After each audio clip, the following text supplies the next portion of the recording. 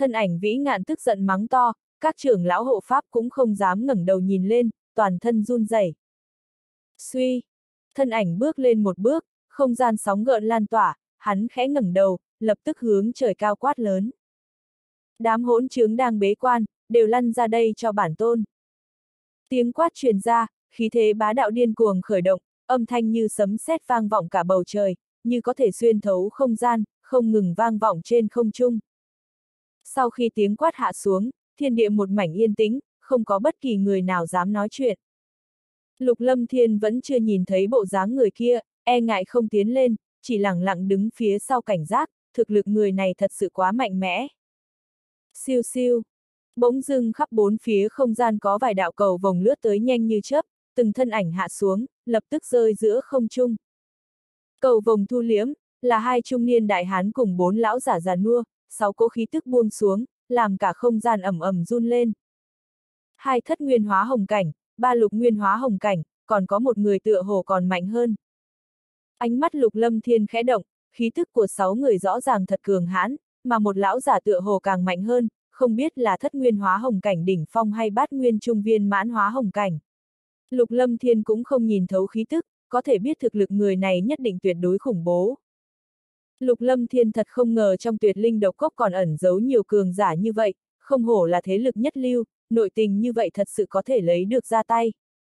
Bái kiến độc tôn đại nhân. Sáu cường giả hạ xuống, ánh mắt rơi lên thân ảnh vĩ ngạn, vô cùng rung động, cung kính quỳ một gối hành lễ.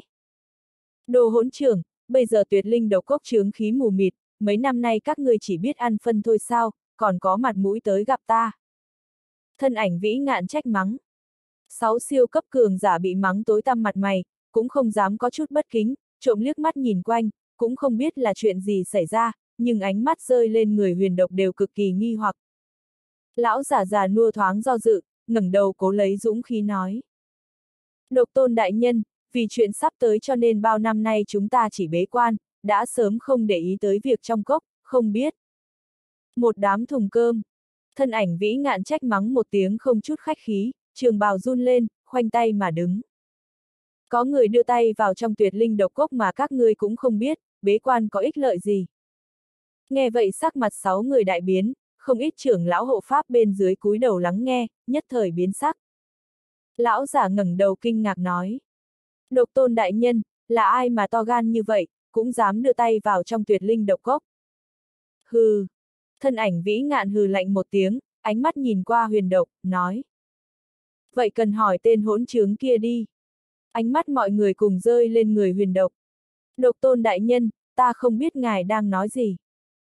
Huyền độc run lên, toàn thân run rẩy sợ hãi. Ánh mắt thân ảnh vĩ ngạn lãnh đạm nhìn huyền độc, như liếc nhìn thiên hạ, khiến người run sợ, trầm giọng nói. Ở trước mặt ta còn giả vờ ngây ngốc sao, không nghĩ tới trí tôn điện dám đánh chủ ý với tuyệt linh độc cốc của ta, bàn tay thật sự đủ dài a. À. Trí tôn điện. Lục lâm thiên run lên, không nghĩ tới huyền độc có quan hệ với trí tôn điện. Lời của thân ảnh vĩ ngạn vừa rơi xuống, sắc mặt sáu người lão giả lập tức đại biến. Ánh mắt huyền độc biến thành hoảng sợ, không chút do dự trong tay đột nhiên xuất hiện một khối ngọc giản, lập tức bóp nát, khe không gian trước mặt bị xé nát, khí tức âm hàn dâng lên. Minh tôn đại nhân cứu ta a! À. Huyền độc lớn tiếng kêu cứu. Còn có cường giả tiến đến. Giữa không trung, sáu người khẽ biến, đứng dậy cảnh giác. Minh tôn, tuyệt linh độc cốc không phải chỗ người muốn tới thì tới. Cảm thụ được khí thức âm hàn trào ra, sắc mặt thân ảnh vĩ ngạn thay đổi, lướt ra nhanh như chớp, trường bào run lên, năng lượng dao động điên cuồng nháy mắt bùng nổ, mang theo uy áp đánh ra một đạo trưởng ấn thẳng về hướng khe không gian. Hô lạp lạp, khí tức kịch độc lan tràn, vô thành vô tức, khắp thiên địa đều biến thành vặn vẹo. Kiệt kiệt, độc tôn, đã lâu không gặp, ngươi không chào đón lão bằng hữu như vậy hay sao, không biết hơn trăm vạn năm nay thực lực của ngươi có tiến bộ hay không. Đồng thời trong khe không gian truyền ra tiếng cười âm lệ, cùng lúc đó một đạo năng lượng chảo ấn xuyên thấu không gian lướt ra. Chủng tộc Minh Linh. Lục Lâm Thiên nhíu mày, khí tức âm hàn cuồn cuộn, Minh Tôn kia hẳn là người chủng tộc Minh Linh, nhưng không biết thuộc bộ tộc nào. Chỉ nháy mắt trưởng ấn cùng chảo ấn va chạm lẫn nhau, như vẫn thạch đỡ upsilon.ng chạm. Oanh! Không gian run lên, lực khủng bố thổi quét, năng lượng chảo ấn rằng co trong nháy mắt liền bị phá hủy nứt vụn, mai một trong hư không. Kiệt kiệt, không hổ là độc tôn, ngày khác chúng ta tiếp tục giao thủ, hôm nay sẽ không phụng bồi. Một đạo năng lượng chảo ấn như chuẩn bị sẵn cuốn lấy thân hình huyền độc, nháy mắt kéo hắn vào trong khe không gian phá nát, theo tiếng cười to âm lệ, đồng thời biến mất. Hô lạp lạp, năng lượng dao động điên cuồng cuốn khắp cả thiên không, như quang hồ khuếch tán, thật lâu sau mới tán đi. Thân ảnh vĩ ngạn chứng kiến cảnh tượng này, cũng không chút phản ứng, chờ sau khi không gian hoàn toàn khôi phục lại, trong mắt hiện lên ý cười, nhưng lại xen lẫn vẻ ngưng trọng. Giờ phút này Lục Lâm Thiên mới nhìn rõ bộ dáng của hắn, đó là một lão giả hơn 50, khuôn mặt lại không già lão, ngũ quan thâm thúy, toàn thân toát ra khí tức bá đạo liếc nhìn thiên hạ. Ánh mắt hắn rơi lên người Lục Tâm Đồng, đôi mắt không ngừng đánh giá. Tiền bối, ngài chính là vạn độc chí tôn. Ánh mắt Lục Tâm Đồng kinh hãi hỏi. Độc tôn cũng không trả lời nàng, thì thảo nói. Đúng là mầm tốt a, à, vô lượng niết bàn, độc công còn hơn nha đầu kia, chỉ mạnh hơn chứ không yếu, không tệ, đích xác không tệ. Sau đó hắn mới trả lời. Nữ oa nhi, hình như danh hào năm xưa của ta là vạn độc chí tôn, là một trong những người khai sáng tuyệt linh độc cốc, sao ngươi lại biết danh hiệu ta? Bái kiến độc tôn tiền bối. Lục tâm đồng hành lễ nói. Độc tôn tiền bối, gia sư từng lệnh đệ tử tìm tiền bối, muốn đệ tử nhắn lại, tuyệt linh độc cốc đã khác hẳn ngày xưa. Đương nhiên trên đường gặp được phu nữ, Chu Thần Hy liền đưa nàng đi theo về thế giới thần thú, nghe nói sẽ giúp nàng thức tỉnh huyết mạch thanh loan. Hiện tại đại ca Dương quá rốt cục đã có tin tức, Lục Lâm Thiên cũng không nóng nảy, rốt cục đã yên tâm. Lục Lâm Thiên phỏng chừng sau khi đại ca tìm được khí linh chấn thiên, sẽ đi tìm mình, chậm nhất mọi người cũng sẽ gặp mặt trong thương khung chiến trường, nếu bây giờ đại ca đã là người của thiên địa các, phỏng chừng trong thiên địa này cũng không bao nhiêu người dám trêu chọc. Nhóm người tiểu long rời đi, Lục Lâm Thiên vẫn lưu lại trong tuyệt linh độc cốc. Đi theo sự dẫn dắt của Lục Tâm Đồng, Lục Lâm Thiên liên tục đi vào bí cảnh của tuyệt linh độc cốc, có độc tôn đồng ý, các thái thượng trưởng lão cũng sẽ không nói gì. Hai năm trôi qua, Lục Lâm Thiên mới rời khỏi các bí cảnh, tự nhiên có không ít thu hoạch. Hai năm thời gian, được thái thượng trưởng lão ủng hộ, còn có độc tôn chấn thủ, Lục Tâm Đồng đã triệt để rửa sạch tuyệt linh độc cốc, nơi này cũng đã hoàn toàn thay đổi. Sáng sớm, ở lối ra độc cốc, bên ngoài một mảnh độc trướng bao trùm vô biên vô hạn, lục tâm đồng lẳng lặng đứng giữa không trung, đông đảo cường giả tuyệt linh độc cốc đứng sau lưng nàng. Tâm đồng, ta đi về trước, có chuyện gì cứ bóp nát ngọc giản báo cho ta biết. Lục lâm thiên nói, hắn đặc biệt chế tạo linh hồn ngọc giản giao cho lục tâm đồng, nếu nàng gặp nguy hiểm hắn có thể lập tức chạy tới cứu viện. Lục tâm đồng cười nói, ca ca trên đường cẩn thận, hiện tại người muốn mạng của huynh khẳng định không ít. Lục Lâm Thiên cười nhẹ nói. Yên tâm đi, mạng của ta cứng lắm, không phải ai cũng có thể đối phó. Chờ muội có rảnh sẽ về thăm người nhà. Lục Tâm Đồng gật đầu. Ta sẽ truyền lời lại. Dứt lời, thân ảnh Lục Lâm Thiên đã tới viễn không, sau thoáng lắc mình liền biến mất. Sáng sớm, núi non liên miên trùng điệp, diện tích mở mang. Thiên địa xanh um tươi tốt, ngọn núi cao về Upsilon T trong mây, mây mù lượn lờ, tựa như tiên cảnh. Trên một ngọn núi, không gian lặng yên dao động, ba đạo khí thức cường hãn như ẩn như hiện lan tràn, người bình thường tuyệt đối khó thể phát hiện. Bên trong một khe đá, có ba thân ảnh ngồi khoanh chân. Ba lão giả khuôn mặt già nua, khoảng hơn 70, một người mặc trường bào xám trắng, trên áo thêu bí văn đồ án hai cánh, khuôn mặt lại cực kỳ bóng loáng. Người thứ hai mặc áo dài màu đỏ, mái tóc trải kiểu đạo sĩ, dáng người có chút khôi ngô, khuôn mặt hiện tia đỏ ửng như lửa. Người cuối cùng mặc áo trắng đen đan sen, tóc dài xóa tung, có vẻ cực kỳ hỗn độn. Theo tư thế của họ, tựa hồ đang đợi ai đó, mà chờ đợi cũng đã lâu. Phi thiên lão yêu, Lục Lâm Thiên đã vào tuyệt linh độc cốc suốt 2 năm, chúng ta cũng đã đợi suốt một năm lẻ 8 tháng, vì sao hắn còn chưa đi ra, chẳng lẽ muốn gia nhập độc cốc sao? Lão giả áo đỏ hỏi. Viêm quang lão đạo, người có chút tính nhẫn nại đi, trên người hắn có hai kiện bán thánh khí, không ít thông linh bảo khí, đừng nói là chờ một năm tám tháng, dù là một ngàn tám trăm năm cũng đáng giá. Lão giả áo đen trắng nói. Nơi này cách tuyệt linh độc cốc rất gần, nếu chúng ta động thủ ở đây rất có thể dẫn dắt người của tuyệt linh độc cốc đi qua, ở trong độc cốc có vài tên không phải dễ chọc. Song kỳ lão quái, chẳng lẽ ngươi không biết phía trước không xa là thế giới trùng động hay sao, chúng ta chỉ phải chặn đường ở trong này, yên tâm đi, đối phó lục lâm thiên hẳn không có bao nhiêu khó khăn, ta nghe được tin tức, hắn chỉ có nhị nguyên hóa hồng cảnh mà thôi, không khó đối phó. Phi thiên lão yêu nói, mấy người trong tuyệt linh độc cốc thật khó dây vào, nhưng chúng ta cần đối phó lục lâm thiên cũng không dùng bao nhiêu thời gian, cho dù bọn hắn chạy tới cũng không kịp, sau khi chúng ta bắt được lục lâm thiên, rời khỏi côn vân thế giới, tới lúc đó bọn hắn cũng không có biện pháp. Phi thiên lão yêu, viêm quang lão đạo, song kỳ lão quái, nếu ai nghe danh hào của ba người đều tuyệt đối quay đầu bỏ chạy, bọn họ hung danh hiển hách, ba siêu cấp tán tu, đều có danh khí nhất định trong ba ngàn đại thế giới. Vậy thì chờ đi, dù sao lục lâm thiên cũng phải quay về thượng thanh thế giới, đây là đường phải đi qua, tới lúc đó tốc chiến tốc thắng, bắt hắn liền đi, không lo không chiếm được bảo vật. Viêm quang lão đạo cười nói. Nếu không vì bán thánh khí, ta cũng không muốn động vào lục lâm thiên, tuyên cổ điện cũng không dễ trêu chọc. Song kỳ lão quái nói. Yên tâm đi, chúng ta cũng không cần tử lôi huyền đỉnh, nghe nói người bình thường cũng không cách nào dung hợp được huyền đỉnh, huống chi còn cần lôi hệ, chúng ta chỉ cần luân hồi hư vọng đao là được rồi, tới lúc đó chỉ cần lục lâm thiên thức thời, chúng ta cũng không muốn trêu chọc tuyên cổ điện, phỏng chừng đám lão gia hỏa kia cũng sẽ không cách nào đuổi theo chúng ta. Phi thiên lão yêu nói. Suy lạp lạp. Lời của hắn còn chưa nói xong, giữa không trung run lên, một đạo tử kim lưu quang lướt qua trời cao, mang theo âm thanh như lôi đình, xu thế chấn động khiến người run như cầy sấy, nháy mắt rơi trên đỉnh đầu ba người. Có người đánh lén. Sắc mặt ba người đại biến, trong tích tắc biến mất tại chỗ, tử kim lưu quang ẩm ẩm rơi xuống chỗ ba người vừa ngồi. Oanh long! Tử kim lưu quang ẩm ẩm giáng xuống đất, ngọn núi khổng lồ nứt vỡ, lõm xuống một hố sâu không thấy đáy, toàn bộ ngọn núi đều trao đảo kịch liệt. Suy lạp lạp, đá vụn kích tán, năng lượng phong bạo hủy diệt thổi quét, sau đó đột nhiên dừng lại, lặng lẽ mai một. Phi thiên lão yêu tức giận hét lớn. Là tên khốn kiếp nào dám đánh lén chúng ta, đi ra cho ta. Ba lão thất phu, rõ ràng các ngươi chuẩn bị đánh lén người khác, còn trách mình bị đánh lén, thật sự là già không biết xấu hổ, còn trơ mặt mo ra. Độc tôn nhìn lục tâm đồng, nói. Việc này ta đã biết đại khái, miễn lễ đi. Vừa dứt lời, độc tôn liếc mắt nhìn xung quanh, nói. Mọi người nghe kỹ cho ta, từ giờ trở đi tiểu nha đầu này chính là cốc chủ tuyệt linh độc cốc, ai dám không phục thì tới nói với ta. Ánh mắt mọi người khẽ biến, đây chính là do độc tôn đại nhân tự mình lựa chọn cốc chủ, làm sao còn dám không phục, lập tức hành lễ.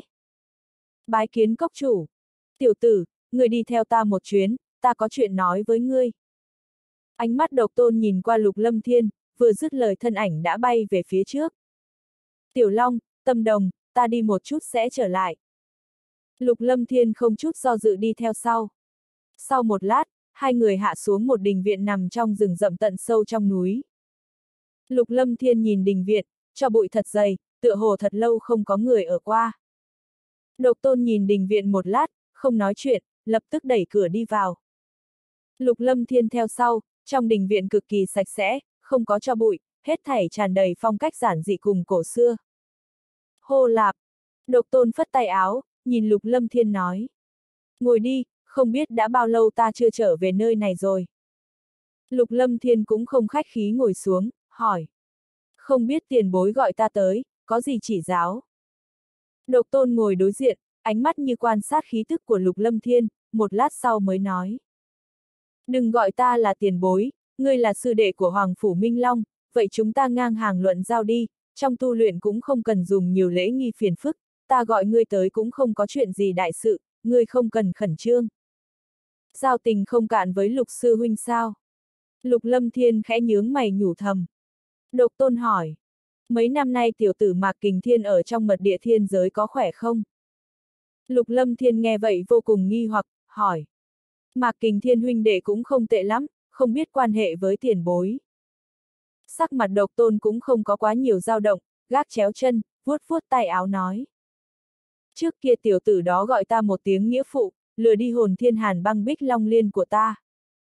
Khuôn mặt lục lâm thiên kinh ngạc, khiếp sợ vô cùng, thật không ngờ độc tôn là nghĩa phụ của Mạc Kình Thiên, khó trách khi ở trong tướng hoàng không gian, mạc Kình Thiên có nhắc tới lão đầu tử sau lưng, làm tông lão trong hai đại liên minh cũng băn khoăn, hắn lập tức đứng đẩy kho người thi lễ, nói.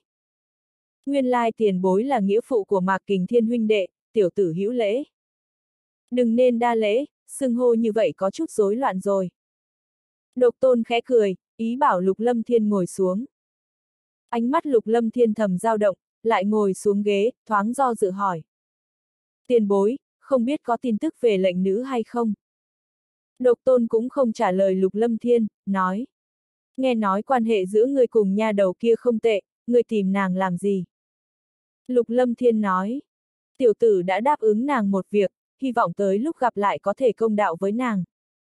Không nghĩ tới còn là một tình si, theo ta được biết, người đã có không ít hoa hoa thảo thảo. Độc tôn thản nhiên nói. Lục lâm thiên nhếch môi. Đa tình dù sao cũng hơn bạc tình, ta vốn vô ý nghĩ đa tình, nhưng cố tình gặp được người đa tình, cuối cùng chỉ có thể đều không cô phụ. Hay cho câu đều không cô phụ, ai, chuyện người trẻ tuổi các ngươi, ta cũng không muốn quản, nhưng tình huống hiện tại của nàng cũng khó mà nói rõ. Những năm gần đây ta một mực nghĩ biện pháp, cũng tận lực tìm phương pháp hiệu quả, người muốn gặp nàng cũng vô dụng, việc này quan hệ không nhỏ, thậm chí bản thân ta cũng không thể nói chính xác sau này sẽ phát sinh chuyện gì.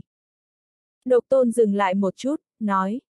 Ta chỉ có thể nói cho người biết, nhà đầu kia vẫn rất tốt, nếu các ngươi thật sự có duyên, tới lúc đó sẽ gặp lại, cưỡng cầu làm gì, người cũng không cần hỏi nhiều, ta không cách nào nói rõ ràng. Tiểu tử hiểu được rồi. Lục lâm thiên khẽ gật đầu. Nói chính sự, người biết bao nhiêu về trí tôn điện. Khuôn mặt độc tôn trở nên nghiêm túc. Lục lâm thiên lắc đầu. Ta hiểu biết cũng không nhiều, mới biết về trí tôn điện cách đây không lâu. Độc tôn cũng không kỳ quái, nói. Chí tôn điện tồn tại đã lâu, lai lịch luôn bí ẩn đáng sợ, thậm chí vô số năm qua cũng không bao nhiêu người biết lai lịch cụ thể, sau lưng rốt cục có những thế lực nào, nhưng thế lực cực kỳ khủng bố, cường giả vô số, mỗi lần thương khung bí cảnh mở ra họ sẽ cực kỳ sinh động, nghe nói hiện tại trong người ngươi có luân hồi hư vọng đao cùng tử lôi huyền đỉnh, mà luân hồi hư vọng đao còn là bảo vật của trí tôn điện, hiện tại ngươi là thánh chủ tuyên cổ điện, trí tôn điện tuyệt đối không dễ dàng bỏ qua. Lục lâm thiên cười nhạt. Trí tôn điện muốn đối phó ta, cũng phải trả giá lớn. Ngươi cẩn thận một chút là được rồi, ta có chút quan hệ với phong vân thế giới, bởi vậy luôn ở nơi đó, hiện tại ngươi đã là tứ nguyên hóa hồng cảnh, lần này tranh đoạt chín tòa hồng hoang điện, ngươi có hy vọng, như vậy thượng thanh thế giới cũng sẽ được phúc ấm, cố gắng nỗ lực lên.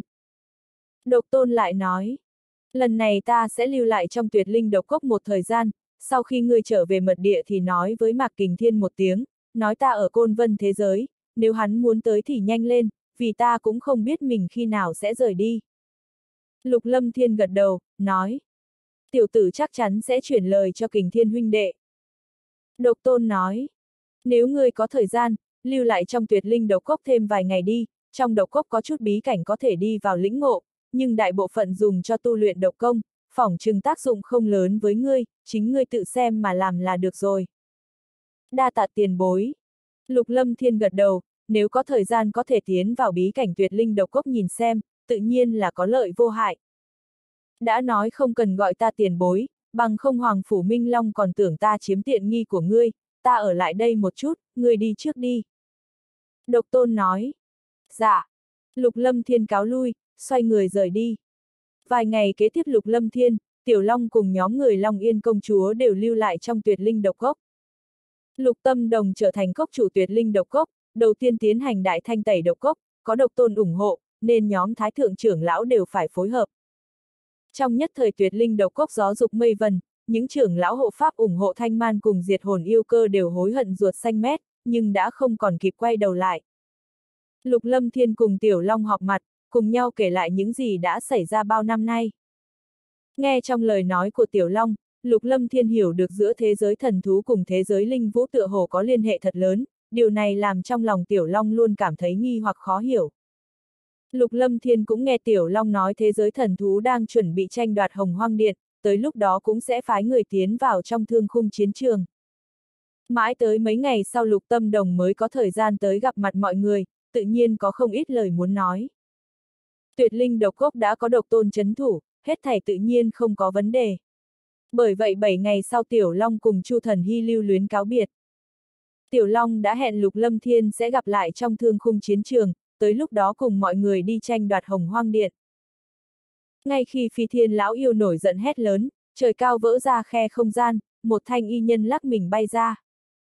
Thanh y nhân thản nhiên trôi nổi giữa không trung, khoanh tay mà đứng, khí thế bá đạo. Một lục nguyên hóa hồng cảnh phong hệ áo nghĩa, hai ngũ nguyên hóa hồng cảnh đỉnh phong, một chủ tu hỏa hệ áo nghĩa, một tu luyện linh hồn cùng không gian áo nghĩa, đội hình ám tập thật không nhỏ a. À. Lục Lâm Thiên thì thào nói, ánh mắt hiện lên vẻ dao động.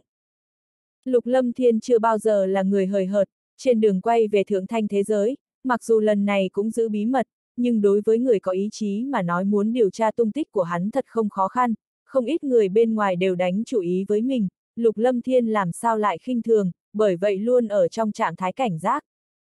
Với linh hồn lực hiện tại của hắn, tâm thần truyền xa, vượt qua sự suy đoán cùng phỏng trừng của ba người phi thiên lão yêu. Nếu ba người này hoàn toàn thu liếm khí tức, Lục Lâm Thiên muốn phát hiện cũng không dễ dàng. Nhưng ba người còn muốn dình xem hắn có đột nhiên đi qua hay không, cho nên thỉnh thoảng phóng thích khí tức dò xét, từ rất xa bị Lục Lâm Thiên nhìn thấy, theo khí tức truy tìm cho nên ba người khó thể phát hiện. Vừa biết ba người tính toán vây công hắn, đánh xuống một đạo tử kim lôi đình. Nhưng ba người phi thiên lão yêu cũng không phải kẻ yếu, hiểm hiểm đều tránh thoát. Ba người đều biết thanh y nhân này cũng không dễ chọc, không ngờ có thể vô thanh vô tức đánh lén bọn hắn, thiếu chút nữa làm họ trúng chiêu, điều này đã chứng minh người này khó dây vào. Tiểu tử, ngươi là người phương nào? Viêm quang lão đạo cao mày, trong mắt nổi lên hung sát. Các ngươi không biết ta là ai? Lục lâm thiên nhíu mày, ba lão gia hỏa này rõ ràng muốn đánh lén mình, nhưng lại không biết mình, điều này chỉ có thể làm lục lâm thiên cười khổ. Ngươi là... Ánh mắt phi thiên lão yêu thầm dao động, khuôn mặt lập tức trầm xuống. Tiểu tử, chẳng lẽ ngươi chính là lục lâm thiên? Lục lâm thiên. Viêm quang lão đạo cùng song kỳ lão quái nhất thời sửng sốt, ánh mắt tập trung trên người lục lâm thiên. Chúc mừng chúc mừng, người trả lời đúng rồi. Không nghĩ tới tiểu tử ngươi dám tự mình đưa tới cửa. Viêm quang lão đạo trầm giọng nói. Tiểu tử, nể tình ngươi là hậu bối, chúng ta cũng không gây khó khăn ngươi, nghe nói ngươi có tử lôi huyền đỉnh cùng luân hồi hư vọng đao, chúng ta chỉ cần luân hồi hư vọng đao là được rồi, đồng thời xem như thù lao, ba chúng ta tiễn người bình an quay về thượng thanh thế giới, ngươi thấy thế nào? Nghe vậy lục lâm thiên thoáng lặng người, không nghĩ tới người này không biết xấu hổ như vậy, lập tức nói. Nói nghe thật hay, nhưng chỉ sợ các ngươi không phải không muốn làm khó ta, là vì sợ hãi cường giả tuyên cổ điện cùng thượng thanh thế giới đi. Ánh mắt phiêm quang lão đạo biết thành hung sát kịch liệt, trầm giọng nói. Tiểu tử, đừng rượu mời không uống muốn uống rượu phạt, chúng ta cần gì đem tuyên cổ điện cùng thượng thanh thế giới đặt vào trong mắt, giết tiểu tử ngươi, trong ba ngàn đại thế giới mở mịt lại có ai tìm thấy ba người chúng ta, nếu ngươi thành thật giao ra luân hồi hư vọng đau thì còn tốt, nếu không đừng trách chúng ta không khách khí. Mềm không được định cứng rắn sao? Lục lâm thiên nhíu mày, lạnh lùng nói. Ta xem chi bằng như vậy đi, ba người giao ra chữ vật giới chỉ, ta đáp ứng cho ba người bình yên rời khỏi côn vân thế giới, các người thấy thế nào, như vậy xem như là công đạo đi. Nghe vậy sắc mặt ba người vô cùng khó xem, không nghĩ tới lục lâm thiên hoàn toàn không đem bọn họ đặt vào trong mắt. Đồ khốn, người dám trêu chọc ba chúng ta. Phi thiên lão yêu biến sắc mặt cả giận nói. Nói sai rồi, không phải trêu chọc ba ngươi, là khinh thường các ngươi. Chỉ với ba ngươi, dù gì cũng một đống tuổi, thậm chí ngay cả đương sự có bộ dáng gì cũng không biết lại dám chạy ra đánh cướp, các người có thể chuyên nghiệp một chút hay không, thật sự là quá kém mà. Ba người nghe vậy liền ngẩn người. Ai? Lục lâm thiên than nhẹ một tiếng, nói. Không nói trước thực lực các ngươi có thể thành công hay không, chẳng lẽ các ngươi không nghĩ qua sao, các ngươi đối phó ta, tuyên cổ điện sẽ bỏ qua các ngươi sao? Cho dù là vì mặt mũi của tuyên cổ điện, tới lúc đó các cường giả cũng đuổi giết các ngươi, với lực lượng trải rộng cả ba ngàn đại thế giới, các ngươi thật sự nghĩ mình có thể chạy thoát hay sao? Cho dù không tính tuyên cổ điện, còn có chiến thiên liên minh, thượng thanh thế giới, tuyệt linh độc gốc, thần thú thế giới, thiên nữ cung, cửu vĩ thiên hồ đều có quan hệ với ta, tới lúc đó nhất định cũng không khách khí với các ngươi, hậu quả như vậy chẳng lẽ các ngươi đều chưa nghĩ qua? Các ngươi muốn đánh cướp ta, chưa hề có chút chuẩn bị gì à? Những câu hỏi liên tục của Lục Lâm Thiên khiến ba người ngây dại, vẻ mặt động lại, lập tức đưa mắt nhìn nhau, ánh mắt mờ mịt, lộ xem ra dao động kiêng kỵ mơ hồ. Lục Lâm Thiên nhìn thấy phản ứng của ba người, tựa hồ cực kỳ hài lòng, nói. Cho nên giao chữ vật giới chỉ cho ta, ta cam đoan cho các ngươi an toàn rời khỏi côn vân thế giới, sau này cũng sẽ không tìm các ngươi phiền toái, các ngươi cảm thấy thế nào? Chúng ta vì sao phải tin tưởng ngươi? Viêm quang lão đạo hỏi. Lục lâm thiên nâng tay phải, mắt lộ ý cười, ngón trỏ sờ chóp mũi, cười nói. Ta làm người xưa nay công bình, tục ngữ nói công đạo ở trong lòng người, tướng tùy tâm sinh, ta là người có hạo nhiên chính khí, khí vũ hiên ngang, cho nên hẳn nên tin tưởng ta. Huống chi ta không làm ra việc trơ chẽn trả thù, bình thường có cửu oán, ta đương trường liền báo, loại hành động trả thù ngày sau, ta thật sự khinh thường đi làm. Việc này, viêm quang lão đạo nghi hoặc, thần sắc có chút sững sờ. Phi thiên lão yêu, viêm quang lão đạo, lục lâm thiên đang trêu chọc chúng ta đâu. Song kỳ lão quái hồi phục thần trí, sắc mặt khó xem nói. Tiểu hỗn trướng. Viêm quang lão đạo phục hồi lại tinh thần, giận dữ quát, năng lượng nóng cháy bạo động thổi quét, toàn thân bốc lên ngọn lửa cuồn cuộn. Tiểu tử, dám giỡn mặt bổn đạo nhân, người cần trả giá thật nhiều. Tiếng quát hạ xuống, thân ảnh viêm quang nhanh như chớp lướt ra, quyền ấn bao phủ ngọn lửa cuồn cuộn hướng lục lâm thiên oanh tới. Nộ hỏa phần thiên quyền. Chỉ nháy mắt, thân ảnh viêm quang xuất hiện trước người lục lâm thiên không xa, năng lượng kình khí khủng bố làm không gian điên cuồng nhộn nhạo, cường giả ngũ nguyên hóa hồng cảnh đỉnh phong, tuyệt đối khủng bố. Thần sắc lục lâm thiên hờ hững, khóe môi hiện ý cười, trong mắt hiện hàn ý. Suy! Bỗng dưng lục lâm thiên khom người xuống, khí tức bắt đầu khởi động, không gian dưới chân nổ tung, nháy mắt lướt ra, dùng một tốc độ nhanh như chớp xuyên qua trường không, đồng thời thân thể bành trướng mở rộng, điện mang lan tràn, từng mảnh vảy mang theo thanh sắc hổ quang gắt gao bao vây thân thể. Suy lạp lạp, lớp vảy quỷ dị bao trùm, mang theo năng lượng kinh người, thân hình lục lâm thiên cấp tốc biến hóa, gân cốt cơ thể, tứ chi huyết mạch nháy mắt mở rộng. Oanh long! Chỉ trong nháy mắt ngắn ngủi, không trung run lên, thân hình lục lâm thiên đã biến thành một đầu cự hổ thanh bạch sắc, cự hổ hung mãnh dị thường, quanh thân quanh quẩn điện mang, thú huy phóng thích khiến người hết hồn. Suy! Lục lâm thiên tiến tới, một quyền của viêm quang oanh thẳng lên thân thể khổng lồ của lục lâm thiên. Oanh! Một tiếng nổ tung trầm thấp truyền ra, quyền ấn dừng trên người lục lâm thiên tóe ra ngọn lửa nóng cháy.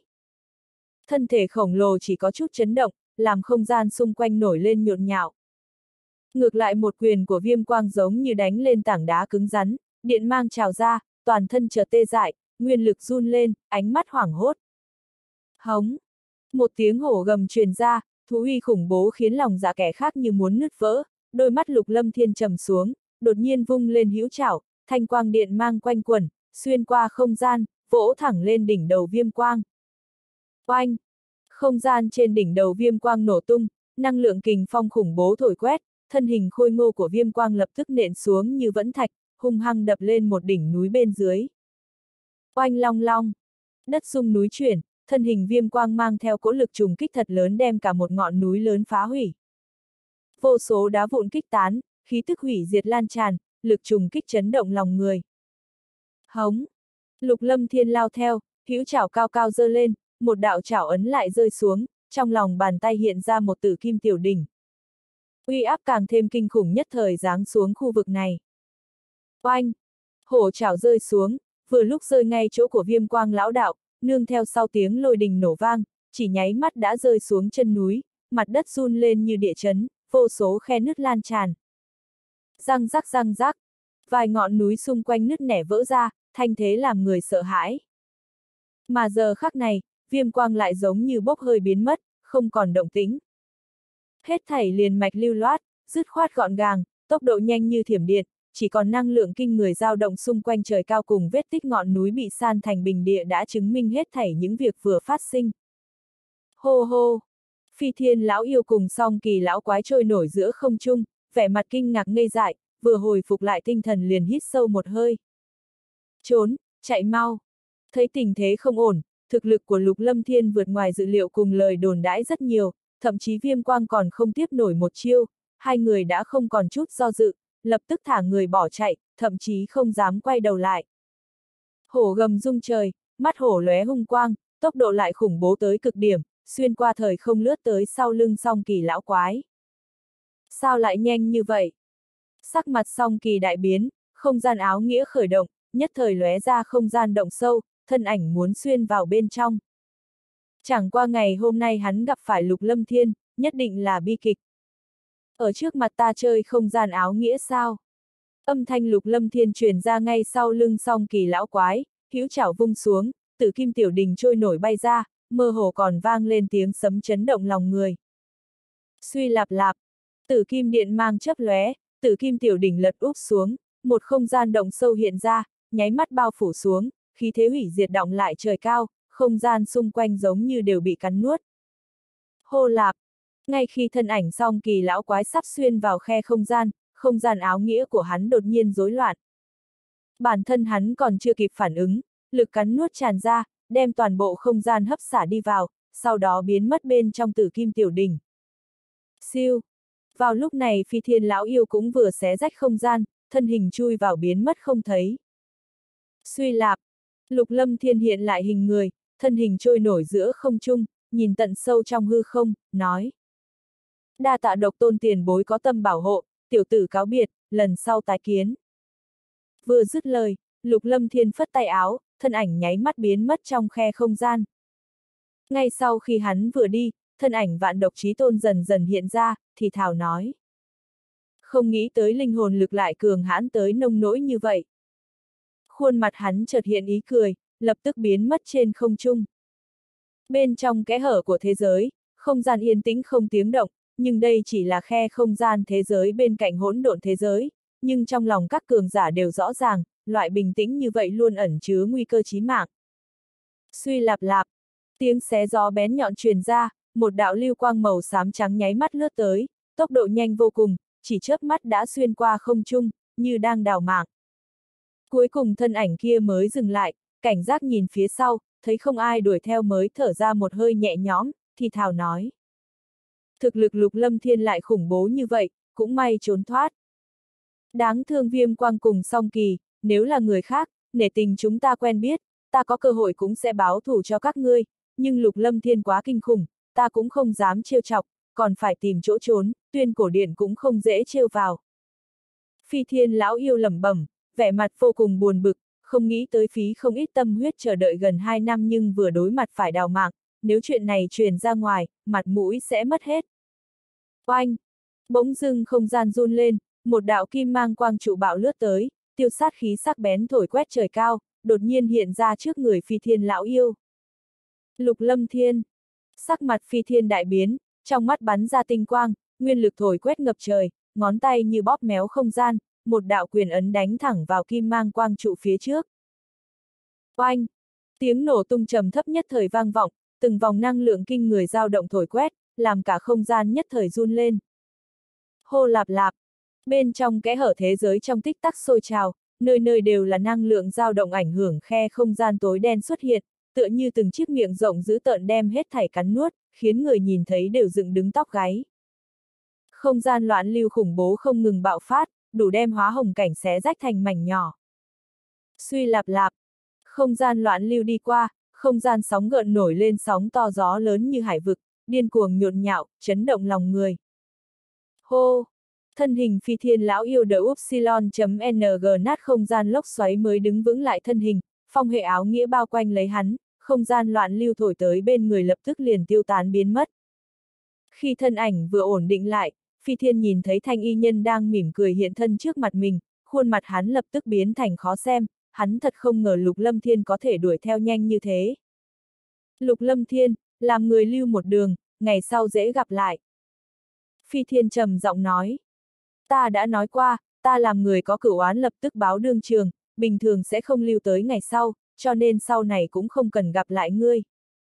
Trong mắt Lục Lâm Thiên hiện vẻ thản nhiên nói.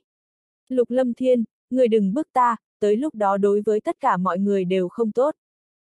Phi Thiên nhìn Lục Lâm Thiên, trong mắt lộ vẻ hung hăng. Con thỏ nóng nảy cắn người, chó gấp nhảy tường. Khóe môi Lục Lâm Thiên khẽ động, cười nói. Nhưng ta cứ bức ngươi, ngươi có năng lực làm gì? Ngươi! Thần sắc phi thiên lão yêu giận dữ, trong lòng biết việc này đã không ổn, lục lâm thiên không muốn buông tha chính mình, ánh mắt hắn càng thêm ngưng trọng, trải qua tiếp xúc hắn cũng biết lục lâm thiên thật khó đối phó. Cô! Một tiếng kêu chói tai vang lên, thân hình phi thiên lão yêu nháy mắt bành trướng, trong chớp mắt lưu quang quanh quẩn, liền hóa thành một đầu đại bàng khổng lồ màu xám trắng. Hô lạp lạp! Thân hình khổng lồ mở rộng hai cánh, bao trùm trời đất, thể tích hơn ngàn thước, từng luồng phong hệ dao động như gió lốc, làm cả không gian hỏng mất, lập tức nổ tung. Nguyên lai là phi thiên yêu bằng. Lục lâm thiên nhíu mày, đây là một đầu yêu thú huyết mạch cực kỳ cường hãn, thể tích khổng lồ cũng tương tự như hắc phú thúc cùng kim huyền. Nghĩ tới đây hắn chợt nhớ sư phụ thánh thủ linh đế có nói qua, sau khi hắc phú thúc cùng kim huyền đi tới vô sắc thế giới chưa được bao lâu đã rời khỏi phi linh môn, sau đó luôn không có tin tức, cũng không biết hai người đi đâu. Lục lâm thiên, ta nói rồi, người bức ta nóng nảy, đối với ai cũng không có lợi. Phi thiên lão yêu vỗ cánh, mắt lộ hung quang. Lục lâm thiên hài hước nói. Bức ngươi thì đã sao, ta còn sợ ngươi cắn ta hay sao? Lục lâm thiên, bản tôn liều mạng với ngươi. Phi thiên lão yêu không nhẫn nhịn được nữa, vỗ cánh liền động, năng lượng dao động khủng bố bộc phát, xuyên qua hư không lao thẳng về hướng lục lâm thiên. Đối với ta mà nói, ngươi cũng chỉ là một con chim lớn một chút mà thôi, ngươi làm khó dễ được ta. Thanh y phất phới, năng lượng kinh khủng bạo động, lục lâm thiên ngửa mặt cười to, khí độ bá đạo lăng tuyệt, tử kim điện mang quanh quẩn, như khói hoa nở rộ bao trùm khắp cả không gian. Oanh! Không trung ẩm ẩm run lên, thân hình lục lâm thiên trướng lớn, nháy mắt xuyên qua không gian, đôi mắt nhìn trừng trừng, khí tức hủy diệt tràn ngập khiến linh hồn kẻ khác run rẩy. Bất diệt la hán tượng. Lục lâm thiên hét lớn một tiếng, trên người bí văn quanh quẩn, uy thế khủng bố càng thêm cường hãn, năm ngón tay siết lại, quyền ấn oanh thẳng đi ra. Suy lạp lạp, tử kim quyền ấn lướt tới, chỉ lưu lại khe không gian tối đen. Tốc độ của hai người nhanh tới cực hạn, quyền ấn cùng đôi cánh va chạm lẫn nhau, đôi cánh mang theo gió lốc sen lẫn tử kim điện mang lóe ra, lập tức vang lên âm thanh trầm thấp, như sấm sét vang vọng cả không gian hỗn loạn. Phanh phanh phanh. Một cánh của phi thiên yêu bằng nhất thời tràn ngập tử kim điện mang, toàn thân như bị điện giật, không gian lập tức tạc vỡ, vô số không gian loạn lưu phá nát, không gian sóng gợn khủng bố thổi quét, nương theo sau tử kim hồ quang khuếch tán. Hoa lạp, thân hình phi thiên bị đẩy lui, cánh phải không chịu nổi một quyền của lục lâm thiên, chuyển quanh một vòng. Lục nguyên hóa hồng cảnh mà thôi, có tư cách gì kêu gào trước mặt ta, còn dám đánh cướp ta, người tìm lộn người. Thân hình lục lâm thiên xuyên qua trời cao, lại một quyền oanh tới. Suy lạp lạp, tử sắc lôi vân cuồn cuộn xuất hiện, một đạo quyền ấn lần thứ hai hung hăng đánh thẳng lên thân hình phi thiên yêu bằng còn đang xoay tròn. Oanh! Thân hình phi thiên lại lần thứ hai bị chấn khai. Lại đến.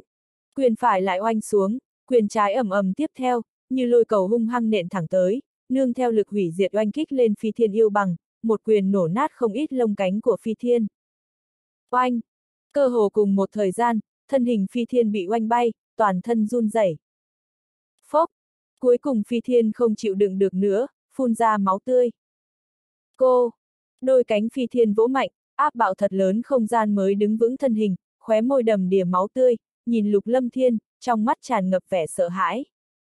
Giờ này khác này hắn mới biết lục lâm thiên lợi hại thế nào, buồn cười cho ba người bọn họ còn muốn đánh cướp hắn, chờ suốt gần hai năm lâu như vậy, ai biết lại rời tảng đá đập lên chân mình, làm hại bản thân hiện tại cũng không thể trốn thoát. Lục lâm thiên, rốt cục ngươi muốn thế nào, ngươi khinh người quá đáng. Phi thiên sợ hãi nói.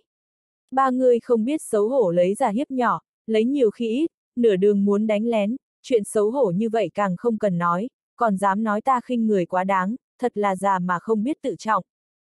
Lục lâm thiên lại vung tay, một đạo quyền ấn thành hình, hướng thân thể phi thiên oanh kích xuống. Lục lâm thiên theo đuổi không bỏ, không cho phi thiên lão yêu đường lui, tục ngữ nói con thỏ nóng này cũng cắn người. Huống chi phi thiên lão yêu cũng không phải con thỏ, hắn là phi thiên yêu bằng hung danh hiển hách.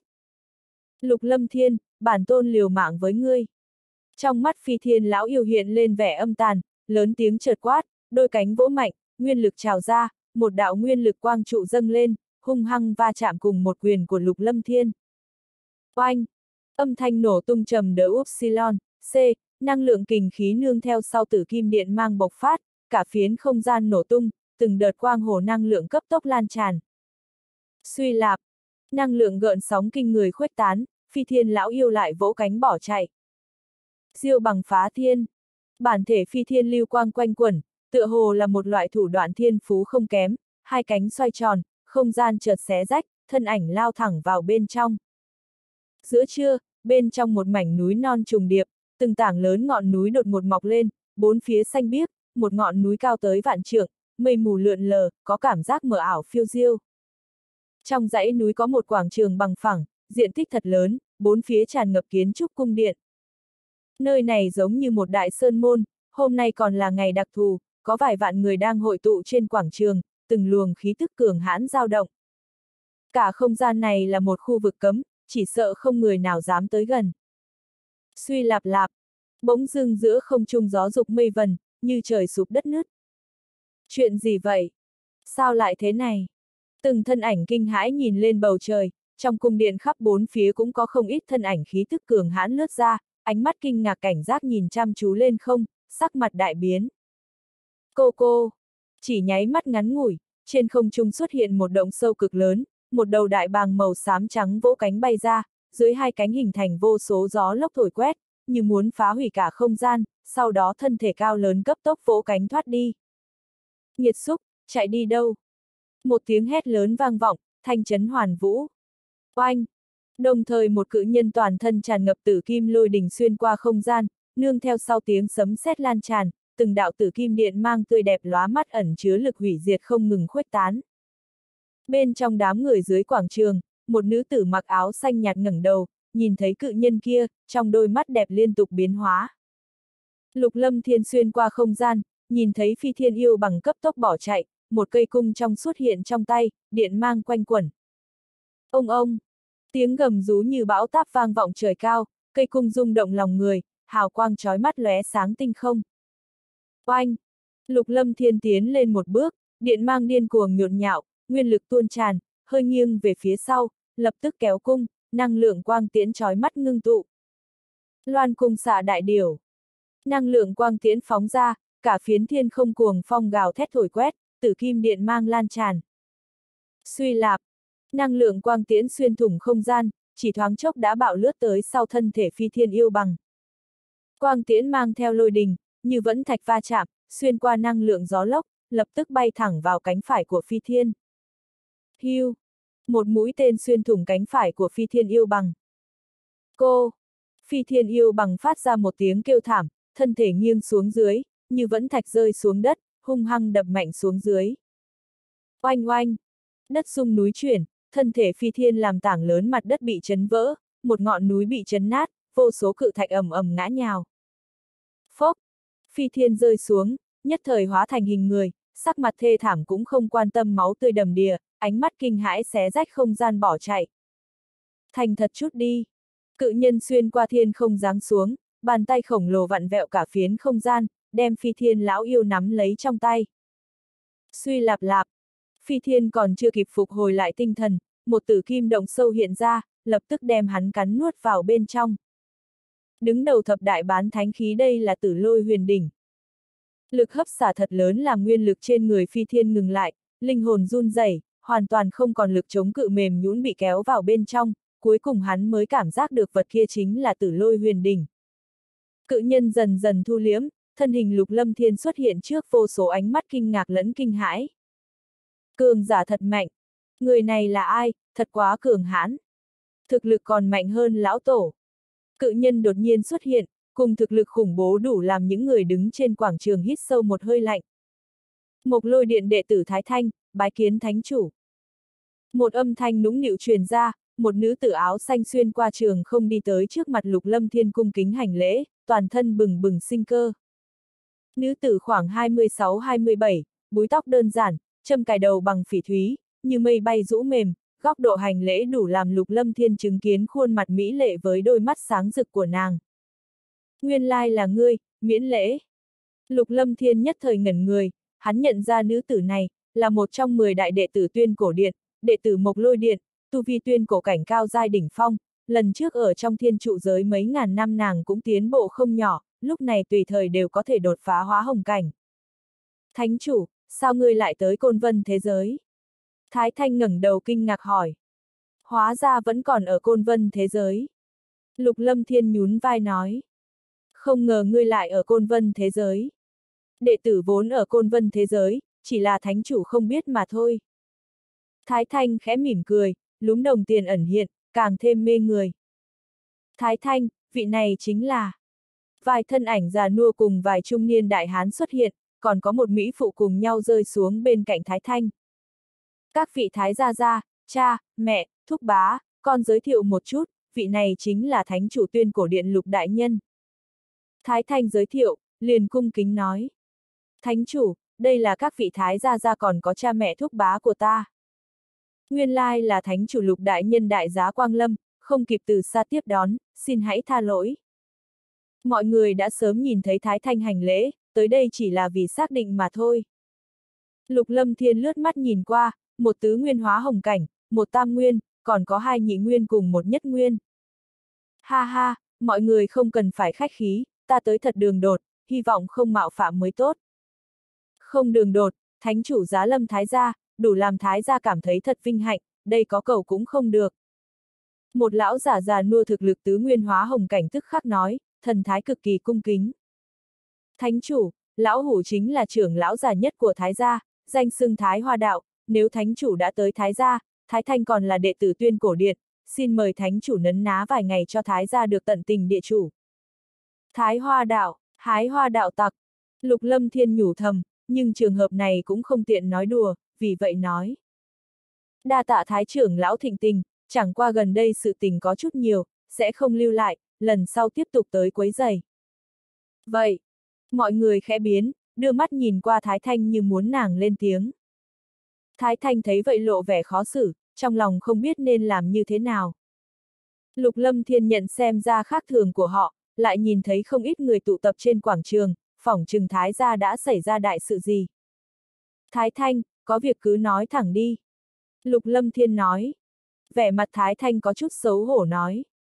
Thánh chủ, là như vậy, Thái gia gần đây gặp phải đại phiền toái, thật sự khó thể giải quyết, ta đang định đi tuyên cổ điện khẩn cầu mộc lôi điện trưởng bối thương trợ, nhưng cũng có băn khoăn, lại sợ thời gian không kịp, cho nên. Gặp phiền toái gì? Lục Lâm Thiên hỏi, nhìn thực lực của Thái gia, cũng có nhiều tu vi hóa hồng cảnh, như vậy đã không kém, phỏng chừng chỉ kém hơn chút cổ tộc, chỉ sợ phiền toái kia thật không tầm thường. Thái Thanh ngẩng đầu nói. Mấy tháng trước Thái gia cùng Côn Dương Tông đồng thời phát hiện một bí cảnh, đã phát hiện không ít bảo vật, đều giá trị xa xỉ. Nhưng trong bí cảnh có một nơi, không ai có thể đi vào, Thái gia cùng cường giả Côn Dương Tông nghĩ đủ loại biện pháp, cũng thử mạnh mẽ xâm nhập, nhưng không hề tiến triển. Cuối cùng chúng ta buông tha, quyết định để hai nhà đồng thời bảo quản bí cảnh, đợi sau này có cơ hội tiếp tục đi vào. Theo bảo vật trong bí cảnh mà xem, chỉ sợ địa phương kia sẽ có nhiều bảo vật hơn, cho nên việc này cũng chỉ có số ít người trong Thái gia cùng Côn Dương Tông hay biết. Về sau thì thế nào? Bị người khác phát hiện sao? Thần sắc lục lâm thiên khẽ động, chỉ sợ bí cảnh kia cũng bất phàm, mà địa phương vào không được cũng là địa phương trọng yếu nhất. Thái Thanh lắc đầu. Hồi thánh chủ, cũng không phải bị người khác phát hiện, mà mấy ngày trước Côn Dương Tông đột nhiên phái người cho chúng ta biết, nếu bí cảnh kia không ai vào được, do hai nhà trưởng quản cũng phiền toái, cho nên chỉ do một nhà trưởng quản là được, ước định vài ngày sau, cũng chính là tới hôm nay được ba ngày, ba ngày sau Thái gia cùng Côn Dương Tông mỗi bên phái người đối chiến, ai thắng lợi thì bí cảnh thuộc về ai. Lục Lâm Thiên lại hỏi. Chẳng lẽ thực lực Thái gia không bằng Côn Dương Tông sao? Thái Thanh, mời Thánh chủ đại nhân vào ngồi nói chuyện đi, chúng ta cũng có thể kể lại chi tiết cho Thánh chủ đại nhân nghe qua.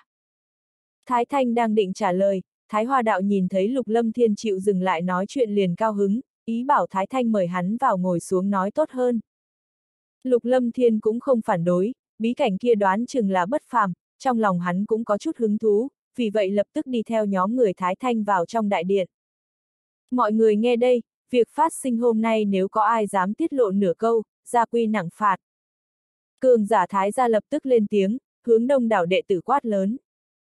Bên trong đại sảnh, Lục Lâm Thiên ngồi trên thượng vị, nghe Thái Thanh kể lại ngóc ngách chuyện này. Nguyên lai trước kia quan hệ giữa Thái gia cùng Côn Dương Tông không kém, hai nhà đều có giao tình, thậm chí cũng có quan hệ thông gia, có thể nói rất tốt. Cách đây không lâu, một nữ tử trẻ tuổi của Thái gia ước hẹn với một nam đệ tử của Côn Dương Tông, vô ý phát hiện lối vào một bí cảnh. Hai người cảm giác khí tức trong bí cảnh thật mạnh, vì vậy không dám một mình đi vào, đều tự thông chi trưởng bối. Bởi vậy xem như là do Thái gia cùng Côn Dương Tông đồng thời phát hiện, trước khi tiến vào bí cảnh, cường giả hai bên đã thương nghị nếu có bảo vật thì chia đều, vì vậy cả hai bên vốn không có ý kiến gì. Nhưng hai bên không hề nghĩ tới nhìn bề ngoài bí cảnh bình thường, ai biết bên trong có thật nhiều bảo vật, chỉ tính thông linh bảo khí cũng có vài kiện, những bảo vật khác càng thêm đông đảo. Bởi vậy hai nhà bắt đầu có ý tưởng riêng, nhưng bởi vì đã có ước định cho nên vẫn bình yên vô sự, lòng hiểu mà không nói. Mãi tới khi phát hiện một thạch động, bố trí cấm chế cực kỳ cường hãn, Thái Hoa Đạo cùng cường giả Côn Dương Tông liên thủ cũng không thể xông vào, bởi vậy cuối cùng quyết định do hai nhà đồng thời trưởng quản. Đây cũng là phương pháp bất đắc dĩ, hai nhà chỉ đành đồng ý, do cường giả hai bên phong ấn lối vào bí cảnh, chờ đợi tới lúc thích hợp mới đi vào thử xem, miễn cho tiết lộ tin tức, nếu để cổ tộc trong côn vân thế giới hay biết, chỉ sợ bí cảnh sẽ bị người chiếm đoạt. Ai biết mấy ngày trước Côn Dương Tông đột nhiên thông chi thái gia, nói hai nhà cùng trưởng quản bí cảnh quá phiền toái, đôi bên phái người đối chiến, chỉ dùng người trong môn phái, không được cầu viện trợ, ai thắng thì thuộc về ai. Thực lực hai bên vốn không kém bao nhiêu, bằng không bí cảnh cũng không được chia đôi, tự nhiên là ai mạnh hơn thì thuộc về người đó. Nhưng gần đây Thái gia nhận được tin tức, đại biểu Côn Dương Tông giao thủ với Thái gia chính là Dư Gia Dư Truyền. Mà Dư Gia lại là một trong cổ tộc của Côn Vân thế giới, Dư Truyền là trưởng lão Dư Gia, tam nguyên hóa hồng cảnh đỉnh phong. Thái gia Thái Hoa Đạo cũng là tam nguyên hóa hồng cảnh, nhưng bản thân hắn biết rõ mình không phải đối thủ của Dư Truyền. Nghe Thái Thanh thuật lại, Lục Lâm Thiên khẽ cao mày, vốn hai nhà quyết định giấu kín tin tức không cho người cổ tộc hay biết. Nhưng lần này hai bên đối chiến còn dính dáng tới cổ tộc Dư Gia, rõ ràng là do người Côn Dương Tông chủ động báo với Dư Gia, muốn dùng Dư Gia áp chế Thái Gia, tới lúc đó độc chiếm bảo vật trong bí cảnh, phỏng chừng quan hệ giữa Dư Gia cùng Côn Dương Tông không kém. Thoáng cân nhắc một lúc, Lục Lâm Thiên hỏi. Không phải nói cuộc chiến này không được cầu viện thủ sao, vì sao người Dư Gia có thể nhúng tay? Thái Thanh lộ vẻ cười khổ nói. Thánh chủ có điều không biết, nghe nói Côn Dương Tông có một nữ đệ tử trước đó không lâu gả vào Dư gia, trở thành vợ của Dư Truyền, mà Dư Truyền cũng trở thành cung phụng của Côn Dương Tông. Có cổ tộc Dư gia làm chỗ dựa, thế lực Côn Dương Tông tăng nhiều, hiện tại Dư Truyền đại biểu Côn Dương Tông xuất chiến, mặc dù có chút vô sỉ nhưng cũng nằm trong quy củ. Đích xác đủ vô sỉ. Lục Lâm Thiên thấp giọng mắng một tiếng, bất kể là Côn Dương Tông hay Dư gia đều vô liêm sỉ. Phốc! Thái Thanh nghe vậy bật cười, bị Thái Hoa đạo trừng mắt vội vàng thu liễm. Lục Lâm Thiên cũng không để ý, thần sắc khẽ động hỏi. Thái trưởng lão, Côn Dương Tông có thể thỉnh được cổ tộc, chẳng lẽ Thái gia ở trong côn vân thế giới lại không có giao tình tốt với cổ tộc nào sao, ta nghĩ dư gia cũng không thể độc đại trong côn vân thế giới đi. Thái Hoa đạo nghe vậy xấu hổ cười nói. Lời của Thánh chủ đại nhân, kỳ thật chúng ta cũng sớm nghĩ tới, Thái gia cũng có chút giao tình với cổ tộc nơi này. Theo lý mà nói muốn mời người ra tay cũng không khó khăn, nhưng lần này sự việc không tầm thường, dư gia rõ ràng muốn tương trợ côn dương tông, cho nên cổ tộc khác cũng không muốn đắc tội dư gia. Chẳng lẽ bọn hắn rất mạnh? Thái Thanh tiếp lời. Cũng không phải, dư gia cũng không phải cổ tộc cực mạnh trong côn vân thế giới, chẳng qua bọn hắn có chút bối cảnh, cho nên những cổ tộc khác cũng cấp cho họ chút mặt mũi, cũng không ai nguyện ý đắc tội dư gia. Tại sao vậy? Lục Lâm Thiên ngạc nhiên. Thái Thanh nói. Thánh chủ đại nhân còn nhớ hỏa lôi sứ dư kỳ. Chẳng lẽ hắn là người dư gia? Không sai, hắn là người dư gia, chẳng những như vậy, sư phụ của hắn còn là như hoàng trưởng lão. Thái Thanh nói. Thì ra là thế. Lục Lâm Thiên khẽ gật đầu, địa vị như hoàng trưởng lão trong tuyên cổ điện không thấp, mà địa vị của hỏa lôi sứ dư kỳ cũng không thấp, khó trách những cổ tộc khác đều cấp mặt mũi cho dư gia, có quan hệ tới tuyên cổ điện, đích thật là khác hẳn. Chẳng qua lục lâm thiên vẫn có chút kỳ quái, hỏi. Người cũng là đệ tử mộc lôi điện, theo lý mà nói, dư gia không giao hảo với thái gia cũng không tới nỗi gây khó khăn như vậy đi. Thái thanh xấu hổ, không biết nên giải thích thế nào. Thái Hoa Đạo tiếp lời. Hồi thánh chủ, Thái gia cùng dư gia vốn quan hệ không tệ, nhưng từ mấy trăm năm trước, quan hệ đã xảy ra ngăn cách. Thái Thanh hồi phục lại, nghiêm túc nói. Để đệ tử nói, kỳ thật chỉ là chuyện nhỏ, mấy trăm năm trước có một người cùng thế hệ có ý với ta, nhưng lúc đó ta chỉ một lòng tu luyện, cũng không muốn nói chuyện tình cảm, cho nên cự tuyệt. Thật không nghĩ tới họ cho rằng Thái gia làm họ mất mặt, mặc dù bề ngoài không nói gì, nhưng ngày càng xa cách, lần trước trong tuyên cổ điện, cả Dư Kỳ cũng chỉ gật đầu chào mà không muốn nói chuyện với ta. Dư Kỳ đúng là nhỏ mọn a. Lục Lâm Thiên bĩu môi nói. Thái Thanh cười khổ. Thánh chủ, người mà ta cự tuyệt chính là con trai của Dư Kỳ, cho nên. Dư Kỳ thật sự là nhỏ mọn. Lục Lâm Thiên nói. Chỉ sợ dù ngươi về Mộc Lôi Điện tìm người hỗ trợ cũng không quá khả năng. Có vu gia nhúng tay, khó trách lần này Thái gia có chút luống cuống, với địa vị của Dư Kỳ cùng như Hoàng trưởng lão trong tuyên cổ điện, Lục Lâm Thiên phỏng chừng cho dù Thái Thanh đi Mộc Lôi Điện tìm viện binh cũng vô dụng, người Mộc Lôi Điện tự nhiên sẽ cấp mặt mũi cho như Hoàng trưởng lão, trừ phi Thái Thanh có thể thỉnh được điện chủ Mộc Lôi Điện Hoành Khung Hồng Tôn lên tiếng thì còn có cơ hội. Trọng yếu hơn chính là tuyên cổ điện sẽ không nhúng tay vào phân tranh bên ngoài. Thái Thanh nghe vậy, nói. Đệ tử cũng biết có đi Mộc Lôi Điện cũng vô dụng, nhưng đệ tử thật không còn biện pháp, Côn Dương Tông vô sỉ, hơn nữa còn có dư gia tương trợ, thái gia khó thể đối kháng, cũng không cách nào mời được trợ lực. Nói tới đây, Thái Thanh nhất thời quỳ một gối hành lễ, nói. Thỉnh thánh chủ thương tình đệ tử là đệ tử tuyên cổ điện, xin chủ trì công đạo cho Thái gia. Thỉnh thánh chủ đại nhân chủ trì công đạo giúp Thái gia. Các cường giả Thái gia cũng đứng dậy cầu xin. Việc này, sắc mặt lục lâm thiên lộ vẻ khó khăn, mặc dù côn dương tông chơi chẽn, nhưng mình lại có thân phận thánh chủ tuyên cổ điện, cũng không thể quá rêu rao nhúng tay bất cứ chuyện gì, lưu cho người nói xấu cũng không tốt. Lần này dư ra không để dư kỳ ra tay, chỉ sợ là vì người tuyên cổ điện nhúng tay chuyện gì cũng sẽ có băn khoăn. Thánh chủ đại nhân, chỉ cần có thể tương trợ thái gia, chúng ta nguyện ý dâng lên toàn bộ bảo vật trong bí cảnh cho thánh chủ, chúng ta cũng không muốn tiện nghi cho côn dương tông cùng dư gia vô sỉ kia. Thái hoa đạo cắn răng nói. Không phải ta không muốn tương trợ, nhưng tuyên cổ điện không thể nhúng tay bất cứ chuyện gì, mọi người nên biết. Lục Lâm Thiên nói. Đệ tử đương nhiên biết điều này, nhưng việc này quan hệ tới dư gia, chỉ sợ cũng chỉ có thánh chủ mới có thể giúp đỡ thái gia. Thái Thanh lại tiếp tục khẩn cầu. Chỉ cần thánh chủ đáp ứng nguyện ý giúp đỡ, thái gia nguyện ý trả bất cứ giá nào, cũng không muốn nhìn thấy côn dương tông lấn thái gia quá đáng. Lục Lâm Thiên nhìn Thái Thanh, chân mày khẽ động. Tiểu tử, đáp ứng Thái gia, người mau chân đi xem bí cảnh kia đi. Vào lúc này kim sắc tiểu đao đột nhiên lên tiếng. Ta đã phát hiện một loại khí tức có chút quen thuộc trên thân thể người của Thái gia, hẳn là lây dính từ trong bí cảnh kia cách đây không lâu. Nếu ta đoán không sai, là xuất phát từ bí cảnh đó, nhưng khí tức quá yếu, nhất thời ta cũng không cảm giác được nhiều, có lẽ sau khi đi vào bí cảnh sẽ có phát hiện cũng không chừng. Lục Lâm Thiên nghe vậy, thần sắc nổi lên một ít dao động, như vậy hắn không muốn nhúng tay cũng không được, lập tức nói. Như vậy đi, ta đáp ứng tận lực thử xem một lần, nếu cuối cùng thành công, mặc kệ trong bí cảnh có cái gì, ta chỉ lựa chọn trước ba kiện là được rồi, các ngươi thấy thế nào? Chỉ cần ba kiện. Thái Hoa Đạo nghe vậy nhất thời nghi hoặc ngẩng đầu, có vẻ thật kinh ngạc, vừa rồi hắn cũng đã hứa hẹn, dù sao đã có dư ra ra tay, bí cảnh kia Thái ra cũng không giữ được, cho nên rõ ràng toàn bộ giao cho thánh chủ, cũng không muốn nhìn thấy côn dương tông khinh người quá đáng, thật không nghĩ tới vị thánh chủ này chủ động nói chỉ cần ba kiện đồ vật là được rồi. Lục Lâm Thiên gật đầu nói. Không tệ, nếu ta thành công, tới lúc đó ta chỉ cần ba kiện đồ vật là được rồi, dù sao bí cảnh là do Thái gia phát hiện, Thái Thanh cũng là đệ tử tuyên cổ điện, ta cũng không thể lấy đồ vật của đệ tử. Nhưng ta chỉ hết sức thử xem một lần, nếu tới lúc đó ta không được, chư vị đừng trách ta mới tốt. Lục Lâm Thiên vừa dứt lời, các cường giả thái gia vô cùng kích động, thái hoa đạo tràn ngập ý cười, nói. Thánh chủ đại nhân không cần nói vậy, có thánh chủ đại nhân ra tay, dư ra lại tính thứ gì, nhất định sẽ thành công.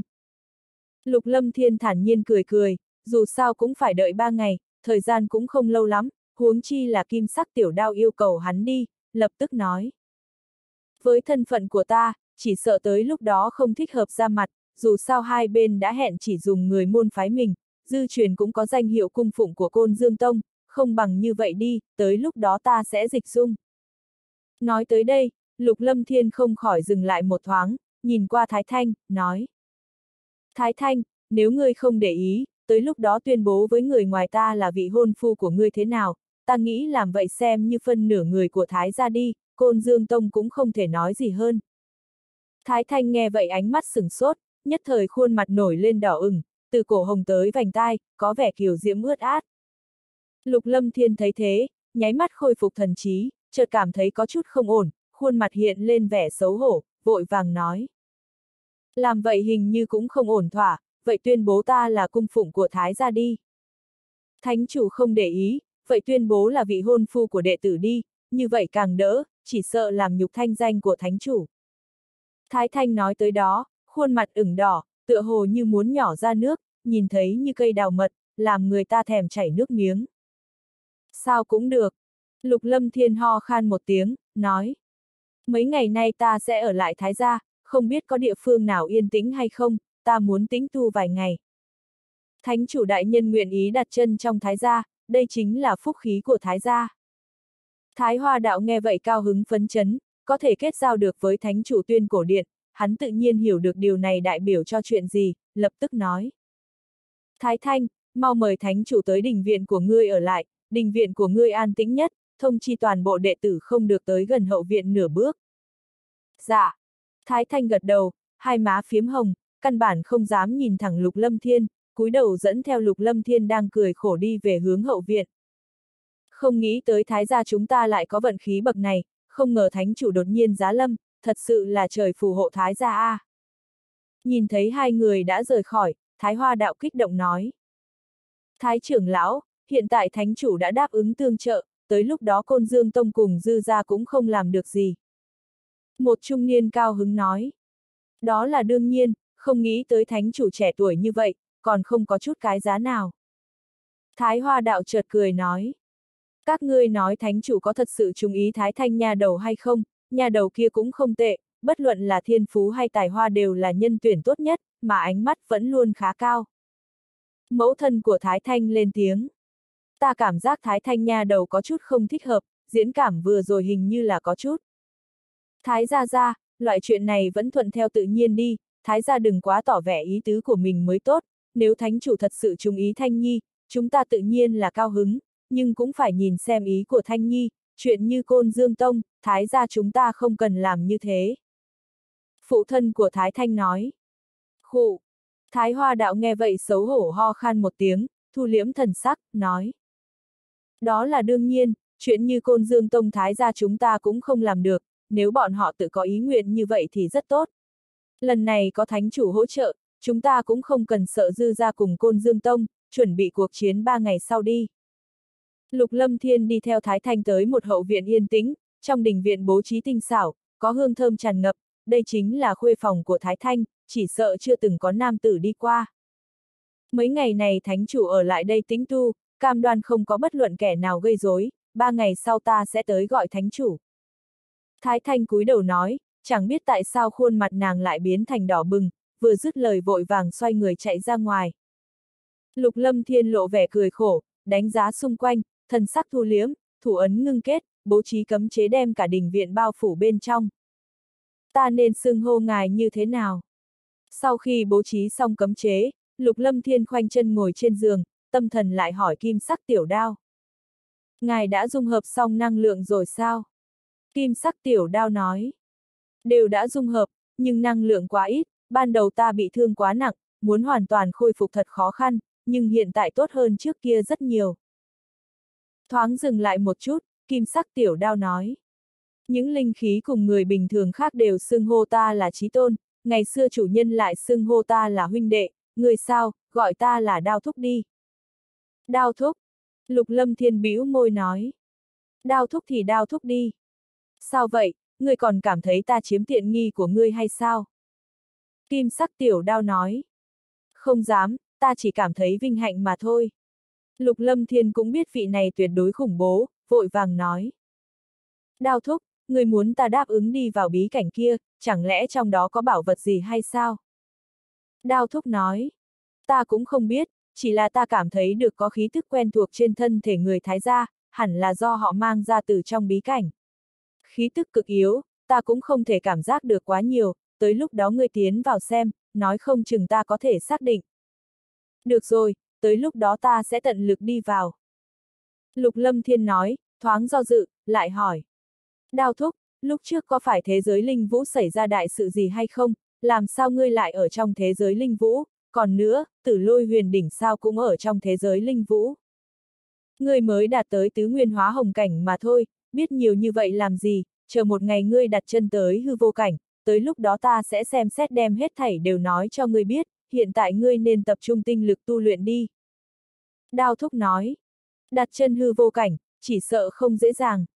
Lục lâm thiên cười khổ nói, ngươi mang hỗn độn bổn nguyên, tu luyện hỗn độn âm dương quyết, nếu ngươi còn không thể đặt chân tới hư vô cảnh, chỉ có thể trách bản thân ngươi quá bình thường. Đao thúc không chút khách khí nói.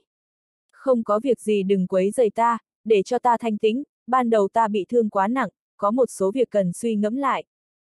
Dứt lời hào quang thu liếm, đao thúc lập tức yên lặng. Lục lâm thiên nhíu mày, tử kim lưu quang chợt lóe, tử lôi huyền đỉnh hiện ra, lập tức đi vào bên trong. Oanh long long, tử kim lôi vân cuồn cuộn, trong hư không vô biên vô hạn đều bị lôi vân chiếm cứ, lôi đỉnh uy áp khủng bố tràn ngập, khiến người dựng đứng tóc gáy. Suy lạp lạp, cả không gian rung động, lôi quang lóe ra, hóa thành lôi đình lao ra khỏi lôi vân, tử kim điện mang tàn sát bừa bãi, mang theo tử kim hào quang tuôn xuống dưới, đem ba thân ảnh chật vật vây quanh chặt chẽ. Ba người này chính là phi thiên lão yêu, viêm quang lão đạo, song kỳ lão quái. Chỉ sợ từ khi chào đời tới nay họ chưa từng phải chật vật tới như vậy. Đây nhất định là trong tử lôi huyền đình. Lại tới nữa, chúng ta sớm muộn gì cũng bị tử kim huyền lôi oanh thành cho tàn. Xong đời rồi, lần này thật sự là xong đời, lục lâm thiên muốn hại chúng ta bị oanh thành cho bụi. Phi thiên lão yêu, viêm quang lão đạo, song kỳ lão quái đều run rẩy lên.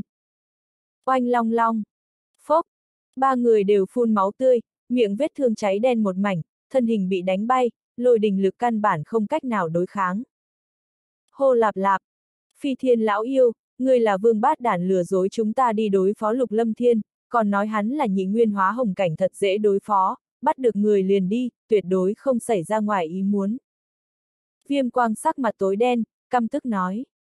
Nhưng tới cuối cùng người bỏ chạy chính là ngươi, hoàn hảo ông trời có mắt, không cho tên vương bát đản ngươi chạy trốn, cũng cho ngươi nếm thử mùi vị của tử kim huyền lôi. Phi thiên buồn rười rượi, chật vật nói. Việc này sao có thể trách ta, ta cũng không biết lục lâm thiên cường hãn tới như vậy, sớm biết như thế sao ta lại đem cả mình rơi vào. Phi thiên lão yêu, người có ý tứ gì, chẳng lẽ chúng ta xứng đáng bị rơi vào hay sao? Viêm quang giận dữ hét. Phi thiên nói. Viêm quang lão đạo, thương thế của lão tử cũng không nhẹ hơn ngươi, còn trọng thương nặng hơn ngươi, ngươi nghĩ rằng ta nguyện ý bị tử kim huyền lôi oanh sao, sớm biết lục lâm thiên khó dây vào, ta tội gì đi trêu chọc hắn. Song kỳ nhìn lôi vân, vẻ mặt chật vật nói. Các ngươi đừng ồn ào, ồn ào cũng không giải quyết được vấn đề, nếu không muốn chết thì nghĩ biện pháp đi. Còn có biện pháp gì, đây là bên trong tử lôi huyền đỉnh, chúng ta làm sao cũng không thoát được. Viêm quang run rẩy nói. Suy lạp lạp, từng đạo tử kim huyền lôi ngưng tụ, sắp sửa oanh kích xuống. Phi thiên, viêm quang, hay là chúng ta giao chữ vật giới chỉ cho lục lâm thiên đi, nhìn xem có thể rời khỏi hay không, đây là tử lôi huyền đỉnh, hắn có thể nghe được lời nói của chúng ta. Song kỳ nói, ba người đưa mắt nhìn nhau, ngẩng đầu nhìn lên tử kim huyền lôi, giống như ăn ý, nhất thời quát to. Lục lâm thiên, chúng ta nguyện ý giao ra chữ vật giới chỉ, người thả chúng ta đi là được rồi. Lục lâm thiên, sau này ta tuyệt đối không dám trêu chọc ngươi. Viêm quang quát to. Suy lạp lạp. Tử kim lôi vân cuồn cuộn không ngớt, xen lẫn theo lực hủy diệt lặng yên thẩm thấu, làm cả không gian xuất hiện những khe tối đen, giống như sắp bị nổ tung, ngay trong tiếng hét lớn của ba người, lôi đình lại oanh kích xuống. Không tốt. Sắc mặt ba người đại biến, lôi uy hủy diệt đủ làm linh hồn run rẩy, kinh hãi đảm chiến. Hoa lạp. Tử kim huyền lôi nháy mắt lắng xuống. Thấy thế ba người kinh hồn chưa định, lâm vào nghi hoặc, giờ phút này giống như lôi vân cũng dừng dao động. Bỗng dưng một thanh ảnh xuất hiện trước mặt ba người. Ánh mắt cả ba chợt run lên, khuôn mặt chật vật lộ vẻ phức tạp, người tới chính là Lục Lâm Thiên. Lục Lâm Thiên khoanh tay, thản nhiên liếc mắt nói. Hiện tại nguyện ý đem chữ vật giới chỉ giao cho ta sao? Nguyện ý, chúng ta nguyện ý. Ba người nghe vậy như gặp được cứu tinh, nhất thời gật đầu. Vậy vì sao khi nãy không muốn, còn muốn liên thủ đánh cướp ta? Vẻ mặt lục lâm thiên âm trầm khiến ba người chợt run sợ. Đó là ba chúng ta có mắt không nhìn thấy được Thái Sơn, xin thánh chủ đại nhân có đại lượng, lần sau chúng ta tuyệt đối không dám. Ba siêu cấp cường giả bị tử kim huyền lôi oanh kích, cũng đã oanh rất không ít tính tình, không dám phản kháng lục lâm thiên, càng không dám cậy giả lên mặt. Lục lâm thiên trầm giọng nói. Các ngươi hiểu thật đơn giản, cho các ngươi một lần cơ hội các ngươi không cần, hiện tại nếu ta dễ dàng thả các ngươi, truyền ra ngoài có phải ai cũng dám chạy tới đánh cướp ta. Việc này, ba người nhìn nhau, không biết nên làm thế nào mới phải. Lục Lâm Thiên nói, như vậy đi, các ngươi nói thử xem, có thứ gì có thể làm cho ta động tâm hay không, có thể làm cho ta bỏ qua cho các ngươi. Vậy, ba người lại nhìn nhau, viêm quang nói. Ngươi không phải cần chữ vật giới chỉ sao, ta có thể đưa cho ngươi, đây chính là gia sản vô số năm qua của ta. Trong chữ vật của ta có ba kiện thông linh bảo khí, hai viên hồng phẩm đan dược, còn có công pháp, không ít thế giới tinh thạch. Song kỳ nói. Phi thiên cũng nói. Trên người của ta còn có một kiện thông linh bảo khí hỏa hệ, không thích hợp ta dùng, có thể cho ngươi, chỉ cần ngươi thả chúng ta là được. Phi thiên lão yêu, ngươi là vương bát đàn, kiện thông linh bảo khí năm xưa lại bị ngươi lấy đi, ngươi nhớ kỹ cho ta. Viêm quang nhất thời không nhịn được giận dữ hô. Viêm quang, việc đó sau này hãy nói, đừng cho là ta không biết, năm xưa kiện bảo vật phong hệ ngươi cũng trộm nuốt riêng, sau đó bị ngươi qua tay bán cho phong minh hồng tôn, đổi lấy kiện bảo vật hỏa hệ. Phi thiên lão yêu cũng không cam lòng quát. Ta, tựa hồ trột dạ, viêm quang nói không nên lời. Lục lâm thiên liếc nhìn ba người, trầm giọng nói. Ít nói nhảm đi, thế giới tinh thạch, công pháp, đan dược ta không thiếu. Mặc dù thông linh bảo khí không tệ, nhưng ngươi cảm thấy ta là thánh chủ tuyên cổ điện còn thiếu thông linh bảo khí sao, mọi người đều biết ta có hai kiện bán thánh khí, chẳng lẽ còn đem thông linh bảo khí xem trong mắt nữa à? Nghe được lời của hắn, sắc mặt ba người phi thiên thật khó xem, họ cũng biết lời của Lục Lâm Thiên chính là sự thật. Lục Lâm Thiên nhìn sắc mặt biến hóa của ba người, trầm giọng nói.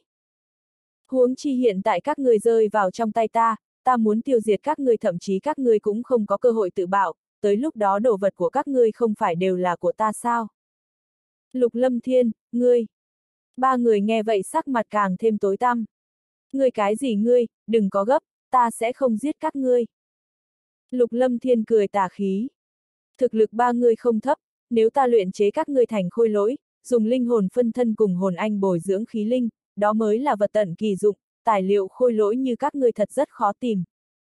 Lời của hắn vừa nói ra, ba người yên lặng, đưa mắt nhìn nhau đầy vẻ sợ hãi. Lục Lâm Thiên, người đừng khinh người quá đáng, người lòng dạ độc ác, sẽ gặp trời phạt. Yên lặng một hồi, viêm quang chửi ầm lên. Lục Lâm Thiên cười nhạt, không hề để ý. Con đường tu luyện, vốn nghịch thiên mà đi, có trời phạt sợ cái gì, có thể cho mọi người biết lão tử chính là chân lý niết bàn, ít nhất từ hóa hồng cảnh tới hư vô ta cũng không có hồng kiếp, còn sợ gì trời phạt. Nghe vậy ba người á khẩu. Lục Lâm Thiên tiếp tục nói. Huống chi tu luyện tới trình độ như các ngươi, chỉ sợ làm không ít chuyện độc ác, nếu không các ngươi cũng không đạt được tu vi hôm nay, ta có ác độc với các ngươi, chỉ sợ cũng xem như thay trời hành đạo. Lục Lâm Thiên, ngươi.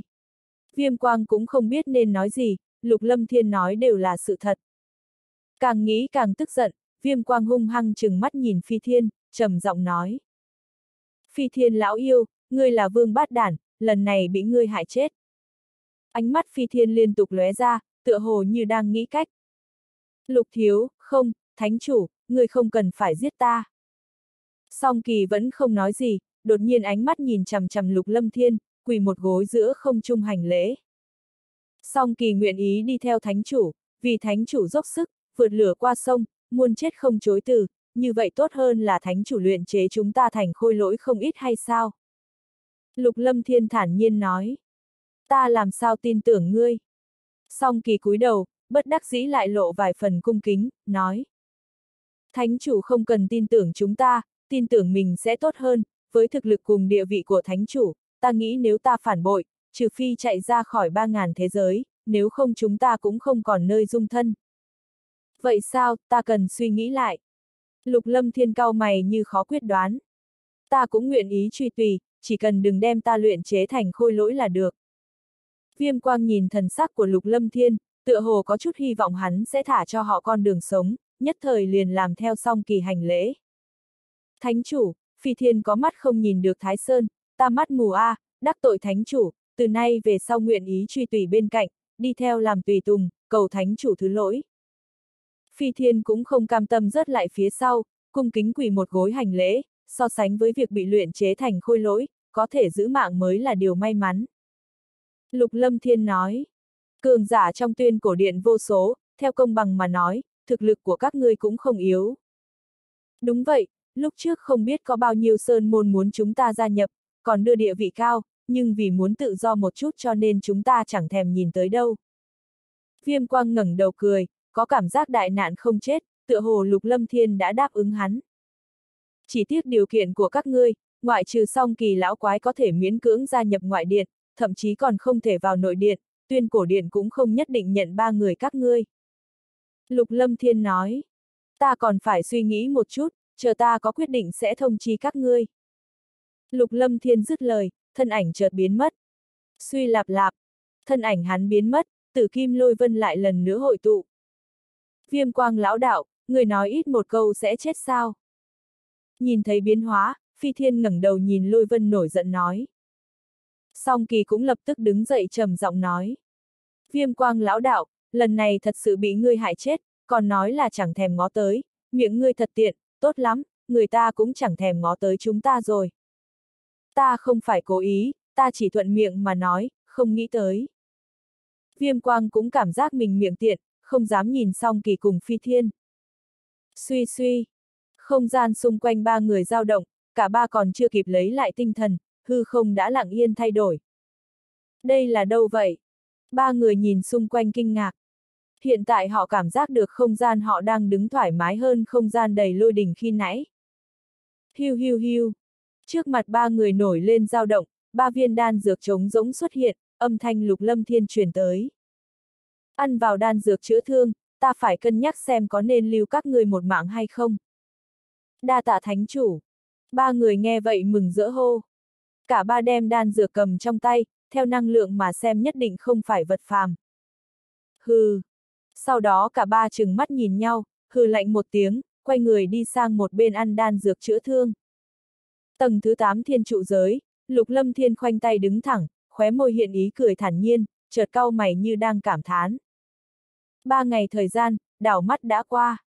Mấy ngày nay Thái gia toàn diện phong tỏa tin tức về sự xuất hiện của Lục Lâm Thiên. Cường giả Thái gia mấy ngày nay tinh thần sảng khoái, thậm chí còn có chút kích động. Tầng thứ tư thiên trụ giới, ba người phi thiên đã thay quần áo mới, đang khoanh chân ngồi, thần thái vẫn còn có chút huệ hoài. Bên ngoài ba ngày, tầng thứ tư đã qua bốn tháng, vết thương của họ đã không còn trở ngại.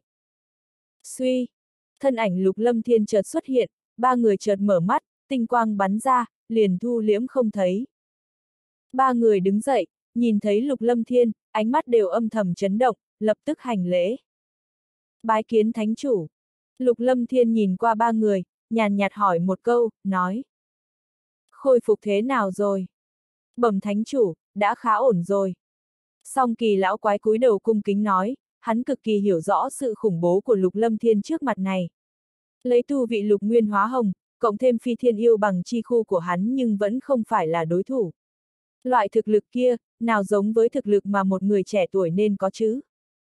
Đa tạ thánh chủ quan tâm, đã không có gì trở ngại nữa rồi. Song kỳ lão quái cũng khom người trả lời.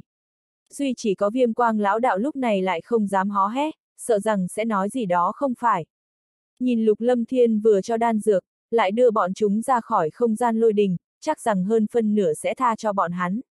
Nếu là lại nói thêm điều gì đó không hay, đừng nói đến lúc đó hai người phi thiên lão yêu và song kỳ lão quái sẽ không tha cho hắn, mà ngay cả chính hắn cũng khó tha thứ được cho mình rồi. Lục lâm thiên liếc qua viêm quang lão đạo, lập tức ánh mắt đồng thời rời vào trên người ba người. Cảm giác được ánh mắt lục lâm thiên, trong lòng ba người đều có chút bất định, đều có thể suy đoán được hiện giờ chính là thời khắc quyết định sống chết của mình rồi. Tuy rằng ba người đều có thể cảm giác được, hơn phân nửa lục lâm thiên sẽ lưu cho bọn hắn một mạng, nhưng dù vậy cũng không dám khinh thường. Ba người đều tự cho rằng mình tốt xấu gì cũng coi như có kiến thức rộng rãi rồi, bất quá đối với nam tử thanh bảo trước mắt này, ba người lại không nhìn thấu được. Bởi vậy, càng thêm tâm thần bất định, bất kể như thế nào cũng không có ai muốn chết cả, huống chi còn bị luyện chế thành khôi lỗi nữa.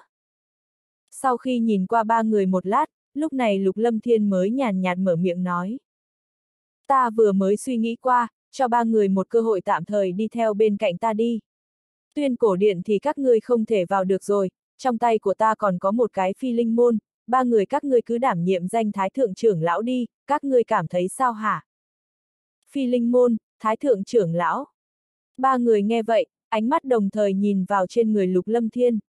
Cái này thật sự tốt hơn trong tưởng tượng của ba người rất nhiều, không phải làm nô bộc như bọn họ nghĩ, tốt xấu cũng còn có một danh thái thượng trưởng lão, nói ra cũng không quá mức xấu hổ với người khác.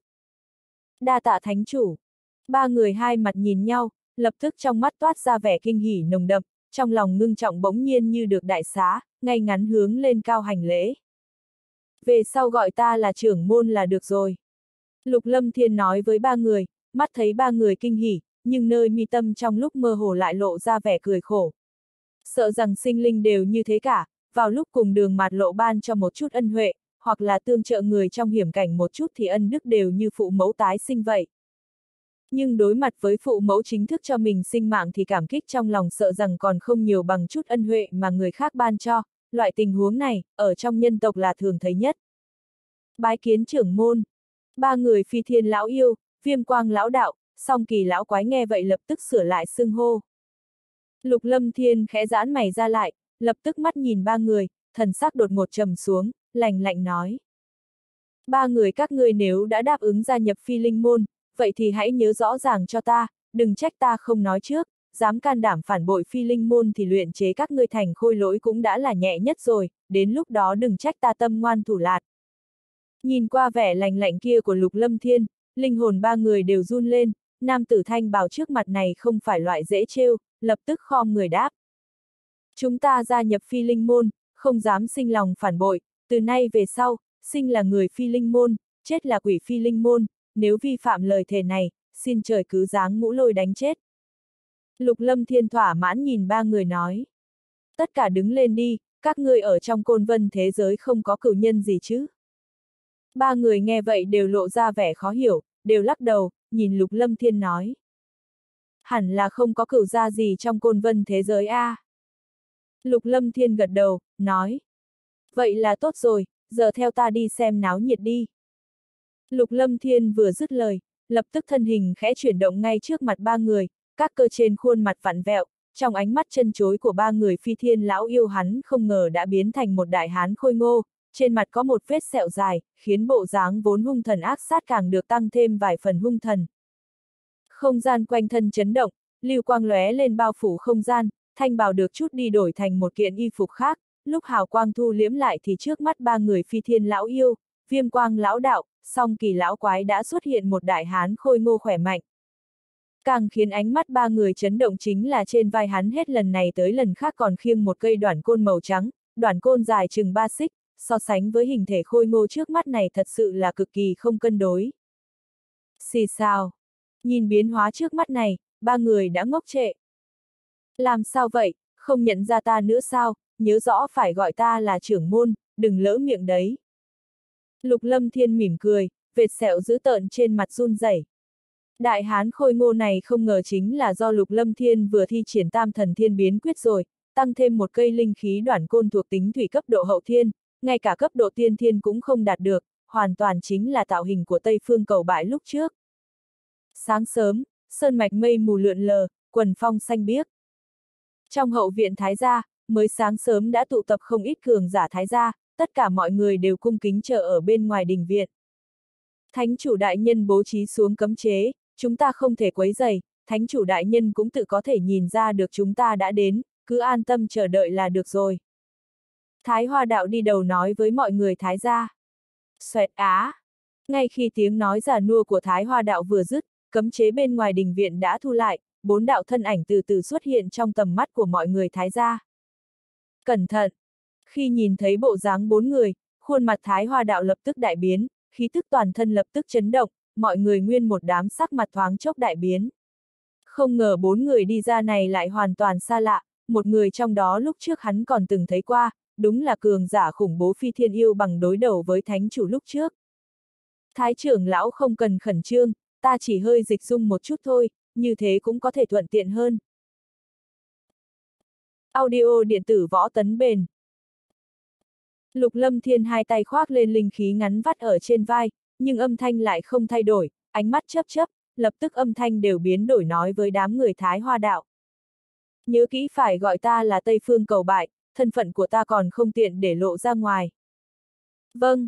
Bọn người Thái Hoa Đạo nghe vậy mới dần phục hồi tinh thần lại từ trong kinh hãi, dịch dung bực này thật khiến người mở rộng tầm mắt, chưa nói đến bộ dáng đã hoàn toàn biến hóa, mà ngay cả khí thức trên thân cũng hoàn toàn không giống với lúc trước.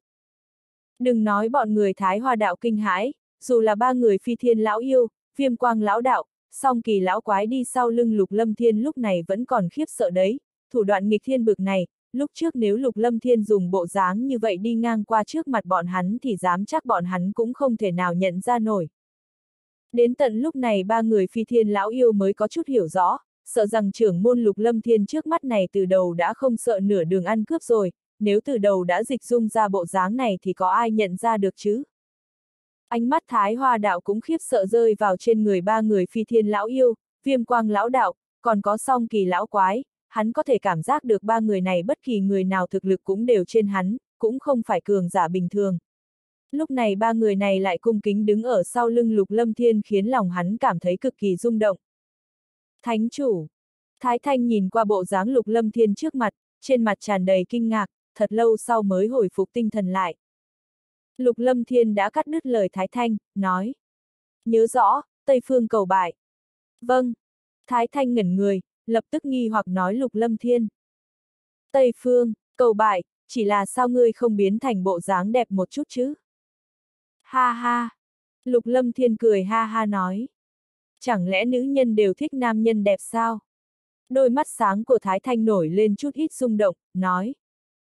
Vậy cũng không phải, cường giả anh hào như thánh, Tây Phương, tự nhiên sẽ được vô số thiếu nữ ái mộ, bất quá nếu có thể đẹp mắt một chút cũng không có hại gì, dù sao ai cũng yêu thích cái đẹp cả mà. Lục Lâm Thiên mỉm cười, nói với Thái Thanh. Kỳ thật khuôn mặt này cũng không kém đâu, ngươi nhìn kỹ đi, càng nhìn càng đẹp mắt, giống như là mang thai vậy, thời gian lâu rồi mới nhìn ra. Phụt, nghe vậy, Thái Thanh lập tức nhìn không được bật cười, phun nước miếng lên mặt Lục Lâm Thiên. Thực xin lỗi thánh chủ, ta không phải cố ý đâu, thật sự là lời thánh chủ vừa nói khiến người cảm thấy rất buồn cười. Thái Thanh bị hù đến kiều nhan đại biến, vội vàng móc ra một miếng khăn hương mềm mại trong ngực lau mặt cho Lục Lâm Thiên. Không sao, bất quá đừng gọi ta là thánh chủ nữa. Lục Lâm Thiên bất đắc dĩ cười cười. Chúng cường giả thái ra thấy thế, đều cúi đầu âm thầm liếc mắt nhìn nhau, trong mắt đều xẹt qua một tia thần thái khác thường. Côn Lăng Cốc, một đại sơn cốc trong sơn mạch Côn Lăng. Sáng sớm, bốn phía núi vây quanh, ngọn núi đứng vững trong Côn Lăng Cốc, người bình thường rất ít khi qua lại, nhưng hôm nay lại thoáng cái trở nên cực kỳ náo nhiệt. Lúc Lục Lâm Thiên theo chúng cường giả và đệ tử Thái gia cưỡi mấy khung khôi lỗi bay tới trên không thì liền có một số khí tức nhìn trộm đến, đều là người có tu vị hóa hồng cảnh cả. Đáng nhắc tới chính là, lúc Lục Lâm Thiên nhìn thấy Thái gia móc ra khôi lỗi tọa giá cũng lộ vẻ cực kỳ kinh ngạc. Những khôi lỗi tọa giá của Thái gia này chính là thứ mà lúc trước Lục Lâm Thiên thiết kế, do linh đường phi linh môn sản xuất ra, mị ảnh. Lục Lâm Thiên thật không nghĩ đến mị ảnh hiện giờ lại được phi linh thương hội bán đến cả trong côn vân thế giới rồi. Nhìn thấy Lục Lâm Thiên tựa hồ rất có hứng thú đối với mị ảnh, Thái Hoa Đạo lập tức liền tỏ vẻ với Lục Lâm Thiên, nếu Lục Lâm Thiên thích thì có thể lấy đi vài khung.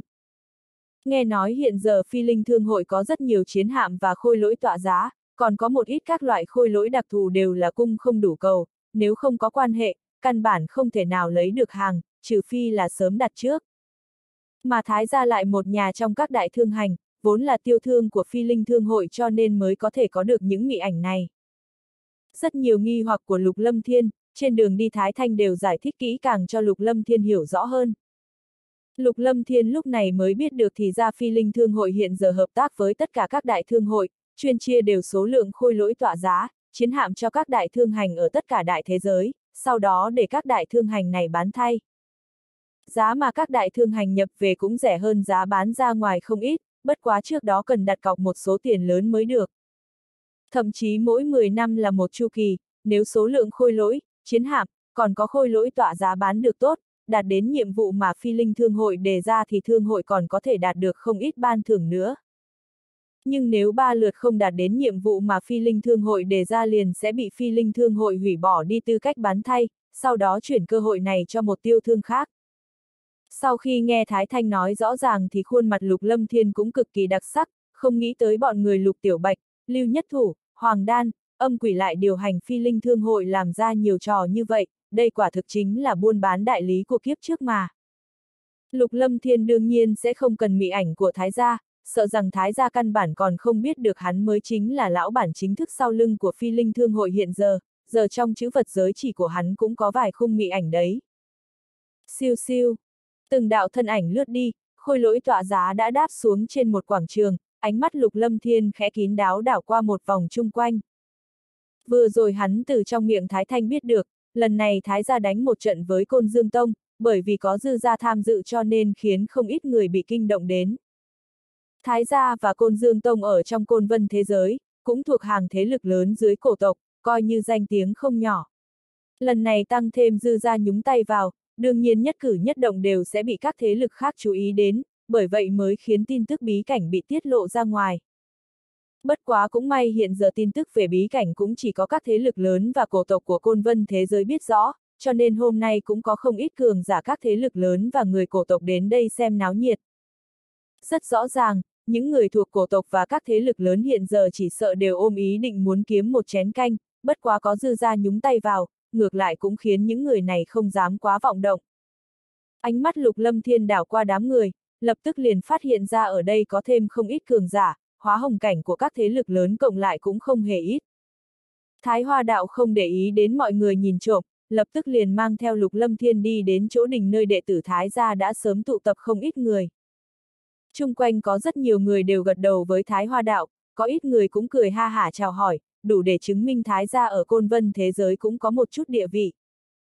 Bất quá mọi người sau khi chào hỏi thì từng ánh mắt đã lập tức rơi vào trên thân ba người phi thiên lão yêu, viêm quang lão đạo, còn có song kỳ lão quái, tuy rằng ba người đều thu liễm lại khí tức trên thân nhưng đối với cường giả mà nói, trung quy vẫn có thể nhìn ra một chút gì đó. Dùng cấp độ tu vị của ba người phi thiên lão yêu, khí tức chấn động quanh thân toát ra trong lúc mơ hồ cũng đủ để khiến người cảm thấy âm thầm rung động rồi. Mà lục lâm thiên ngược lại không có chút gì khiến người để ý cả, bất quá hình tượng thân hình khôi ngô sau lưng lại vác theo một cây linh khí ngắn kia quả thực cũng khiến người có chút hiếu kỳ.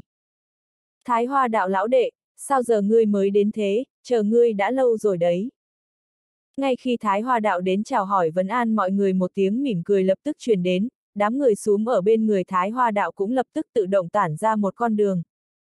Lập tức một lão giả dáng người to lớn xuất hiện trước tầm mắt mọi người, thân mặc cẩm bào, trên gương mặt già nua lộ ra ánh sáng màu đỏ, thần thái sáng láng, thoạt nhìn tâm tình hẳn là cực kỳ vui vẻ. Người này là người mạnh nhất Côn Dương Tông, Minh Dương Hồng Tôn, thực lực không hề kém Thái gia gia ta bao nhiêu, bất quá làm người rất vô sỉ. Thái Thanh lập tức truyền âm vào tai Lục Lâm Thiên. Lục Lâm Thiên nghe vậy, ánh mắt liền khẽ nhìn lướt qua Minh Dương Hồng Tôn, dùng tu vị thực lực Lục Lâm Thiên hiện giờ, tự nhiên cũng không cần phải quá mức để ý đến Minh Dương Hồng Tôn này làm gì. Là ngươi đến sớm. Thái Hoa đạo mắt thấy Minh Dương Hồng Tôn, khóe miệng lộ ra vui vẻ nhàn nhạt, nói. Sốt ruột mong thất bại, cũng không cần tới sớm như thế đâu. Thất bại, Thái Hoa đạo lão đệ, người cũng quá đề cao bản thân rồi đấy. Minh Dương Hồng Tôn vừa dứt lời, khi ánh mắt đã rơi vào trên thân ba người phi thiên lão yêu, viêm quang lão đạo còn có song kỳ lão quái thì thần sắc liền biến hóa không ít, dùng tu vi thực lực của hắn, tự nhiên có thể cảm giác được tu vị thực lực của ba người phi thiên lão yêu ở trên mình, ba người này cũng không phải người thái gia.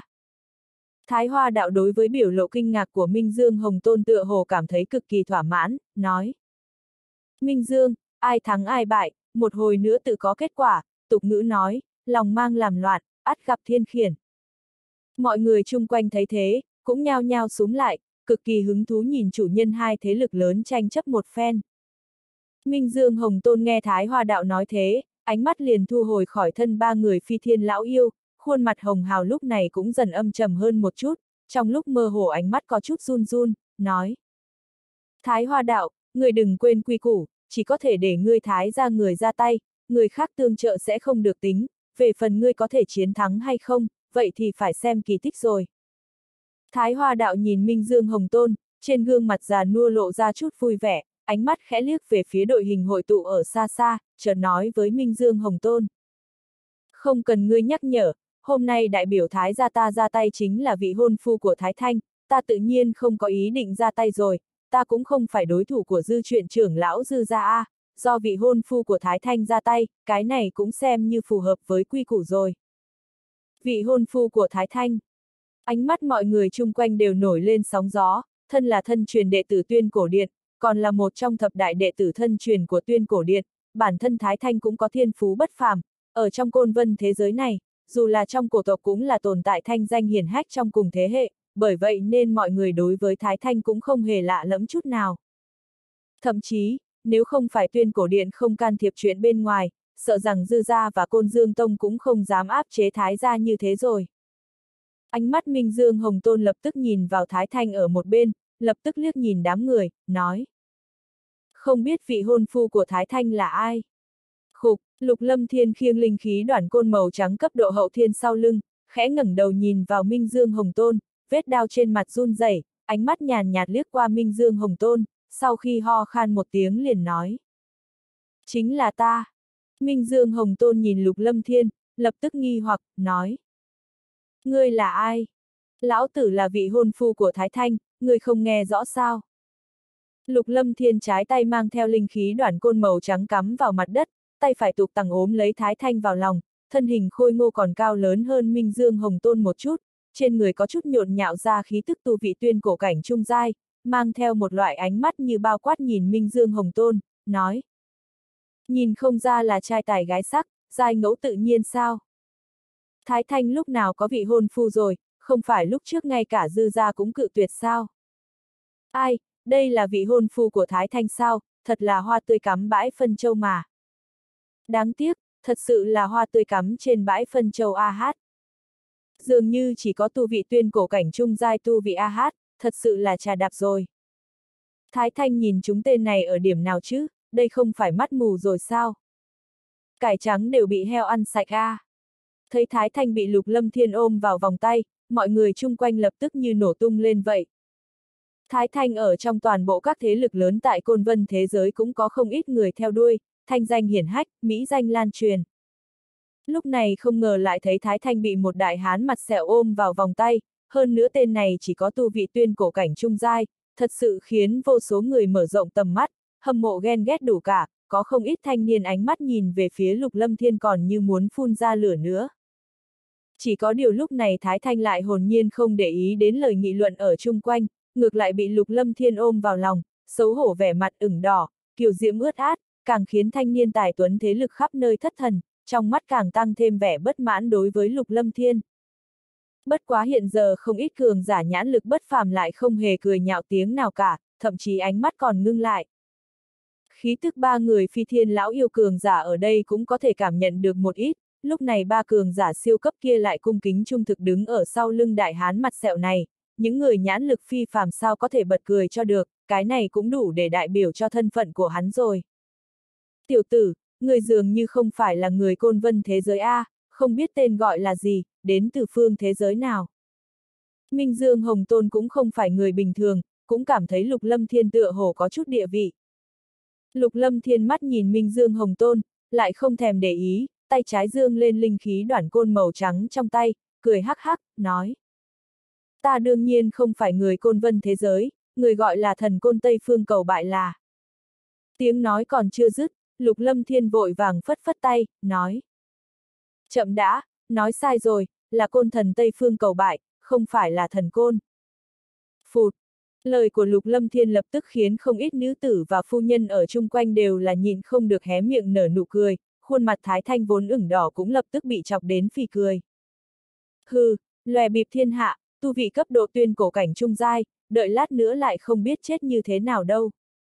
Không ít thanh niên nam tử nhìn thấy lục lâm thiên khiến không ít nữ tử bật cười, ngay cả Thái Thanh cũng cười tươi như hoa, lập tức nguyên một đám không biết vì sao trong lòng chợt cảm thấy có chút khó chịu. Lục lâm thiên không thèm để ý đến đám người chung quanh, tiếp tục nhìn vào Minh Dương Hồng Tôn, nói. Về phần ta đến từ phương nào, thật sự không tiện nói cho ngươi biết, sợ rằng vạn nhất hù chết ngươi, vậy cũng không tốt. Tiểu tử, nói mạnh miệng không sợ đau đầu lưỡi sao, trong thiên địa này còn chưa có người nào có thể hù chết bản tôn đâu. Nghe Lục Lâm Thiên nói lời khinh thường như vậy, khuôn mặt Minh Dương Hồng Tôn cũng dần trầm xuống, đối phương giống như đang trêu đùa hắn vậy. Không phải không phải. Lục Lâm Thiên lắc lắc đầu, đột nhiên dùng một loại ánh mắt thần bí nhìn vào Minh Dương Hồng Tôn. Dưới ánh mắt, Minh Dương Hồng Tôn lập tức sững sờ, lập tức khuôn mặt già nua cũng khẽ giật mình. Mọi người chung quanh thấy thế, cũng lập tức rơi vào trên người Lục Lâm Thiên, chờ đợi Lục Lâm Thiên nói chuyện. Mà ngay cả một ít đội hình ở xa, từ khí tức trên người mà xem thì tựa hồ là cường giả cổ tộc hội tụ, cũng có không ít ánh mắt lập tức rơi vào Lục Lâm Thiên trên người, trong đó không ngờ có cả hỏa lôi sử tuyên cổ điện dư kỳ. Lục Lâm Thiên mắt nhìn Minh Dương Hồng Tôn, trong mắt đôi mắt có chút xoay chuyển, lập tức cười nhạt một tiếng, nói. Người xem, bị dọa rồi, ha ha. Tiểu tử, người dám trêu đùa bản tôn. Nghe vậy, gương mặt già nua của Minh Dương Hồng Tôn lập tức trầm xuống, trừng mắt nhìn hằm hằm vào Lục Lâm Thiên, không ngờ lại bị tên đại hán mặt sẹo này trêu đùa trước mặt bao người như vậy. Oanh! Chỉ là ngay khi lời Minh Dương Hồng Tôn vừa dứt, đột nhiên trung không run lên, ba người phi thiên lão yêu, viêm quang lão đạo, song kỳ lão quái thấy có cơ hội biểu hiện tự nhiên sẽ không bỏ qua, thân ảnh xài bước ra, khí tức lập tức bắt đầu khởi động, khiến cho không gian lập tức hung hăng run lên. Phi thiên lão yêu lạnh lẽo nhìn vào trên người Minh Dương Hồng Tôn, cười lạnh nói. Tiểu tử, dám hô to gọi nhỏ trước mặt trưởng môn chúng ta, có tin lão tử một tát đập chết tươi người không? Tứ Nguyên Hóa Hồng cũng dám hung hăng cản quấy, chán sống sao, người đây là muốn chết rồi. Viêm quang lão đạo cũng không chút khách khí. Ta thấy hiện giờ chụp chết được rồi, côn dương tông rất giỏi sao, dứt khoát san thành bình địa là được. Song kỳ lão quái nói. Lời ba người vừa dứt, ba cổ khí thức minh mông cuồn cuộn trong lúc mơ hồ khiến thiên địa rung chuyển, gió nổi mây phun, không gian cứng lại lập tức ép xuống trên người Minh Dương Hồng Tôn. Ba người phi thiên lão yêu, viêm quang lão đạo, song kỳ lão quái lúc này đều cố ý biểu hiện trước mặt lục lâm thiên cho nên tự nhiên sẽ không khách khí rồi. Khí tức ba người bắt đầu khởi động, ép xuống khiến thân hình Minh Dương Hồng Tôn mềm nhún, linh hồn run lên. Chỉ một thoáng sắc mặt Minh Dương Hồng Tôn đã thảm trắng đi, trên gương mặt già nua cũng tràn đầy kinh hoàng. Đây chính là côn vân thế giới, muốn diễu võ dương oai trong côn vân thế giới, sợ rằng phải chú ý nhiều hơn mới được. Một tiếng quát trầm thấp truyền ra, đồng thời một cỗ hơi thở nóng bỏng lập tức lan tràn đến, lập tức hơi thở nóng bỏng chấn động bao lấy Minh Dương hồn tôn. Cùng lúc đó, thân ảnh một người trung niên mập mạp chợt như quỷ mị xuất hiện trước người Minh Dương Hồng Tôn, khí tức tiếp cận cấp độ tứ nguyên hóa hồng chấn động tràn ngập ra, thay Minh Dương Hồng Tôn ngăn cản ba cổ khí tức huy áp. Cổ tộc rất giỏi sao? Ánh mắt phi thiên lão yêu nhảy lên, từ trong cổ khí tức nóng bỏng của trung niên mập mạp kia không khó để phát giác ra đối phương thân là cổ tộc, nếu là lúc trước hắn nhất định sẽ kiêng kỵ vài phần, nhưng bây giờ hắn hiểu rất rõ mình đang đi theo người nào, cũng không cần phải sợ cổ tộc.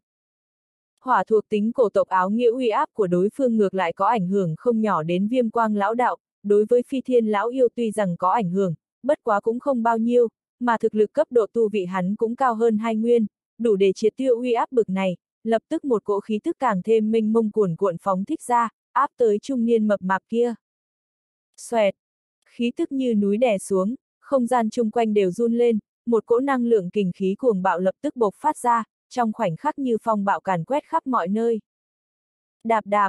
Trung niên mập mạp kia bị chấn cho lảo đảo lui ra phía sau hai bước lúc này mới đứng vững được thân hình, mà thân hình phi thiên lão yêu chỉ hơi hơi lay động một chút thôi. Lục nguyên đại siêu phàm hóa hồng. Trung niên mập mạp sau khi ổn định thân hình, ánh mắt trên gương mặt mập mạp cũng theo đó kinh biến không ít, tu vị cấp độ như lục nguyên đại siêu phàm không hề thấp chút nào. Bá bá! Khí tức hai người va chạm cũng lập tức thu hút tất cả ánh mắt nhìn đến, xa xa không ít cường giả cổ tộc cũng chuyển tầm mắt đến trên thân ba người phi thiên lão yêu, viêm quang lão đạo, song kỳ lão quái. Đó hình như là phi thiên lão yêu, năm đó ta đã thấy qua rồi. Còn kia dường như là viêm quang lão đạo và song kỳ lão quái, ba người này sao lại có quan hệ với thái gia rồi. Thì ra là phi thiên lão yêu, khó trách dư chuyển cũng phải chịu thiệt một chút. Theo ánh mắt đám người đứng ngoài xem nhìn vào ba người phi thiên lão yêu, viêm quang lão đạo, song kỳ lão quái thì thân phận ba người cũng lập tức bị nhận ra, theo danh hào ba người truyền ra cũng khiến trong đám người xảy ra chút bạo động. Trung niên mập mạp này chính là dư gia dư chuyện.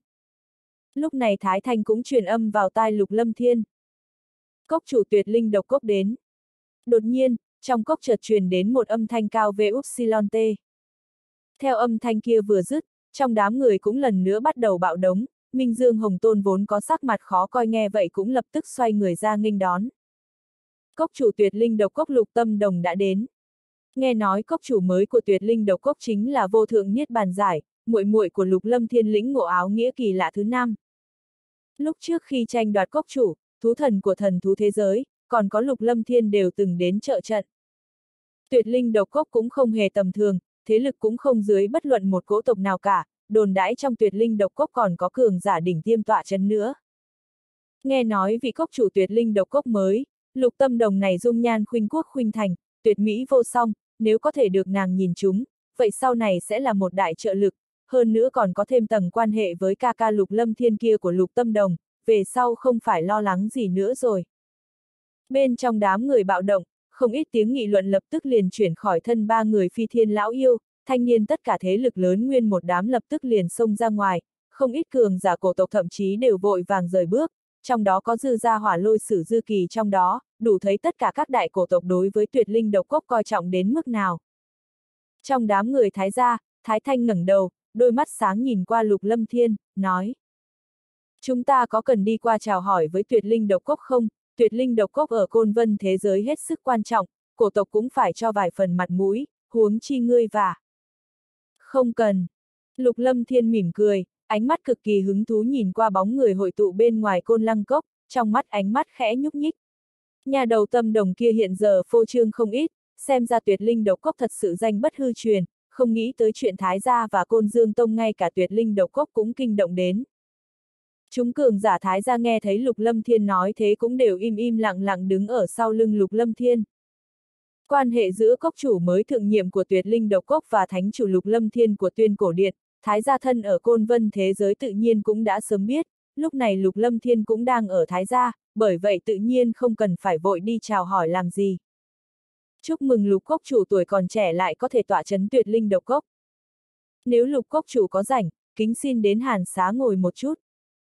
Một lát sau, một nữ tử tuyệt mỹ ước chừng 2.526 tuổi nhẹ nhàng bước tới dưới sự bao vây của mọi người, váy dài nhẹ nhàng, đôi mắt sáng răng trắng tinh, khí chất cao quý, đúng là lục tâm đồng không thể nghi ngờ. Mọi người túm tụng xuống, lục tâm đồng khẽ gật đầu, đối mặt cường giả cổ tộc cũng không kiêu ngạo không xiểm nịnh, thậm chí khí chất thanh nhã lộ ra trong lúc mơ hồ kia còn khiến người có chút áp lực, một cỗ khí tức thượng vị giả dần dần hiển lộ. Lục Cốc Chủ, hôm nay Côn Dương Tông và Thái ra một trận chiến tranh thủ bí cảnh, không nghĩ tới Lục Cốc Chủ cũng tự mình đến đây, Lục Cốc Chủ tuổi trẻ tài cao, thật khiến lão phu xấu hổ a hát. Minh Dương Hồng Tôn đến bên người Lục Tâm Đồng nói nhỏ. Minh Dương lão tông chủ quá khen rồi. Lục Tâm Đồng không kiêu ngạo không xiểm nịnh, lạnh nhạt trả lời khí tức nhàn nhạt kia, giơ tay nhấc chân đều khiến đông đảo cường giả cổ tộc ở chung quanh cũng phải âm thầm động dung không thôi. Nghe nói ca ca lục cốc chủ chính là thánh chủ tuyên cổ điện, dư mỗ bất tài chính là một hỏa lôi sử, như thế xem ra, về sau dư gia và tuyệt linh độc cốc ngược lại phải thân cận hơn một chút mới tốt. Hỏa lôi sử dư kỳ nói với lục tâm đồng, thái độ có chút hữu lễ, muội muội thánh chủ, giờ lại là cốc chủ tuyệt linh độc cốc, tu vi của hắn tuy rằng cao một chút, nhưng cũng không dám tự đại. Việc này ta đã có nghe từ lâu, tuyệt linh độc cốc cũng rất hy vọng có thể thân cận với dư gia hơn một chút, về sau tiểu nữ tử khó tránh khỏi sẽ gặp phải ít chuyện phiền toái, đến lúc đó kính xin hỏa lôi sử và chư vị trợ giúp nhiều hơn đấy. Lục tâm đồng nhẹ nhàng cười cười, vẻ động lòng người kia càng khiến cho ánh mắt không ít thanh niên phải ngốc trệ. Đây là đương nhiên. Nghe lục tâm đồng nói thế, Nguyên một đám cường giả lập tức mỉm cười gật đầu, đều bị muốn tạo mối quan hệ với tuyệt linh độc cốc nhiều hơn một chút. Nghe nói lần này do dư ra tiền bối đại biểu Côn Dương Tông ra tay, không biết thái gia là vị tiền bối nào ra tay vậy, xem ra hôm nay có thể khiến cho tiểu nữ tử mở rộng tầm mắt, được kiến thức nhiều hơn một chút rồi. Ánh mắt lục tâm đồng đảo qua đám người, lạnh nhạt nói nhỏ. Cái này, khuôn mặt già nua của Minh Dương Hồng Tôn có chút thầm động, nói với lục tâm đồng. Thái gia ra tay, chính là con rể mới của Thái gia, Tây Phương cầu bại. Tây Phương cầu bại. Đôi mắt sáng của lục tâm đồng khẽ nhúc nhích. Ai kêu ta vậy, ai a hát. Một âm thanh tục tằng truyền ra, trong tầm mắt lục tâm đồng cũng xuất hiện một thân hình khôi ngô, cầm trong tay một cây linh khí đoạn côn màu trắng cực kỳ không cân xứng với thân hình, mày rậm mắt to, vết sẹo trên mặt càng tăng thêm vài phần hung thần. Đáng chú ý nhất chính là khí tức trừng tuyên cổ cảnh trung giai chẳng đâu vào đâu của người này lại không hề biết xấu hổ, cực kỳ rêu rao phóng thích ra trong đội hình đầy cường giả cổ tộc, tựa hồ như khí tức tu vị tuyên cổ cảnh trung giai của hắn còn cao hơn cả hóa hồng cảnh vậy, điều này khiến ánh mắt không ít người nhìn về phía lục lâm thiên đều lộ ra vẻ xem thường. Tuyên cổ cảnh trung giai. Theo đại hán khôi ngô mặt sẹo tạo hình có chút không được tự nhiên kia xuất hiện, lục tâm đồng khẽ ngẩng đầu, đôi mắt dễ thương cũng lộ ra vẻ nghi hoặc, dư ra dư chuyện nghe nói đã đạt đến tứ nguyên hóa hồng đỉnh phong, Tây Phương cầu bại trước mắt này không ngờ chỉ mới là tuyên cổ cảnh trung giai. Ngay khi lục tâm đồng đánh giá lục lâm thiên thì vết đao trên mặt lục lâm thiên cũng giật giật, nhìn lục tâm đồng, có chút vô lễ nói. Ngươi chính là lục tâm đồng. Đúng vậy. Lục tâm đồng khẽ gật đầu, khuôn mặt vẫn cực kỳ lạnh nhạt, trong mắt đẹp không có một chút chấn động, thậm chí ánh mắt còn mang theo vui vẻ nhàn nhạt nhìn qua đại hán mặt sẹo trước mắt. Tiểu tử Lục Kinh Vân kia thường xuyên nhắc tới ngươi trước mặt ta, nói hắn đã rất lâu không gặp cô cô mình rồi. Lục Lâm Thiên nhếch miệng nói với Lục Tâm Đồng một câu. Kinh Vân.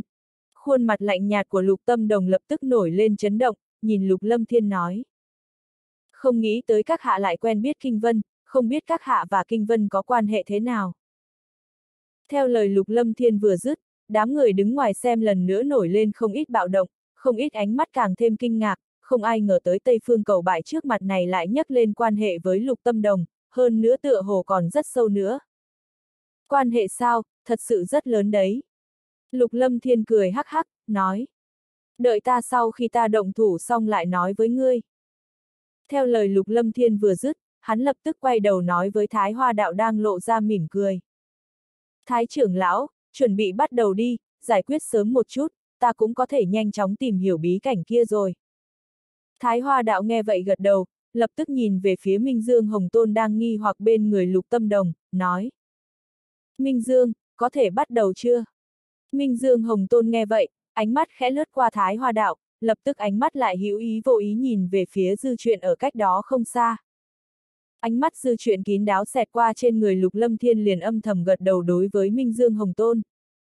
Thái Hoa Đạo, bắt đầu đi. Minh Dương Hồng Tôn lúc này mới gật đầu với Thái Hoa Đạo. Mọi người chung quanh nghe vậy, cũng lập tức thức thời đều thối lui ra bên ngoài quảng trường. Lục tâm đồng nhìn Lục Lâm Thiên, đôi mắt dễ thương âm thầm nghi hoặc, ánh mắt ý bảo xuống, cũng theo không ít cường giả tuyệt linh độc cốc lui ra. Ngắn ngủn một hồi thời gian, trên quảng trường rộng lớn cũng chỉ còn lại hai người Lục Lâm Thiên và Dư Gia Dư chuyện kia. Ánh mắt mọi người chung quanh đều rơi vào trên thân hai người Lục Lâm Thiên và Dư chuyện, sợ rằng tất cả mọi người đều rất muốn biết, Tây Phương cầu bại với tu vị tuyên cổ cảnh trung giai chống lại Dư chuyện tứ nguyên hóa hồng đỉnh phong có phải đầu óc đã hỏng rồi không? Xem tên ra hỏa lòe bịp mọi người này chết thế nào. Không ít thanh niên càng thêm có chút hả hê, Tây Phương cầu bại này trở thành vị hôn phu của Thái Thanh đã khiến trong lòng mọi người cực kỳ khó chịu rồi, nhưng sau khi thấy tên Tây Phương cầu bại này tựa hồ còn có quan hệ rất sâu với lục tâm đồng thì lại càng khiến mọi người rất không vừa mắt. Trong sân rộng, dư chuyện nhìn vào lục lâm thiên, thân hình mập mạp mặc dù không bình thường, bất quá khí tức trên thân lại là tứ nguyên hóa hồng đỉnh phong hàng thật giá thật. Nhìn đến trên người lục lâm thiên, cảm giác khí tức tu vị tuyên cổ cảnh trung giai chấn động, khuôn mặt dư chuyện có chút không quá dễ nhìn, trầm giọng nói. Chẳng lẽ thái gia thật sự không có người nào sao? Âm thanh nhàn nhạt mang theo một chút châm chọc, một tuyên cổ cảnh trung giai giao thủ với hắn, cái này chẳng khác nào đang trêu chọc hắn cả. Lục lâm thiên cười nhạt một tiếng, Linh khí đoạn côn màu trắng trên tay trái liền chuyển qua tay phải, sau đó nhẹ trà lên mặt đất quảng trường, nhìn dư truyền nói. Sao hả, xem thường ta sao? Nghe vậy, dư chuyện nhìn lục lâm thiên, trầm giọng nói. Tiểu tử, đừng không biết trời cao đất rộng, ta cũng không muốn bị người nói ỉ mạnh hiếp yếu đâu. Lục lâm thiên cười cười với dư chuyện, vết sẹo trên mặt khẽ nhúc nhích, nói. Không có sao, chờ ngươi có thể thắng ta rồi nói sau, chỉ với chút thực lực kia của ngươi, ta còn sợ người khác nói ta lấy mạnh hiếp yếu đấy, bằng không như vậy đi, ngươi đầu hàng nhận thua thì ta cũng không cần giao thủ với ngươi, tránh cho đến lúc đó có người nói ta lấy mạnh hiếp yếu cũng không tốt lắm. Không biết trời cao đất rộng. Theo lục lâm thiên vừa dứt lời lại lần nữa đón nhận không ít ánh mắt cười nhạo từ bốn phía. Tiểu tử, quá cuồng ngạo cũng không hay, chẳng lẽ trưởng bối của ngươi chưa nói cho ngươi biết ngươi thiên ngoại hữu thiên, nhân ngoại hữu nhân sao? Dư chuyện nói, vừa dứt lời, sắc mặt hắn cũng triệt để âm trầm xuống, thân là cường giả cổ tộc, từ trước đến nay hắn luôn tràn đầy ngạo khí và cảm giác về sự ưu việt, chưa từng bị người không để vào mắt như vậy, bởi vậy đối với tên Tây Phương cầu bại này hắn cũng đã nổi lên vài phần lãnh ý. Trường bối của ta tất nhiên đã dạy ta thiên ngoại hữu thiên, nhân ngoại hữu nhân, bất quá thiên ngoại thiên, nhân ngoại nhân kia không phải ngươi. Về phần trưởng bối dư ra ngươi có dạy ngươi thiên ngoại hữu thiên, nhân ngoại hữu nhân không thì ta không biết, bất quá hôm nay ta lại có thể dạy ngươi một lần. Lục lâm thiên nhìn dư chuyện, ánh mắt vẫn lộ vẻ cười nhàn nhạt. Mặt dư chuyện trở nên âm trầm, dần dần nổi lên lãnh ý với lục lâm thiên, âm trầm nói. Tiểu tử, xem ra ta cũng phải thay trưởng bối của ngươi hảo hảo dạy bảo ngươi một chút rồi. Khóe miệng lục lâm thiên nhếch lên một đường cong vui vẻ, nói. Chỉ sợ ngươi không có bổn sự kia. Tiểu tử cuồng vọng, ngươi lập tức sẽ biết hậu quả. Dư chuyện cũng không nhìn được nữa, năm lần bảy lượt bị đối phương khinh thường, trêu đùa như thế, khiến thân phận trưởng lão dư gia của hắn không còn lại gì, chỉ có hảo hảo giáo huấn tên tiểu tử không biết trời cao đất rộng trước mắt này một phen mới có thể giải quyết vấn đề thôi. Phần Phật Ngay khi lời dư chuyện vừa dứt, trong nội tâm nổi lên hàn ý, không gian quanh thân cũng nhanh chóng trở nên vặn vẹo, một cỗ khí tức nóng bỏng bắt đầu khởi động, mang theo một cỗ năng lượng chấn động đáng sợ nóng bỏng lập tức tràn ngập khắp quảng trường. Khí tức hỏa thuộc tính nóng bỏng bắt đầu khởi động cuồn cuộn, hỏa thuộc tính áo nghĩa bao phủ xuống, không gian toàn bộ quảng trường thoáng chộc liền nên vô cùng nóng bỏng, giống như khiến cho người lập tức chìm sâu trong lò lửa nóng bỏng vậy, khí tức nóng bỏng phô thiên cái địa liền tuôn trào về phía lục lâm thiên. Oanh! Khí tức mãnh liệt khiến toàn bộ quảng trường đều ầm ầm run lên, ngay sau đó bàn chân dư chuyện đạp mạnh lên mặt đất một cái, thân hình mập mạp không ngờ lại cực kỳ nhanh nhẹn, thân hình như mũi tên bạo lướt tới chỗ lục lâm thiên. Đối mặt dư chuyện đột nhiên ra tay, không ít thanh niên mắt lộ ra vẻ cười lạnh chờ xem kịch vui, mắt Minh Dương Hồng Tôn cũng lộ vẻ cười lạnh. Mà bọn người Thái Hoa Đạo và Phi Thiên Lão Yêu cũng hơi hơi lộ ra vui vẻ quỷ dị, không hề có chút lo lắng nào cả. Ngược lại lục tâm đồng tuy rằng cùng cường giả tuyệt linh độc cốc thối lui đến dọc quảng trường, nhưng đôi mắt đẹp lại vẫn một mực nghi hoặc nhìn vào trên người Tây Phương cầu bại, đôi mắt dễ thương chấn động, tựa hồ càng thêm nghi hoặc. Tiểu tử, cho ngươi biết trời cao đất rộng. Chỉ chớp mắt ngắn ngủi, theo thân hình dư chuyện đập ra, một giây sau thân hình mập mạp kia đã như thuấn di xuất hiện ở trước người lục lâm thiên không xa, quát lạnh một tiếng, đánh một quyền tới lục lâm thiên. Dầm dầm dầm. Trong quyền ấn mơ hồ có hỏa diễm thực chất chấn động, âm thanh năng lượng âm bạo đáng sợ nương lấy hỏa diễm nóng bỏng bắn ra, không ngừng vang vọng trước quyền ấn, không gian trước quyền ấn bị đánh nát không còn gì. Tu vị tứ nguyên hóa hồng đỉnh phong, thực lực khủng bố. Oanh! Dư chuyện đánh ra một quyền này, nhanh như thiểm điện, thế như bôn lôi, trong phần đông ánh mắt hãi hùng khiếp phía đánh lên trên người lục lâm thiên. Dưới một quyền kia, thân hình lục lâm thiên theo không gian nứt vỡ từng khúc, bị một quyền đánh vỡ ra, nhưng lại không có bất kỳ máu tươi nào phun ra cả. Tàn ảnh, tốc độ thật nhanh. Ánh mắt chúng cường giả chung quanh và dư chuyện đều thoáng cái kinh biến, tốc độ bực này thật sự quá nhanh đi, nhanh đến mức ở đây không ai thấy rõ ràng được. Côn thần nhất kích. Cũng trong lúc này, sau lưng dư chuyện vô thanh vô tức xuất hiện một thân hình khôi ngô, hai tay nắm chặt đoạn côn trong tay, nghiêng người quất một kích lên bờ mông mập mạp to lớn kia của dư chuyện, tiếng nói cũng đồng thời phát ra. Ngay khi một tiếng cuối cùng vừa dứt, dưới ánh mắt tràn đầy kinh hãi của mọi người, một côn không thể tưởng tượng nổi đã rơi vào trên mông dư chuyện. Bành! Theo một côn này rơi xuống, âm thanh năng lượng trầm đỡ Upsilon, C lập tức từ trên mông dư chuyển vang vọng ra, một cỗ kình phong năng lượng lập tức bắn ra, không gian chung quanh cũng bị một côn này nổ nát. Phụt!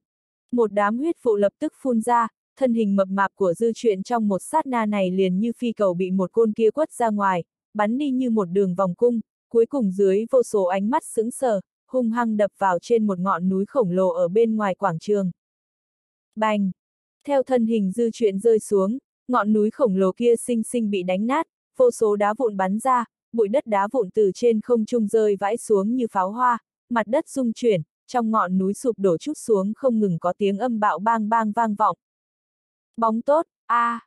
Đoàn côn linh khí màu trăng trở về lòng bàn tay lục lâm thiên, đùa nghịch xoay vù vù mấy vòng, đoàn côn linh khí màu trắng lập tức thu lại, trên mặt lộ ra vẻ cao hứng, tựa hồ rất thỏa mãn với một côn vừa rồi của mình. Vù vù. Chỉ có điều lập tức, sau khi ánh mắt toàn bộ quảng trường ngốc trệ thì trong chốc lát đã liên tục vang lên các tiếng hít lạnh. Một màn này, khiến mọi người không dám tin, đường đường dư chuyện dư ra, tu vị cấp độ tứ nguyên hóa hồng đỉnh phong, tu vị này trong thiên địa có thể được coi là cường giả, không ngờ không ngờ lại bị một côn hời hợt của Tây Phương cầu bại kia đánh bại. Xì sao? Đặc biệt là những thanh niên vốn trở chế diễu kia, trong tích tắc này khuôn mặt nguyên một đám đều cực kỳ kinh hãi, trong cổ họng không ngừng truyền ra tiếng nuốt nước bọt.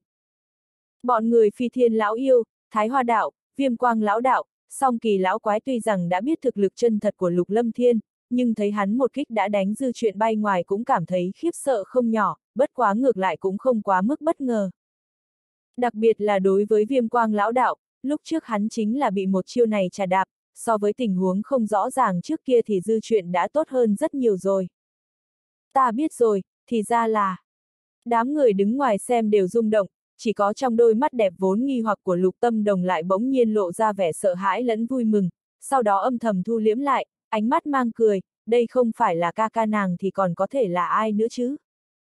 Ban đầu ở Linh Vũ Thế giới Thiên Địa các tổ chức cuộc đọ sức giữa thập đại cường giả trẻ tuổi ca ca cũng đã từng dịch dung, khiến dù là người thân cận nhất cũng không thể nào nhìn ra được, lúc này lục tâm đồng cẩn thận quan sát cuối cùng cũng có thể xác nhận.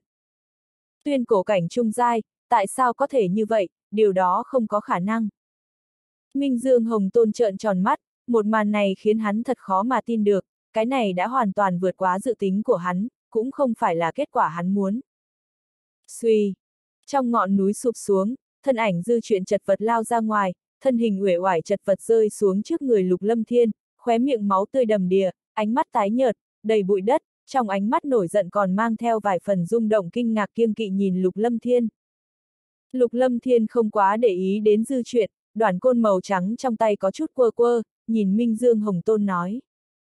Ta nghĩ côn Dương Tông đã thua rồi a, à, vậy thì bí cảnh kia sau này sẽ là của Thái gia, không có bất cứ quan hệ nào đến côn Dương Tông cả, mang theo người của các ngươi đi đi thôi.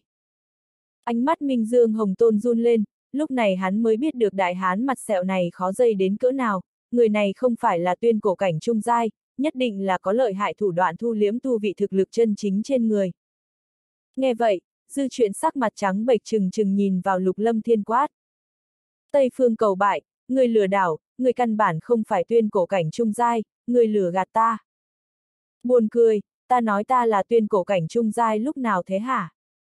Lục lâm thiên đạm mạc liếc qua dư chuyện sắc mặt trắng bệch trước người, nói.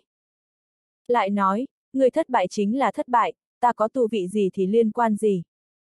Lời lục lâm thiên nhất thời khiến dư chuyện phải nghẹn lời, quả thật, Tây Phương cầu bại này cũng chưa từng nói qua mình là tuyên cổ cảnh trung giai bao giờ.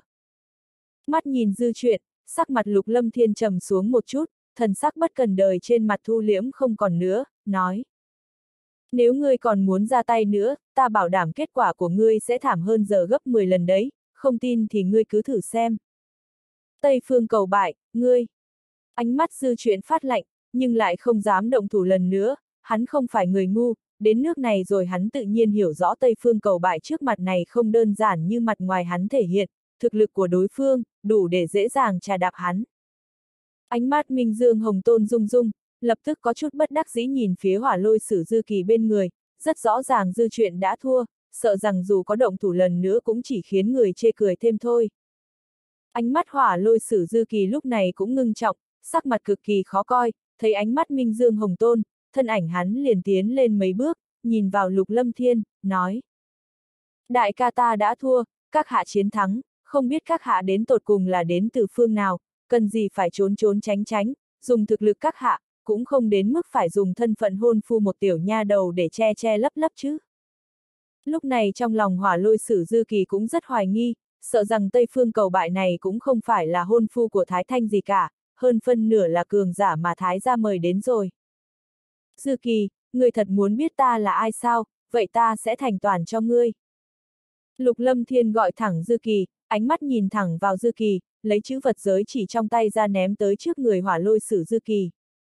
Ánh mắt hỏa lôi sử Dư Kỳ có chút run lên, chụp lấy chữ vật giới chỉ vào tay, lập tức tâm thần nhìn vào.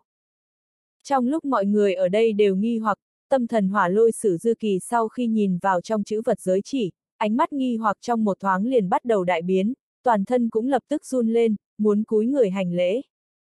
Dư Kỳ, thân phận của ta không muốn bị bạo lộ, người biết là tốt rồi. Ngay khi hỏa lôi sử Dư Kỳ muốn hành lễ thì âm thanh lục lâm thiên đã truyền vào tai Dư Kỳ. Dư Kỳ nghe thế liền hồi phục lại từ trong khiếp sợ, cung kính đưa lại chữ vật giới chỉ đến trước người lục lâm thiên. Trong chữ vật giới chỉ không phải vật gì khác, đúng là thánh chủ lệnh của tuyên cổ diện, lúc trước Dư Kỳ đã tận mắt nhìn thấy điện chủ giao thánh chủ lệnh cho thánh chủ lục lâm thiên, tăng thêm âm thanh mới truyền âm vừa rồi, đúng là âm thanh của thánh chủ lục lâm thiên. Đến lúc này Dư Kỳ đã có thể hoàn toàn khẳng định, Tây Phương cầu bại thoạt nhìn không chút đặc biệt trước mắt này chính là thánh chủ tuyên cổ điện, điện chủ thánh lôi điện. Đây là có chuyện gì? Nhìn thấy thái độ hỏa lôi sử Dư Kỳ lập tức chuyển biến hoàn toàn, mọi người ở đây đều cảm thấy cực kỳ kinh ngạc. Lục tâm đồng từ xa thấy thế, Kiều Nhan có chút lộ ý cười, có thể càng thêm khẳng định về thân phận của Tây Phương cầu bại. Lục Lâm Thiên tiếp nhận chữ vật giới chỉ mà Dư Kỳ đưa về, nhìn hắn nói. Dư Kỳ, ta vốn không muốn nhúng tay vào chuyện giữa Thái Gia và Côn Dương Tông, bất quá lần này Dư ra ngươi nhúng tay vào, thủ đoạn thật có chút không ổn nha. Dư ra ngươi giàu gì cũng là cổ tộc, cũng phải chú ý một chút mới được, nếu Dư Kỳ ngươi còn có ý kiến, vậy thì cứ tìm đến ta, ta sẽ đón hết, nếu Dư ra có ý kiến, vậy thì cứ mang theo nhân mã Dư ra ngươi đến là được. Không dám, lần này là Dư ra mạo phạm, thỉnh đại nhân thứ lỗi, giờ ta sẽ rời đi, về sau Dư ra không bao giờ nhúng tay vào chuyện giữa Côn Dương Tông và Thái gia nữa. Dư Kỳ lúc này đã bị hù đến thiếu chút đổ mồ hôi lạnh, người trước mắt thân là thánh chủ tuyên cổ điện, hắn rất rõ ràng cái này đại biểu cho cái gì, coi như là toàn bộ dư ra hắn cũng không cách nào chống lại tuyên cổ điện được, nếu hắn còn không biết điều, sợ rằng dù có sư phụ hắn cũng khó mà bảo vệ cho hắn được. Lời nói vừa dứt, hỏa lôi sử dư kỳ cung kính thi lễ thật sâu với lục lâm thiên, sau đó nói với mọi người dư ra ở phía sau. Đệ tử dư ra nghe lệnh, mau theo ta trở về. Dư trưởng lão, đây là... Minh Dương Hồng Tôn ngốc trệ, cũng hoàn toàn không biết phải làm gì nữa. Ánh mắt Dư Kỳ hung hăng trợn nhìn Minh Dương Hồng Tôn, trầm giọng nói. Việc này không có quan hệ gì với Dư gia ta nữa, người muốn làm gì thì làm đi. Lời nói vừa dứt, Dư Kỳ lập tức nói với Dư chuyện vẫn còn chưa phục hồi tinh thần lại. Đại ca, chúng ta đi thôi. Cái này. Dư chuyện còn có chút sững sờ, Dư Kỳ thấy thế, lôi kéo Dư chuyện thả người rời đi. Sốt cục là chuyện gì xảy ra thế này? Đông đảo ánh mắt bốn phía quảng trường đều nhìn nhau, không có ai biết là chuyện gì xảy ra, trong mắt đều lộ vẻ nghi hoặc. Nhưng mọi người lúc này cũng không khó biết rõ, sợ rằng Tây Phương cầu bại kia có địa vị cực lớn, dư gia dư kỳ không ngờ lại bị dọa rời đi, địa vị thế nào có thể nghĩ, có thể dọa đi cổ tộc, cái này cần thân phận gì chứ? Xì sao? Đám thanh niên chung quanh vốn cảm thấy khó chịu với Lục Lâm Thiên lúc này cũng chỉ có thể âm thầm hít vào khí lạnh, nuốt nuốt nước bọt, nhìn bộ dáng này rõ ràng là người dư gia bị dọa sợ rồi, thân phận của đối phương rất lớn. Dư chuyện chỉ một chiêu đã bị trà đạp, thực lực bực này bọn hắn há có thể so sánh được, cả đám đều nhao nhao lui về phía sau một ít, nếu đắc tội với Tây Phương cầu bại này, đến lúc đó hắn lấy bọn hắn ra khai đao thì sợ rằng dù là thế lực sau lưng cũng không thể bảo vệ được bọn hắn. Mắt thấy mọi người dư ra rời đi, ánh mắt lục lâm thiên lập tức nhìn vào đám người Minh Dương Hồng Tôn, trầm giọng nói. Mang theo người Côn Dương Tông của ngươi đi đi, bí cảnh không quan hệ gì đến Côn Dương Tông nữa rồi. Chúng ta đi. Minh Dương Hồng Tôn nhìn qua Lục Lâm Thiên và bọn người Thái Hoa Đạo, ánh mắt chấn động, cuối cùng cũng chỉ có thể cắn răng mang theo mọi người côn dương tông vội vàng rời đi. Người dư ra cũng đã đi rồi, hắn tự nhiên không dám ở lại lâu, thực lực và thân phận của đối phương ngay cả dư ra cũng bị chấn nhiếp rời đi, côn dương tông hắn tự nhiên càng khó mà chọc vào nổi. Chúc mừng Thái gia chiến thắng. Chúc mừng chúc mừng. Theo dư gia và côn dương tông Minh Dương Hồng Tôn rời đi, không ít người các thế lực lớn vây xem chung quanh đều nhao nhao đi đến bên người Thái Hoa đạo chúc mừng, cực kỳ nhiệt tình, bộ dáng như vốn là đồng minh với Thái gia vậy. Thái gia chiến thắng, không biết có thể cho chúng ta đi vào bí cảnh chiêm ngưỡng một chút được không? Đúng đấy, chúng ta chỉ cần chiêm ngưỡng một chút là được, ta nghĩ Thái gia sẽ không cự tuyệt mọi người chúng ta chứ. Đúng vậy, mọi người chúng ta đều chỉ vào chiêm ngưỡng một chút thôi. Lập tức không ít thế lực và một ít cường giả các cổ tộc khác liền xuống lại về phía Thái Hoa Đạo, rõ ràng là có ý đồ muốn mượn cơ hội tiến vào trong bí cảnh kiếm một chén canh. Đông đảo thế lực xuống lại như vậy khiến Thái Hoa Đạo lúc này cũng khó mà trả lời. Nơi này là trong côn vân thế giới, hắn cũng không thể đắc tội các thế lực được, dù sao ngày sau Thái gia vẫn còn phải đặt chân sinh sống ở côn vân thế giới nữa. Các ngươi tìm lộn người rồi, bí cảnh không quan hệ gì với Thái gia cả. Bí cảnh Thái gia phát hiện hiện giờ đã thuộc về ta rồi, các ngươi có muốn cùng ta tiến vào xem không? Ngay khi Thái Hoa Đạo không biết làm sao thì mắt Lục Lâm Thiên đã nhướng lên, nhìn qua mọi người nói. Nghe vậy từng đạo ánh mắt cũng nghi hoặc rơi vào trên người Lục Lâm Thiên, ánh mắt đều có chút phức tạp. Tây Phương Tiểu Hữu nhiệt tình như vậy, chúng ta không tiện chối từ rồi. Như thế rất tốt, cung kính không bằng tuân mệnh. Đa tạ Tây Phương Tiểu Hữu rồi. Lập tức, trong đám người liền có thêm không ít lão giả cười ha ha gật đầu ý bảo với Lục Lâm Thiên, phảng phất như chỉ một thoáng đã trở nên cực kỳ quen thuộc vậy. Lục Lâm Thiên liếc qua đám người, ánh mắt đạm mạc đảo qua, lập tức nói với Thái Hoa Đạo. Thái trưởng lão, bí cảnh ở phương nào? Thái Hoa Đạo chỉ vào một mảnh dãy núi sau côn lăng cốc, nói. Ở ngay phía trước không xa, cửa vào hiện giờ bị ta và Minh Dương bố trí phong ấn, cần hai người chúng ta hợp lực mới có thể mở ra, hiện giờ Minh Dương lại vừa mới rời đi rồi, sợ rằng phải mạnh mẽ phá phong mới được. Lục Lâm Thiên nhẹ gật đầu, nói. Mang ta đi xem một chút đi. Vâng. Thái Hoa đạo gật đầu, thần sắc trên gương mặt già nua lại cực kỳ nghi hoặc, âm thầm phỏng đoán, chẳng lẽ thật sự muốn mang theo những người khác vào trong bí cảnh sao? Siêu siêu. Một lát sau, thâm cốc dưới một tòa núi khổng lồ, một cỗ năng lượng chấn động trong lúc mơ hồ lan tràn ra, trước tầm mắt là một cái sơn động bị bố trí lấy cấm chế, từng đạo thân ảnh theo Thái Hoa Đạo và Lục Lâm Thiên đã đáp xuống trước cấm chế kia. Lục Tâm Đồng và Cường giả tuyệt linh đầu cốc cũng theo đuôi mọi người đi tới. Chính là cái cấm chế này, đây là do ta và Minh Dương cùng nhau bố trí, Minh Dương lại vừa rời đi, giờ cấm chế này cần phải mạnh mẽ mở ra mới được.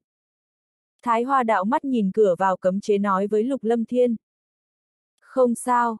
Lục Lâm Thiên dứt lời, thân hình khôi ngô sải bước đã đi đến trước cấm chế, cùng lúc đó trên đoàn côn màu trắng chợt tràn ra một cỗ hàn băng chi khí băng hàn rét thấu xương, bạo lướt vào trong khe hở cấm chế. Ken két. Hàn băng chi khí băng hàn rét thấu xương bắt đầu khởi động, làm cho toàn bộ thâm cốc lập tức run lên, lập tức chu không rơi xuống đẩy băng xương, tựa hồ như muốn đông lại toàn bộ thâm cốc này vậy. Lập tức cái khe hở cấm chế kia liền bị ngưng kết thành hàn băng, một giây sau, hàn băng dạn nứt, truyền ra tiếng nghiền nát ken két, ngay sau đó nổ tung. Bành bành!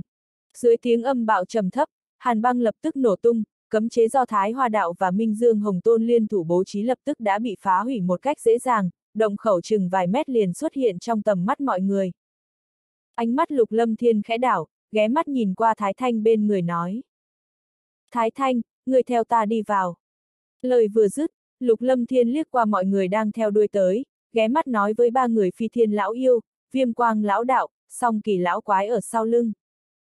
Ba người các người giữ vững vị trí cửa vào, mặc kệ ai dám xông vào đều không cần khách khí, xảy ra chuyện có ta gánh vác. Vâng. Ba người phi thiên lão yêu, viêm quang lão đạo, song kỳ lão quái gật đầu, ba cổ khí tức bắt đầu khởi động, lập tức đứng ngay ở cửa ra vào. Siêu siêu. Lập tức lục lâm thiên lôi kéo Thái Thanh, hai người là được tiến nhập bí cảnh ở trong không thấy. Không phải nói để cho chúng ta đi vào sao? Sao lại vậy chứ, định lật lọng à? Trưởng môn nhà ta đáp ứng cho đám các ngươi vào từ lúc nào chứ, là chính các ngươi hiểu sai thôi, ai dám đi lên, vậy thì đừng trách ta không khách khí. Khí tức phi thiên lão yêu bắt đầu nổi lên quanh thân, đứng ở ngay trước cửa vào bí cảnh, đủ để chấn nhiếp mọi người. Lục tâm đồng tiến lên, mắt nhìn mọi người, cười nhạt một tiếng, nói. Bí cảnh chính là thuộc sở hữu của Thái Gia và Côn Dương Tông, hiện giờ nếu bí cảnh này đã có chủ nhân, vậy thì chúng ta không cần phải nhúng tay vào nữa. Theo lời nói vừa dứt, Lục Tâm Đồng liền bước tới trước cửa vào bí cảnh, ba người phi thiên lão yêu tự nhiên biết rõ quan hệ giữa tuyệt linh độc cốc cổ tộc và trưởng môn cho nên tự nhiên sẽ không ngăn cản. Xoẹt! Ở trước cửa vào bí cảnh, Lục Tâm Đồng bố trí lên một đạo cấm chế khói độc, một cỗ khói đen kịch độc lập tức cuồn cuộn phóng thích ra, đông đảo ánh mắt mọi người chung quanh đều thầm chấn động, tuyệt linh độc cốc không ngờ lại đứng cùng phía với tây phương cầu bại kia. Trong bí cảnh không gian phảng phất như hư không vậy, có khí thức cổ xưa tràn ngập, không ít không gian đều có dấu vết bị người tìm kiếm qua. Thánh chủ, bên ngoài này đều đã bị tìm kiếm sạch sẽ rồi, chỉ có nơi bên trong cấm chế là chưa mở ra được. Thái Thanh nói với Lục Lâm Thiên. Khí tức kia ở bên trong, đi vào trong đi. Kim sắc tiểu đao trong đầu Lục Lâm Thiên tựa hồ cảm thấy gì đó, lập tức nói với Lục Lâm Thiên. Lục Lâm Thiên nghe vậy, lập tức triển khai thân hình, một đường không hề trì hoãn đi thẳng vào sâu trong bí cảnh. Sau một lát, Lục Lâm Thiên rốt cục đã đến nơi sâu trong bí cảnh, không gian chấn động, rung động nhộn nhạo, một đạo cấm chế kéo dài qua trước người hai người, uy áp cường hãn lộ ra trong lúc mơ hồ kia cũng khiến Lục Lâm Thiên cảm thấy cực kỳ run sợ. Cấm chế rất mạnh. Lục Lâm Thiên nhướng mày, khó trách hai người Thái Hoa Đạo và Minh Dương Hồng Tôn liên thủ cũng không mở ra cái cấm chế này được, người bố trí ra cấm chế này cường hãn đến cực điểm, tuy rằng cấm chế này hẳn là đã được bố trí cách đây rất lâu rồi, nhưng cũng không phải là thứ hai người Thái Hoa Đạo và Minh Dương Hồng Tôn có thể phá hủy được. Khí tức chính là đến từ trong cấm chế này, khí tức này rất quen thuộc, nhưng trong lúc nhất thời ta lại không nghĩ ra được. Kim sắc tiểu đao thì thào nói nhỏ trong đầu Lục Lâm Thiên, lập tức nói với Lục Lâm Thiên.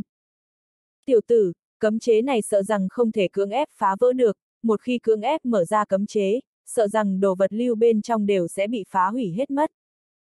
Đao thúc, vậy chúng ta làm sao mới có thể đi vào? Lục Lâm Thiên hỏi kim sắc tiểu đao, không thể cưỡng ép mở ra cấm chế, vậy thì ngoại trừ chủ nhân cấm chế này ra thì không cách nào đi vào được bên trong rồi. Kim sắc tiểu đao nói. Mục đích người này bố trí ra cấm chế hẳn là muốn chờ người thích hợp nào đó mới có thể đi vào, người khác cưỡng ép đi vào, tất cả mọi thứ trong này đều sẽ bị hủy, coi như là có bảo vật gì đi nữa thì cũng đều hóa thành hư ảo hết thôi. Vậy sao? Lục lâm thiên nhíu mày lại, lập tức trong ánh mắt lộ ra một chút vui vẻ, nói nhỏ.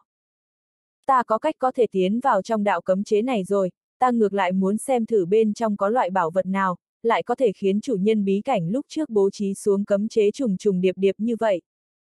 Một lát sau, dẫn Thái Thanh vào trong thiên trụ giới, trong lòng bàn tay lục lâm thiên xuất hiện một đoàn máu huyết đỏ thẫm và một đạo linh hồn lực, một cỗ hơi thở nóng bỏng lan tràn ra. Suy suy, thủ ấn huyền ảo liên tục chấp động, lòng bàn tay lục lâm thiên run lên, đoàn máu huyết đầu tiên bị hắn nuốt vào trong miệng, còn đạo linh hồn lực tràn ngập khí tức nóng bỏng lại lướt tiến vào trong mi tâm. Tam thần thiên biến quyết, địa linh biến. Từng đạo thủ ấn huyền ảo biến hóa, lục lâm thiên khẽ quát một tiếng, lập tức gân cốt cơ bắp và vô số tế bào trong cơ thể đều lập tức gây dựng lại, tứ chi bách hài, huyết mạch huyết quản, toàn bộ thân hình đều đang nhanh chóng biến hóa lấy. Chỉ chớp mắt ngắn ngủi, theo từng đạo phương thức phức tạp huyền ảo, Lục Lâm Thiên đã biến thân thành chu tước chi khu toàn thân đỏ thẫm, toàn thân được bao bọc trong ngọn lửa nóng bỏng. Sau lưng chu tước chi khu kéo lấy thất thải vũ mau thật dài, hai cánh mở rộng, hỏa diễm tràn ngập, nhiệt độ cực cao kia đủ khiến linh hồn người bị thiêu rụi rồi. Hiện giờ Lục Lâm Thiên thúc giục đúng là bản thể của Chu Tước nhất tộc, lần trước Lục Lâm Thiên đã tìm đến người tứ đại hoàng tộc xin không ít máu huyết và linh hồn lực để chuẩn bị cho bất cứ tình huống nào. Không gian chi lực của Chu Tước nhất tộc không giống với tu luyện giả tu luyện không gian áo nghĩa bình thường, thi triển là linh biến, thân hình hóa thành bản thể Chu Tước nhất tộc, Lục Lâm Thiên cũng có thể vận dụng thiên phú không gian của Chu Tước hoàng tộc nữa. Mà giờ muốn đi vào trong cấm chế, dùng thiên phú không gian của Chu Tước nhất tộc hẳn có thể làm được. Cô! Hai cánh chấn động, không gian chung quanh đều lắc lư chập trùng, mang theo hỏa viêm nóng bỏng cuồn cuộn, thân hình mặc dù lao vào TANG cấm chế cường hãn kia nhưng nó cũng chỉ cản trở trong chớp mắt ngắn ngủi, một giây sau đã bị chu tước chi khu của lục lâm thiên xuyên thủng qua. Lúc thân ảnh Lục Lâm Thiên lần nữa xuất hiện thì thân đã ở trong một gian thạch thất phong cách cổ xưa rồi. Chu tước chi khí thu liếm, Lục Lâm Thiên nhìn quanh mọi nơi trong thạch thất.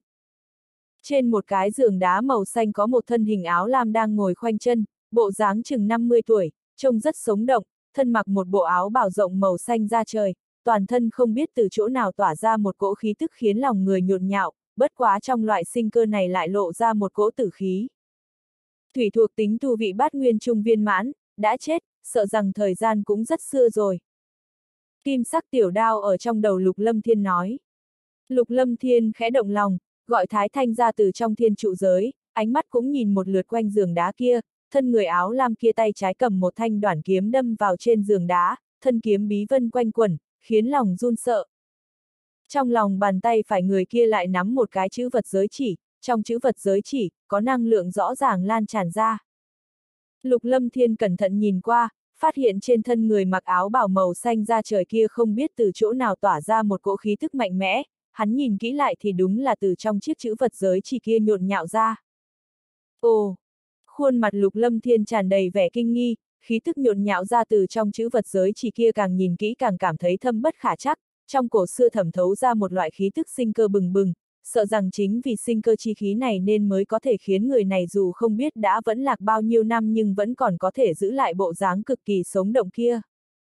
Ta biết rồi, thì ra là vật ấy, không nghĩ tới ở đây còn có thể nhìn thấy vật ấy. Kim sắc tiểu đao nói trong đầu lục lâm thiên. Tiểu tử, trên người tên bát nguyên trung viên mãn này có lưu lại một phần thủy thuộc tính áo nghĩa chi nguyên, còn có truyền thừa của hắn, thanh đoàn kiếm này cũng là thông linh bảo khí thủy thuộc tính, bất quá hẳn là đã bị thương tương đối nặng, sau khi bị người nhận chủ có lẽ có thể dần dần khôi phục lại, bất quá thứ bên trong chữ vật giới chỉ kia mới chính thức không tệ. Đao thúc, trong chữ vật giới chỉ kia có bảo vật gì? Ánh mắt lục lâm thiên thầm động, truyền thừa của bát nguyên trung viên mãn và thông linh bảo khí, kim sắc tiểu đao cũng không chút để vào mắt, nhưng thứ trong chữ vật giới chỉ kia lại có thể khiến kim sắc tiểu đao nói là không tệ, có thể nghĩ, sợ rằng là bảo vật cấp độ trí bảo rồi. Kim sắc tiểu đao nói với Lục Lâm Thiên. Nói rất dài dòng, đến lúc đó ta lại nói cho ngươi biết. Thánh chủ. Thái Thanh rung động nhìn quanh thạch thất, khí tức nhộn nhạo ra từ trong thân hình kia đủ để khiến nàng run sợ, đôi mắt lập tức đã rơi vào trên người Lục Lâm Thiên. Xem ra trong này cũng không có quá nhiều bảo vật, một kiện thông linh bảo khí, một phần thủy thuộc tính áo nghĩa bổn nguyên, một phần truyền thừa của cường giả bát nguyên hóa hồng, còn có một chữ vật giới chỉ. Lục Lâm Thiên nói với Thái Thanh. Chủ thuộc tính của ngươi là mộc thuộc tính, còn có lôi thuộc tính, mặt khác còn có thời gian áo nghĩa và thủy thuộc tính áo nghĩa đúng không? Đúng vậy. Thái Thanh gật đầu, nghe thấy một kiện thông linh bảo khí, một phần thủy thuộc tính áo nghĩa bổn nguyên, một phần truyền thừa của cường giả bát nguyên hóa hồng, chừng đó đủ khiến nàng cảm thấy quá mức rung động rồi. Lục Lâm Thiên mắt nhìn Thái Thanh nói. Thông linh bảo khí và thủy thuộc tính áo nghĩa bổn nguyên, cùng với phần truyền thừa của cường giả tu vị bát nguyên hóa hồng này đều cho ngươi đi, ta đối với cái chữ vật giới chỉ kia có chút tò mò, ta lấy chữ vật giới chỉ này là được rồi. Thái Thanh nói, Thánh chủ, dựa theo lời lúc trước, Thánh chủ có thể tuyển chọn lựa ba loại A. Suy, Lục Lâm Thiên khẽ nhúc nhích áo bảo xanh, trong lòng bàn tay tuôn ra một cỗ hấp lực, thu chữ vật giới chỉ trong tay phải thân ảnh kia vào trong tay, nhìn Thái Thanh cười cười, nói.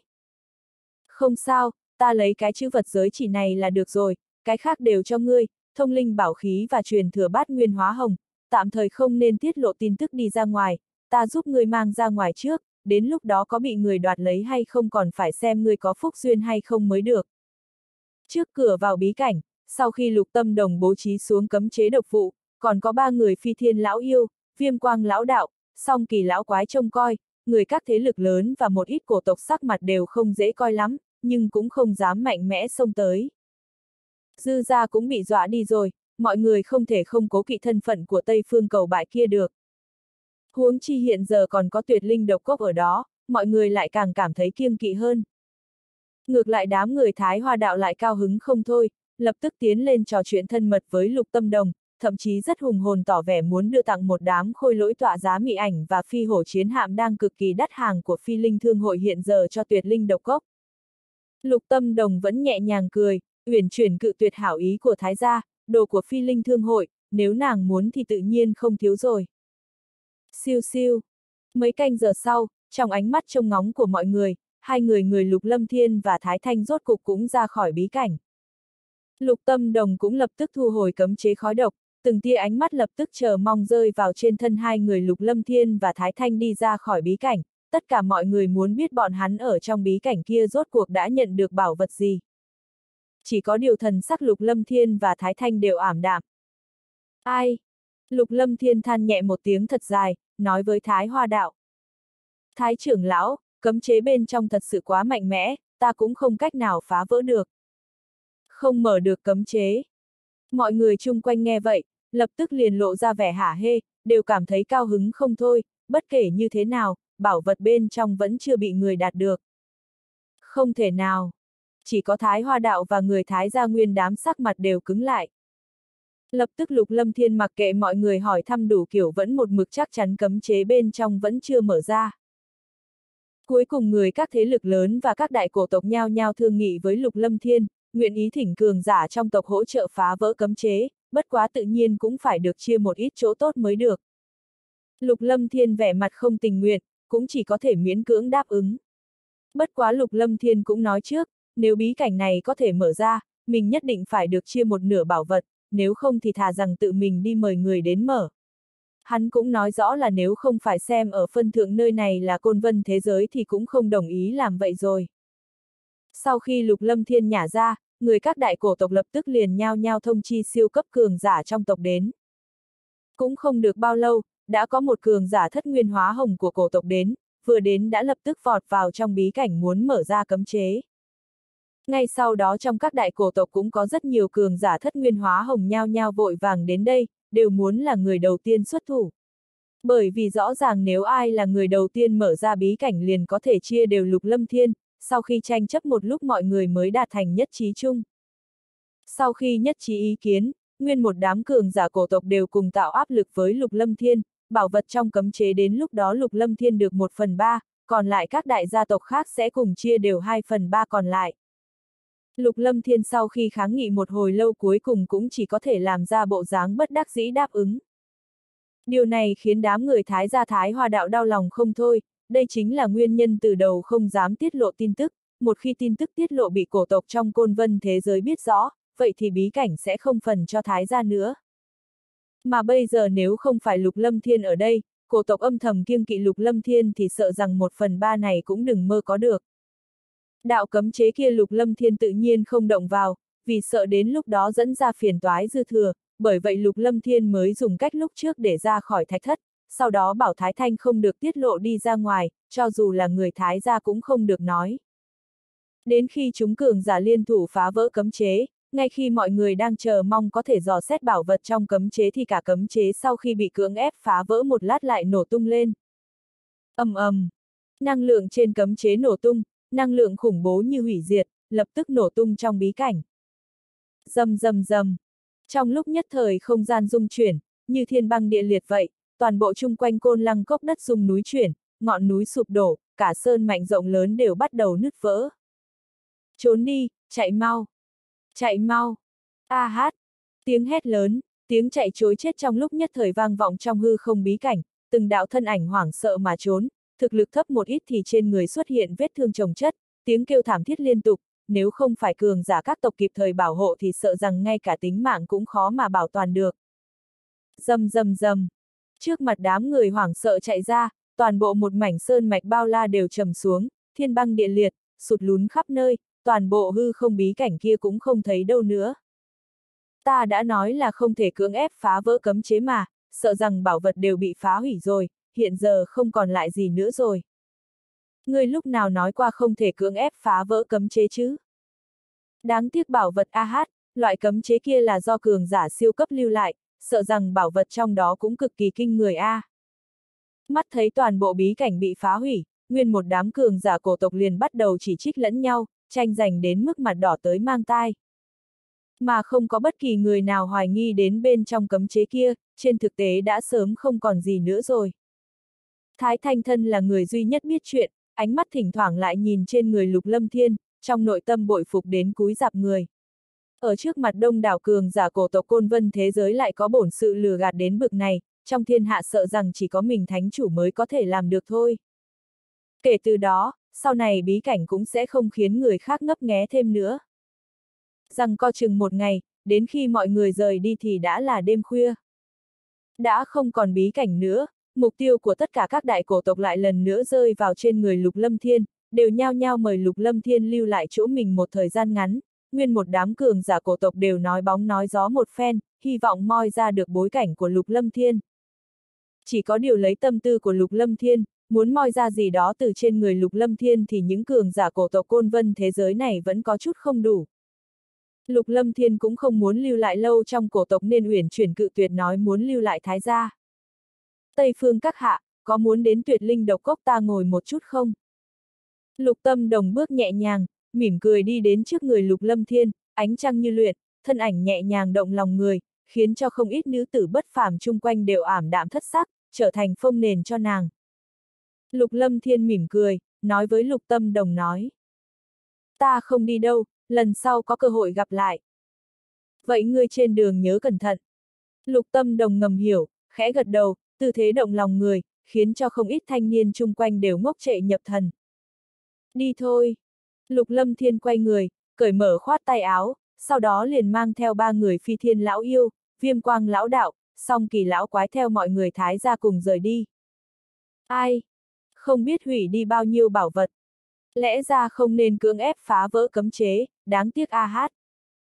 Trong côn lăng sơn mạch bừa bội, chúng cường giả dưới bóng đêm vẫn còn chịu tiếc hận không thôi.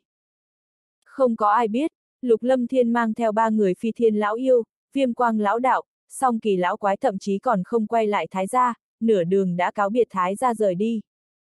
Sau khi Lục Lâm Thiên khôi phục bộ dáng vốn có liền thông qua không gian trùng động mang theo ba người phi thiên lão yêu, viêm quang lão đạo, song kỳ lão quái về tới Sơn Phong đỉnh viện trong mật địa thiên giới. Đại thừa Niết Bàn vô lượng Niết Bàn, Đại thừa Niết Bàn vô thượng Niết Bàn.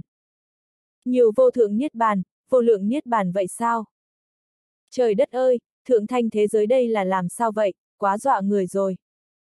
Chỉ là sau khi ba người phi thiên lão yêu, viêm quang lão đạo, song kỳ lão quái nhìn thấy tại Sơn Phong Đình Việt, lúc này đa số mọi người trong linh vũ thế giới đều có tu vị dao động ở đại thừa niết bàn vô thượng niết bàn, vô lượng niết bàn thì nguyên một đám đều nghẹn họng nhìn chân chối. Đại thừa niết bàn giả ở bên ngoài khó mà gặp được, ở chỗ này không ngờ lại như khắp nơi đều có, không chút đáng giá nào vậy, cái này khiến ba người phi thiên lão yêu đều cảm thấy cực kỳ rung động. Mà sau khi Lục Lâm Thiên về tới đỉnh viện liền cùng Bắc Cung vô song nói đại khái một chút về tình huống tuyệt linh độc cốc. Hai năm qua ở trong tuyệt linh độc cốc bí cảnh, vì sợ mọi người lo lắng, Lục Lâm Thiên cũng đã sớm bảo Lục Tâm Đồng truyền tin tức Ngọc Giản đến thượng thanh thế giới mật địa thiên giới, vì vậy đối với cường giả tuyệt linh độc cốc, bọn người Bắc Cung vô song cũng đã sớm hiểu rõ trong lòng. Từ trong miệng Bắc Cung vô song, Lục Lâm Thiên biết được đám người Lục Kinh Vân, nghĩa phụ độc cô ngạo nam, sư phụ trí thánh đại đế, đoan mộc khung thiên hai năm qua cũng đều tiến nhập vào trong cổ tộc mật địa bế quan, một mực không đi ra ngoài. Đám độc cô cảnh văn, Lam Linh, Lăng Thanh Tuyền, Vân Hồng Lăng, Lữ Tiểu Linh đều đang bế quan cả. Mà Bắc Cung vô song trước đó không lâu mới xuất quan từ trong bí cảnh của Mộc Gia, mà tu vị thực lực của Bắc Cung vô song hiện giờ rốt cục cũng đã từ tuyên cổ cảnh cao giai đỉnh phong đột phá đến nhất nguyên hóa hồng rồi, hơn nữa còn đột phá ở trong bí cảnh Mộc Gia nữa. Hàn huyên một hồi với Bắc Cung vô song về tình huống trong mật địa thiên giới, tất cả đều không có chuyện lớn gì xảy ra cả. Bắc Cung vô song bế quan, sự việc dư thừa ngược lại cũng không biết nhiều lắm, chỉ nghe nói người ma ra lúc trước có đến mật địa thiên giới tìm phiền toái một lần, ngoài ra cũng không còn chuyện gì nữa. Mà nha đầu lục lộ kia hai năm qua không biết làm sao biết được lôi ra có bí cảnh, đã bảo lôi tiểu thiên mang theo nàng tiến vào trong bí cảnh lôi ra, kết quả không biết vì sao, toàn bộ bí cảnh lôi ra đều bị ảnh hưởng, nghe nói còn kinh động đến cường giả lôi ra nữa.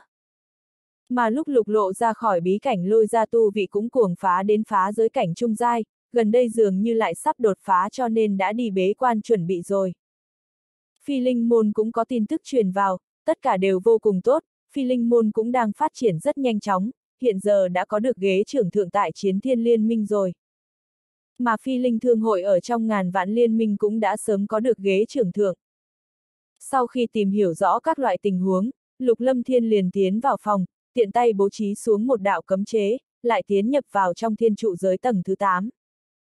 Lục Lâm Thiên ngồi khoanh chân, trong lòng bàn tay xuất hiện một cái chữ vật giới chỉ, đúng là cái phát hiện được trong bí cảnh ở Côn Vân trong thế giới kia.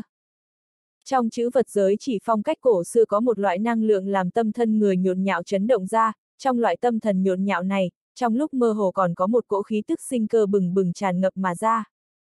Đao thúc, trong chữ vật giới chỉ này đến cùng có bảo vật gì?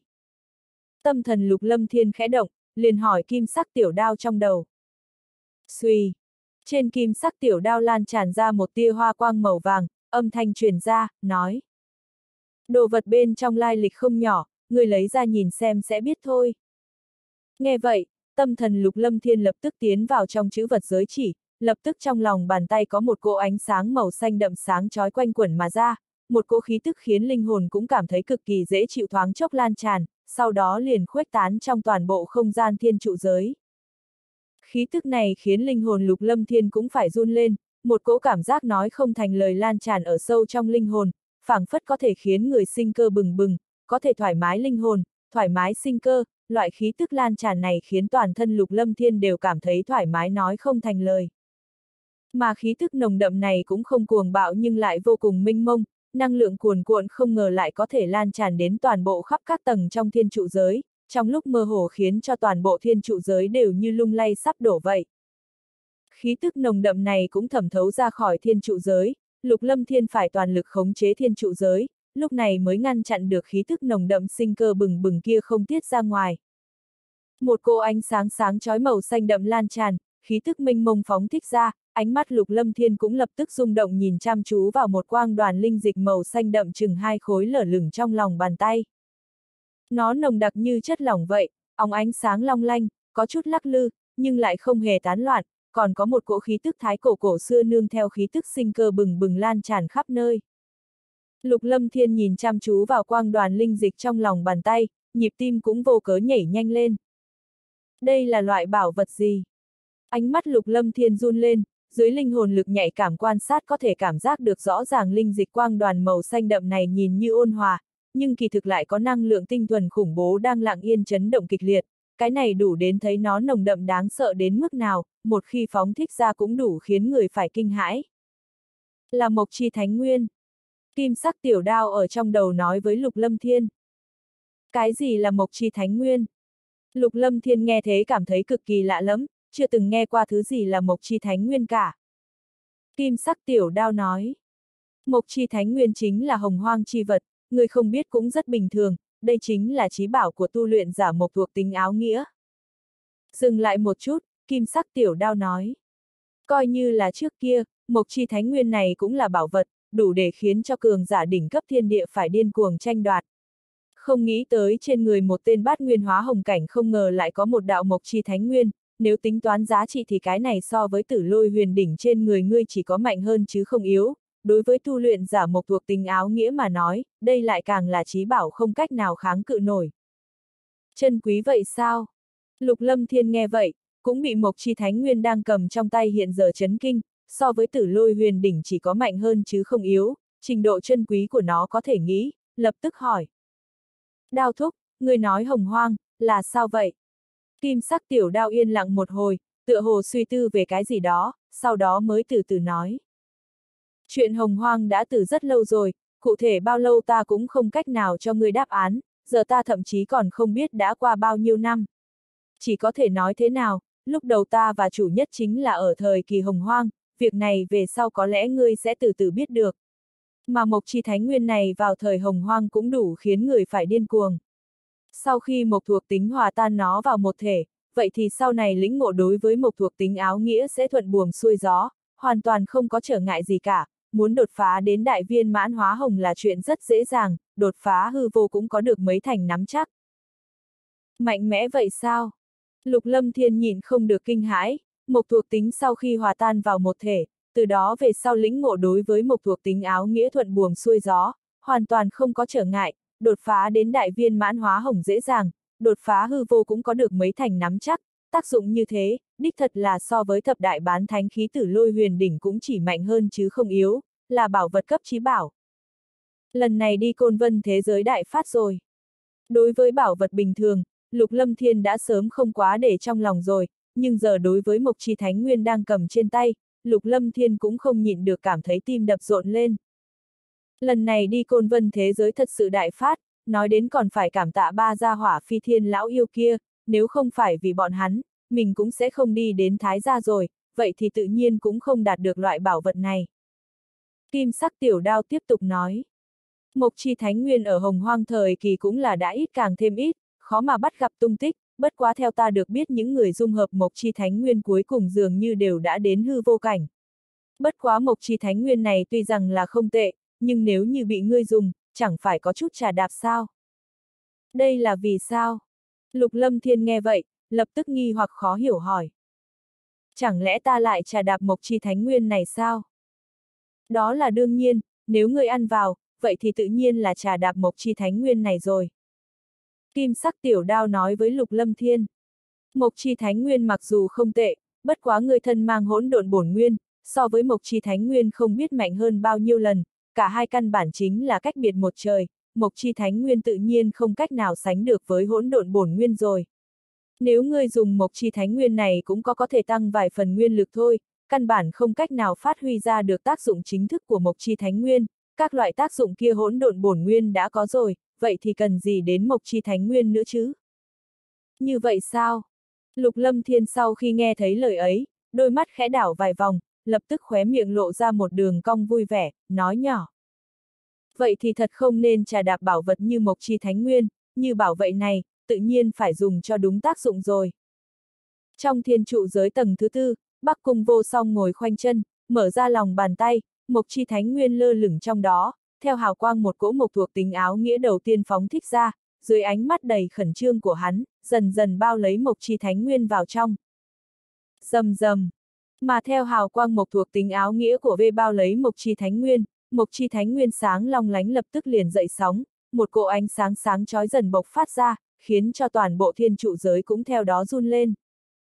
Xíu, yêu yêu. Cũng trong nháy mắt ngắn ngủn, cô ánh sáng màu xanh đậm sáng chói đã bao kín lấy Bắc Cung vô song, sau đó hóa thành một đoàn linh dịch. Phần phật, Bắc Cung vô song khẽ mở bờ môi, một cỗ lục mang tuôn ra, nương theo một cỗ hấp lực hít toàn bộ đoàn linh dịch màu xanh đậm kia vào trong miệng. Xoẹt, linh dịch mộc chi thánh nguyên hóa thành bị Bắc Cung vô song hít vào trong miệng, trong nháy mắt tiếp theo, thân hình Bắc Cung vô song đang ngồi khoanh chân bỗng run rẩy kịch liệt, lỗ chân lông toàn thân đều lập tức như lặng yên nổ tung, một cỗ năng lượng tinh thuần đến đáng sợ như thủy triều, phô thiên cái địa từ trên thân hình mềm mại phóng thích ra, chấn động khiến không gian chung quanh đều sinh sinh bị nghiền nát. Không nghĩ tới nhà đầu kia lại có thể dễ dàng dung hợp mộc chi thánh nguyên như thế, thiên phú so với đệ tử cổ tộc mộc thuộc tính hỗn độn thế giới còn mạnh hơn nhiều lắm. Kim sắc tiểu đao tại lục lâm thiên trong đầu nói ra. Đao thúc, chẳng lẽ bình thường tu luyện giả mộc thuộc tính áo nghĩa khó có thể dung hợp mộc chi thánh nguyên sao? Lục lâm thiên hỏi kim sắc tiểu đao trong đầu. Kim sắc tiểu đao nói. Đó là đương nhiên, mộc chi thánh nguyên chính là trí bảo của tu luyện giả mộc thuộc tính áo nghĩa, người vừa thấy nha đầu kia dung hợp có vẻ như nhẹ nhõm, kỳ thực không phải vậy. Mộc chi thánh nguyên cũng không phải mỗi một tu luyện giả mộc thuộc tính áo nghĩa đều có thể dung hợp, nếu dung hợp thất bại, nặng thì thần hồn câu diệt, nhẹ thì mộc thuộc tính áo nghĩa toàn thân sụp đổ trở thành phế nhân đấy. Lục lâm thiên mắt nhìn Bắc Cung vô song đang ngồi khoanh chân dung hợp mộc chi thánh nguyên. Nếu hắn luyện hóa mộc chi thánh nguyên ngoại trừ là có thể tăng cường một ít nguyên lực ra, khác chẳng khác nào như phế đi, bởi vậy người đầu tiên mà Lục Lâm Thiên nghĩ đến chính là Bắc Cung vô song. Bởi vậy, sau khi Lục Lâm Thiên ra khỏi thiên trụ giới liền dẫn Bắc Cung vô song vào trong thiên trụ giới, để Bắc Cung vô song dung hợp mộc chi thánh nguyên, Bắc Cung vô song không thể nghi ngờ chính là người lựa chọn thích hợp nhất. Đao thúc, đã có mộc chi thánh nguyên, có phải cũng có phong chi thánh nguyên, hỏa chi thánh nguyên các loại không? Lục Lâm Thiên nhìn Bắc Cung vô song đang ngồi khoanh chân dung hợp mộc chi thánh nguyên, lập tức hỏi kim sắc tiểu đao. Kim sắc tiểu đao nói. Đó là đương nhiên, bất quá người cũng đừng suy nghĩ nhiều, lúc trước trong hồng hoang thế giới loại bảo vật này cũng cực kỳ hiếm gặp, huống chi là hiện giờ. Người có thể phát hiện ra một phần mộc chi thánh nguyên đã là rất không dễ dàng rồi. Được rồi. Lục Lâm Thiên lập tức có chút thất vọng, nếu có thể tìm được thêm mấy phần bảo vật loại này thì thật sự rất khó được.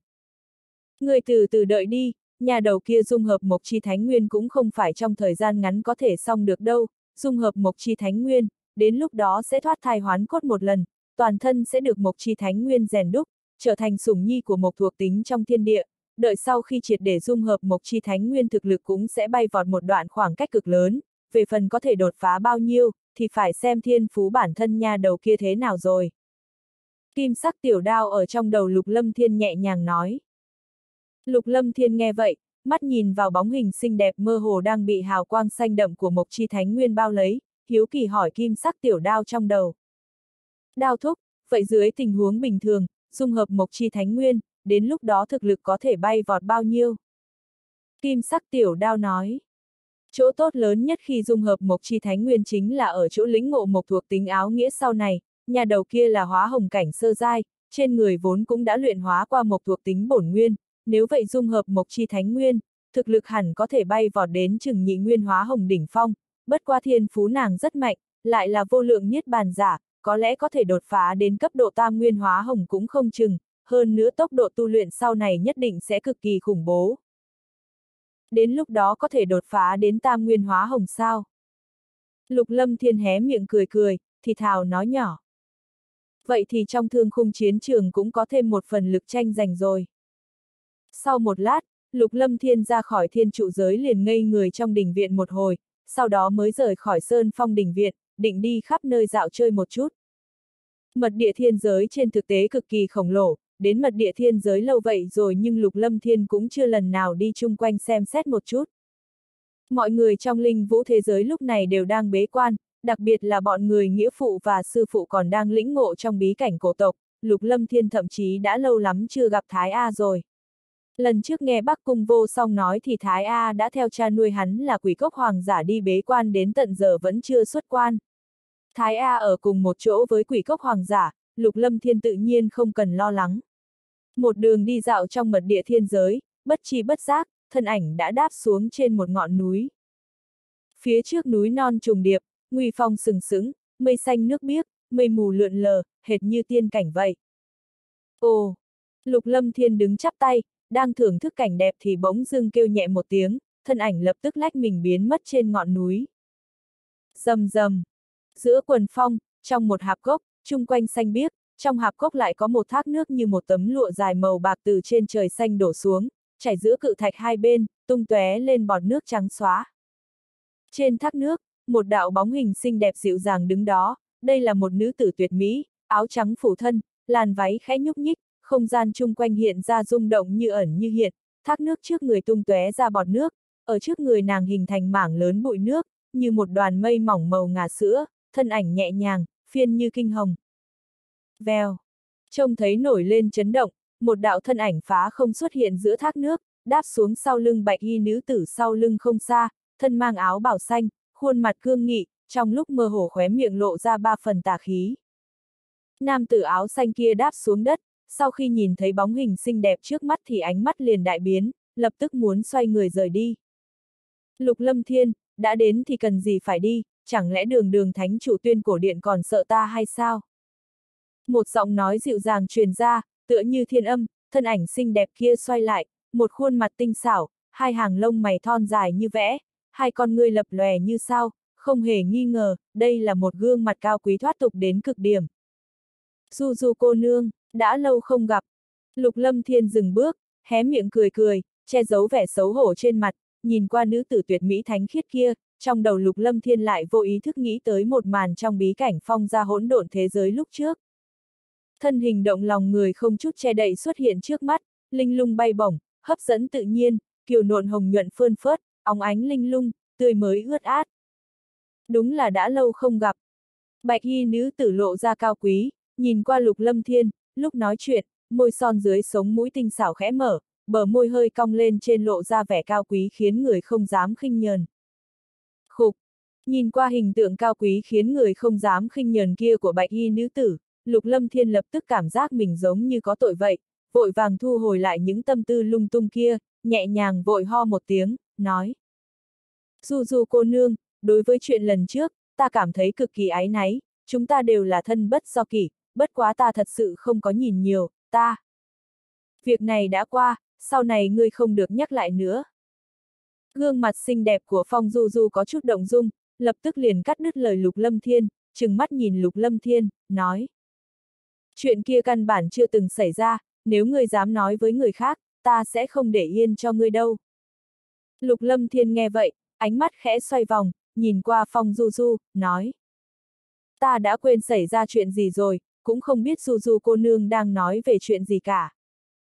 Phong Du Du nghe vậy, khuôn mặt tinh xảo khẽ nhúc nhích, sau khi nhìn Lục Lâm Thiên thật lâu, bóng hình xinh đẹp liền xoay người sang chỗ khác, đôi mắt dễ thương nhìn bọt nước trắng xóa bắn lên trước mặt, trong đôi mắt trong vắt thanh tịnh rực rỡ như sao trời kia lúc này mới có chút chấn động, phảng phất linh vận cũng tràn ra, nói. Người mà ngươi biết kia, thật sự rất giống ta sao, có điểm nào khác biệt không, chẳng lẽ thật sự giống như đúc sao? Lục lâm thiên nghe vậy, bước chân khẽ rời, ngồi xổm bên thác nước, vươn tay từ trong khe đá lấy ra một cục đá vụn phủ đầy rêu xanh, nhẹ nhàng ném lướt qua trên mặt nước làm nổi lên tầng tầng rung động. Phong Du Du ghé mắt nhìn qua lục lâm thiên, thần sắc cao quý thánh khiết tự nhiên, khiến người không thể không động dung. Bị khí chất cao quý thánh khiết kia của nàng quấy dày, lục lâm thiên lúc này mới phủi tay, đứng dậy, nhìn qua Phong Du Du, nói. Các ngươi rất giống, dung nhan không chút khác biệt, bất quá tính cách lại hoàn toàn không giống, nàng sao? Lục Lâm Thiên khẽ ngẩng đầu, trong đầu không khỏi là nhớ tới bộ dạng yêu nữ kia lần đầu gặp mặt, cực kỳ giống cô gái trước mắt này, đều có khuôn mặt tinh xảo, đẹp như trích tiên. Bất quá yêu nữ kia so với cô gái trước mắt thì trong mắt nàng này tràn đầy linh vận, yêu nữ lại nhiều hơn vài phần giảo hoạt. Cô gái trước mắt cao quý khiến người không dám khinh nhờn, yêu nữ thì lại hấp dẫn như ma quỷ, bộ trang phục hở rốn, bộ ngực cao v upsilon t, éo nhỏ nhắn đến mức có thể nắm chặt, chung quanh bụng dưới bằng phẳng không có một chút mỡ, bóng loáng như ngọc, tựa như không có xương vậy, thật sự là thiên sứ kết hợp với ma quỷ mà. Cái này khiến Lục Lâm Thiên nhớ lại cũng không khỏi là sinh lòng rung động. Nhìn qua thần sắc trên mặt Lục Lâm Thiên, trong mắt Phong Du Du ảm đạm xẹt qua chút chấn động, mắt nhìn Lục Lâm Thiên, nói. Ngươi rất nhớ nàng sao? Lục Lâm Thiên mắt nhìn Phong Du Du, gãi gãi chóp mũi mỉm cười, nói. Loại chuyện này quá buồn nôn rồi, nam nhân rất khó nói ra miệng được.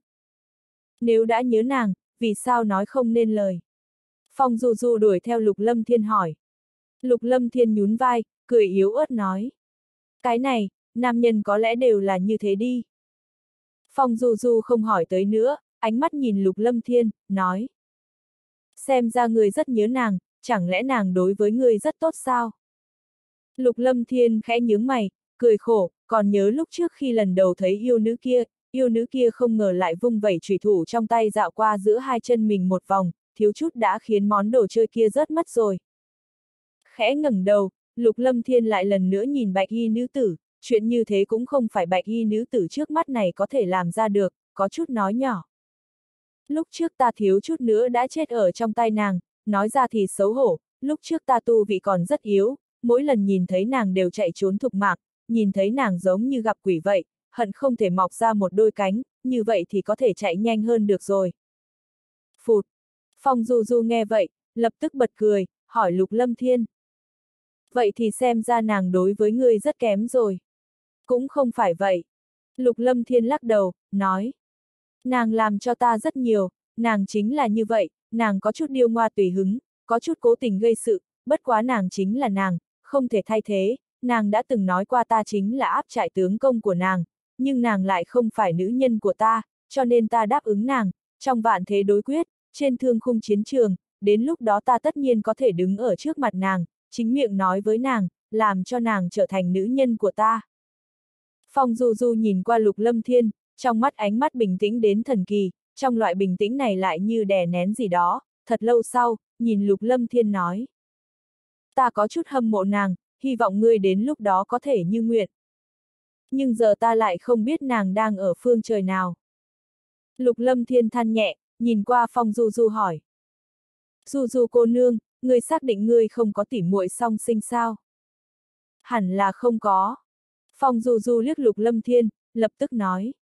Ta phải đi về rồi, không bao lâu nữa chúng ta phải đi vào thương khung chiến trường rồi, lúc người đứng ở nơi cao nhất thương khung chiến trường, một khắc này, ta tin tưởng nàng cũng sẽ cảm động vì ngươi thôi. Vèo. Lời vừa dứt, thân ảnh phong du du đã lập tức lóe lên rồi biến mất không thấy gì nữa. Lục Lâm Thiên đứng trước thác nước trước, im im lặng lặng ngây người một lúc lúc này mới lách mình rời đi. Mà khi Lục Lâm Thiên trở lại trong sơn phong đình viện, ánh mắt lại khẽ nhúc nhích, khuôn mặt lộ ra vẻ kinh ngạc, trong đình viện bốn nam một nữ đã đợi hắn từ lâu. Bốn nam một nữ này, nữ váy dài màu xanh da trời, thân ảnh thướt tha, khí chất thanh nhã, tuy rằng còn chưa tới mức tuyệt mỹ vô song, bất quá cũng là một mỹ nhân tuyệt sắc, đủ cho không ít tài tuấn vài khổ sở theo đuổi. Bốn nam thì đều là thanh niên nam tử, người đầu tiên là một thanh niên thân cao chừng một trượng, thân mang trang phục mang, cánh tay cuồn cuộn, cơ bắp trước ngực nổi lên cao, tràn đầy cảm giác lực lượng, bộ dáng như 27-28 tuổi, ánh mắt như sao, trong chất phác lại lộ ra vẻ nhanh nhẹn. Thanh niên thứ hai mặc một kiện trường bào màu vàng, trên đó thêu không ít hoa văn tinh mỹ, bộ dáng chừng 16, tóc mai như lưỡi đao, lông mày vẽ, thân hình cao ngất, rất có lấy vài phần khí độ hiên ngang. Thanh niên nam tử thứ ba mặc một kiện kính trang nhan sắc hơi sẫm màu, thân hình có chút nhỏ gầy, nhìn qua bộ dáng chỉ chừng 15-16, khí tức toàn thân cho người một loại cảm giác âm trầm, sắc mặt hắn tái nhợt, tóc tuyết trắng như tuyết. Thứ tư mặc trường bào màu tím, khuôn mặt tuấn lãng, khí tức quanh thân trong lúc mơ hồ lộ ra vẻ nóng bóng. Lục Lâm Thiên nhìn qua bốn nam một nữ này, ánh mắt kinh ngạc chấn động một lúc, lập tức khóe miệng đã lộ ra một đường cong vui vẻ, nói. Sốt cục đến mật địa thiên giới rồi sao, ta đã đợi các ngươi rất lâu rồi đấy, nếu không ra, ta cũng chỉ đành đi tìm các ngươi thôi. Lâm Thiên huynh đệ, ta nhớ ngươi muốn chết. Nam tử khôi ngô mặc trang phục màu vàng kia nhìn thấy Lục Lâm Thiên liền lao qua ôm lấy, thân hình cao lớn khiến cho Lục Lâm Thiên như nhỏ bé hơn không ít, một cái ôm này khiến thân hình Lục Lâm Thiên chỉ như tới ngực hắn, người này không phải Hoàng Kim Long Viên nhất tộc Kim Viên thì còn ai vào đây nữa. Bái kiến đội trưởng. Ba nam một nữ khác cũng hành lễ, ba nam một nữ đúng là Hoàng Sa, Quỷ Hoa, Tử Viêm, còn có Tiết Mặc Kỳ. Lục Lâm Thiên nhìn qua bốn người, khóe miệng vui vẻ giạt rào, lúc này khí thức trên người Kim Viên không ngờ đã đến tuyên cổ cảnh cao giai đỉnh phong rồi, thực lực bực này tuy rằng vẫn khó có thể so với tồn tại đỉnh phong của cổ tộc, bất quá cũng có thể sánh vai với tồn tại nhất lưu trong lớp trẻ cổ tộc rồi. Mà khí thức trên thân ba người Hoàng Sa, Quỷ Hoa, Tử Viêm cũng đều đã đến cấp độ tuyên cổ cảnh trung giai tới gần hậu kỳ, khí tức trên thân Tiết Mặc Kỳ cũng đã đến tuyên cổ cảnh cao giai, nhưng hẳn là mới đột phá không bao lâu. Đúng rồi, còn tên Bạch Lang đâu? Lục Lâm Thiên hỏi năm người. Tiết Mặc Kỳ nhìn qua Lục Lâm Thiên nói. Lần này chúng ta chiến thắng trong mật địa địa giới, tổng cộng 10 người có thể tiến vào mật địa thiên giới, tên Bạch Lang kia lúc trước cùng Hoàng Sa, tử viêm từ trong mật địa nhân giới chiến thắng tiến vào trong mật địa địa giới, bất quá cuối cùng ở mật địa địa giới không cách nào tiến vào mật địa thiên giới. Tên Bạch Lang kia bảo chúng ta đến vấn an đội trưởng, nói đến lúc đó chắc chắn sẽ có ngày gặp mặt, cũng chúc mừng đội trưởng đã trở thành đệ nhất thiên bảng, chân lý niết bàn, còn trở thành thánh chủ tuyên cổ điện nữa. Quỷ Oa nói với Lục Lâm Thiên, âm thanh vẫn cực kỳ âm trầm, khiến cho người nghe cũng thấy sởn hết cả gai ốc. Lục Lâm Thiên mỉm cười, nói. Tên kia cũng không cố gắng một chút, lần sau nhìn thấy hắn, lại tính sổ với hắn sau. Lâm Thiên huynh đệ, người không biết đâu, lúc chúng ta ở mật địa địa giới, những người kia nghe nói chúng ta lúc trước cùng một đội với ngươi cũng trở nên trung thực hơn không ít, không nghĩ tới bây giờ Lâm Thiên huynh đệ lại mạnh mẽ như vậy rồi. Kim viên lớn tiếng nói, âm thanh tựa như chuông lớn vậy, khiến dù là bên ngoài đình viện cũng có thể nghe được rõ ràng. Ha ha! Lục Lâm Thiên khẽ mỉm cười, có thể gặp được mọi người, trong lòng tự nhiên cảm thấy rất sung sướng. Ai cười lớn tiếng như vậy chứ? Nhưng vào lúc này, bên ngoài đình viện truyền đến một giọng nói dịu dàng non nớt, lập tức một tiểu nha đầu bộ dáng nhìn như 4 năm tuổi cưỡi một đầu giống như lộc không phải lộc, thân hình giống như tượng lại không phải tượng, có đủ tứ chi, toàn thân tuyết trắng, trên trán còn mọc ra một cái sừng dài, hình thái rất yêu mỹ tiến vào đại sảnh đình viện. Cha, cha trở về rồi. Lúc tiểu nha đầu này nhìn thấy trong sảnh, lập tức liền từ trên lưng linh thú màu trắng kia nhào tới trong ngực lục lâm thiên, trên gương mặt tinh xảo lộ ra nụ cười cao hứng, hai tay nho nhỏ ôm lấy má lục lâm thiên hôn một cái, nói. Cha, con rất nhớ cha đấy. Tiểu nha đầu này không phải lục lộ thì còn có thể là ai nữa, lục lâm thiên ôm tiểu nha đầu cao hứng vòng vo một vòng tròn, nói. Cha cũng nhớ con. Lần sau cha muốn đi ra ngoài phải mang con theo đấy, bằng không con sẽ không để ý đến cha nữa đâu. Lục lộ vỉnh cái miệng nhỏ nhắn, càng lộ ra vài phần đáng yêu, hai mắt linh vận trừng trừng nhìn lục lâm thiên. Nhìn thấy lục lộ, lập tức khiến đám người kim viên, tiết mặc kỳ đều lộ ra vẻ kinh ngạc. Ha ha, lần sau đi ra ngoài, nhất định mang theo nữ nhi bảo bối của cha mà. Lục lâm thiên cười ha ha, sau đó ôm tiểu nha đầu giới thiệu với bọn người kim viên. Vào đêm, trên ngọn núi sau sơn phong đình viện, lục lâm thiên tẩy trần cho năm người kim viên, hoàng sa, quỷ hoa, tiết mặc kỳ, tử viêm, cũng gọi bọn người lôi tiểu thiên và đường dần, nhâm tiêu diêu, tịnh vô ngân, thiên thương ngân, giang đảo lưu, tuyệt phong hoa đến, dựa qua ba tuần, sau khi náo nhiệt một phen đến đêm khuya mới dần dần tán đi. Mấy ngày tiếp theo, Lục Lâm Thiên đều ở cùng tiểu nha đầu lục lộ, nha đầu kia hiện giờ cũng đã đến cấp độ phá giới cảnh cao giai, Lục Lâm Thiên cũng đã trợ giúp nàng không ít ở mặt lĩnh ngộ lôi thuộc tính áo nghĩa. Thân là lôi thuộc tính áo nghĩa sủng nhi, ngộ tính lĩnh ngộ lôi thuộc tính của lục lộ tiểu nha đầu này khiến cho Lục Lâm Thiên cũng cảm thấy cực kỳ khiếp sợ.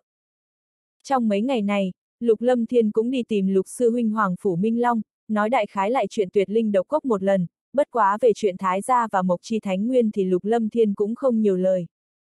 Mà đối với chuyện côn vân thế giới tuyệt linh độc cốc, Hoàng Phủ Minh Long tựa hồ đã sớm biết rõ ràng, sau khi hai sư huynh đệ Hàn Huyên một thì Hoàng Phủ Minh Long nói cho Lục Lâm Thiên một việc, trong hơn nghìn năm kế tiếp hắn có thể sẽ bế quan, đến lúc đó có chuyện gì có thể tìm đến phong hành thiên chủ. Sáng sớm, trong mật địa thiên giới, phía đông quần sơn lộ ra ngân bạch sắc, toàn bộ trong mật địa thiên giới phảng phất như được bao quanh bởi một bức tranh thủy mặc, dãy núi bao la, cánh rừng xanh ngắt bao la bạt ngàn, gió sớm nhẹ phẩy, khiến người cảm thấy cực kỳ sảng khoái tinh thần. Trên hậu sơn sơn phong đình viện, thân ảnh lục lâm thiên đáp xuống trên núi, mấy ngày nay ngoại trừ tiểu nha đầu ra, tất cả mọi người đều đang bế quan tu luyện, bọn người kim viên, tiết mặc kỳ cũng đã sớm tiến nhập vào các bí cảnh trong mật địa thiên giới để lĩnh ngộ tu luyện, lục lâm thiên cũng cảm thấy rất nhàm chán. Hô! Lục lâm thiên vươn cái lưng mệt mỏi, hít sâu một hơi, cực kỳ nhẹ nhàng khoan khoái, hắn phóng mắt nhìn ra dãy núi ở xa xa, trên đỉnh núi mây mù nhàn nhạt lượn lờ, tựa như tiên cảnh vậy. Ai? Bỗng dưng, ánh mắt lục lâm thiên đột nhiên bắn ra tinh mang, lập tức ngưng mắt nhìn về phía không trung bên trái. Xem ra hai năm qua linh hồn lực tựa hồ đã tăng tiến không ít a. Âm thanh già nua vang lên, sau khi một chữ cuối cùng như chuông lớn vừa dứt, một thân ảnh tóc trắng già nua được đáp xuống bên người lục lâm thiên. Người này thân mặc cỗ trường bào màu lam, thân hình hùng vĩ, trên gương mặt già nua tràn đầy vô số nếp nhăn, tựa hồ như dấu vết pha tạp do tuế nguyệt vô tận lưu lại trên mặt vậy. Vấn an phong hành thiên chủ. Nhìn thấy người tới, lục lâm thiên cảm thấy rất ngạc nhiên, đây không phải là phong hành thiên chủ thì là ai nữa, hắn lập tức có chút hành lễ. Phong hành thiên chủ nhìn lục lâm thiên, con người đen nhánh thâm thúy như trời xanh, sâu không thấy đáy vô biên vô hạn, nói. Gần đây thế nào rồi? Lục lâm thiên nghe vậy hơi bất ngờ, đây là lần đầu tiên phong hành thiên chủ nói việc nhà với mình, thế này cũng không giống như phong hành thiên chủ, nhẹ gật đầu, mang theo nghi ngờ nói. Cũng không tệ lắm. Phong hành thiên chủ nghe vậy, lập tức liếc qua lục lâm thiên, nói. Ý của ta là, ta đưa cho ngươi bức đồ thứ sáu ngươi đã lĩnh ngộ chưa? Cái này khoảng cách cũng quá xa đi, ai có thể hiểu được chứ? Lục lâm thiên nhìn qua phong hành thiên chủ trong lòng thầm nhũ lấy, đương nhiên những lời này tự nhiên không thể nói ra miệng được, nhìn qua phong hành thiên chủ nhẹ gật đầu, nói. Đã sớm lĩnh ngộ bức cổ đồ thứ sáu rồi. Nghe vậy, trên gương mặt già nua của phong hành thiên chủ lập tức lộ ra vẻ khiếp sợ, một lúc sau vẻ khiếp sợ kia mới dần biến mất, nhìn lục lâm thiên nói. Ngươi thật sự đã lĩnh ngộ thành công cả sáu bức cổ đồ kia rồi sao? Lục lâm thiên khẳng định nhẹ gật đầu, nói với phong hành thiên chủ. Đã triệt để lĩnh ngộ thành công, bất quá ta trung quy cảm giác sau khi lĩnh ngộ sáu bức cổ đồ kia luôn luôn cảm thấy có chút thiếu khuyết, vẫn chưa thỏa mãn, xin hỏi thiên chủ, sáu bức cổ đồ kia có phải có lai lịch gì đó không? Sáu bức cổ đồ kia lai lịch thật sự có chút bất phàm.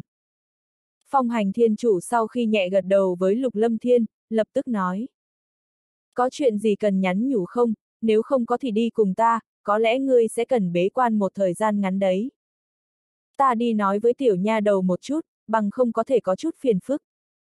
Sau khi Lục Lâm Thiên suy nghĩ một chút liền nói với phong hành thiên chủ, thân ảnh lập tức lướt về phía đình viện. Mắt nhìn thân ảnh lục lâm thiên rời đi, trên gương mặt già nua của phong hành thiên chủ không khỏi lại lần nữa nổi lên vài phần rung động, thì thào nói nhỏ. Không nghĩ tới có người thật sự có thể hành công, chỉ là không biết cuối cùng có thể thành công không, nếu như có thể thành công, cơ hội trong thương khung chiến trường sẽ càng thêm bảo đảm rồi. Sâu trong dãy núi bao la, đây hẳn là một nơi ít người lui tới. Thậm chí chung quanh nơi này còn lộ ra chút hoang vu, đã không vẻ xanh biếc nồng đậm mà trong mật địa thiên giới nên có nữa rồi. Siêu siêu. Hai đạo thân ảnh đáp xuống trên một thạch cốc nham thạnh bóng loáng, đúng là hai người phong hành thiên chủ và lục lâm thiên. Đây là nơi nào? Lục lâm thiên nhìn bốn phía hỏi phong hành thiên chủ, ở trong mật địa thiên giới lâu như vậy, hắn thật sự không biết lại còn một nơi thế này, trong trời đất chung quanh nơi này trong lúc mơ hồ thẩm thấu ra một loại khí tức khiến lục lâm thiên cảm giác được có chút thuộc tính. Phong hành thiên chủ không nói gì, vươn tay vào không gian trước người xé mở ra một vết nứt không gian. Phần Phật Á.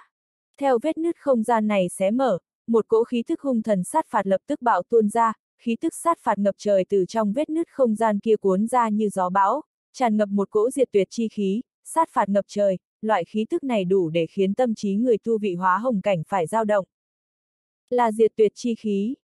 Dưới sát phạt chi khí khủng bố ngập trời kia, ánh mắt lục lâm thiên thoáng chốc đại biến, khí tức này không ngờ là diệt tuyệt chi khí trong một trong sáu bức cổ đồ. Đến đây, phong hành thiên chủ dứt lời, lập tức liền lách mình tiến vào trong vết nứt không gian. Lục lâm thiên không do dự, theo sau phong hành thiên chủ lập tức tiến nhập vào trong vết nứt không gian. Phần phật, trong không gian u ám bao la, không có nhật nguyệt tinh thần, khắp nơi một mảnh lờ mờ, chỉ có một cỗ diệt tuyệt chi khí ngập trời cuốn khắp, nương theo cổ khí tức hung hãn ngập trời chấn động lòng ngươi này, trong lúc mơ hồ còn lộ ra vô diệt chi khí và vô sinh chi khí vô cùng vô tận, dù là hóa hồng cảnh sợ rằng cũng không dám dừng lại trong không gian lờ mờ này quá lâu. Trong hư không lờ mờ, phía trước xuất hiện một tòa đại tháp khổng lồ, tổng cộng 9 tầng, như cao về Upsilon T trong mây vậy. Trong không gian lờ mờ này chính là tồn tại duy nhất, diệt tuyệt thô bạo, vô diệt vô sinh khí thức vô cùng vô tận vây quanh đại tháp khổng lồ, như vòi rồng xoay tròn không ngớt, khiến cho người ngẩng đầu nhìn lên thôi cũng cảm thấy tâm thần rung động rồi.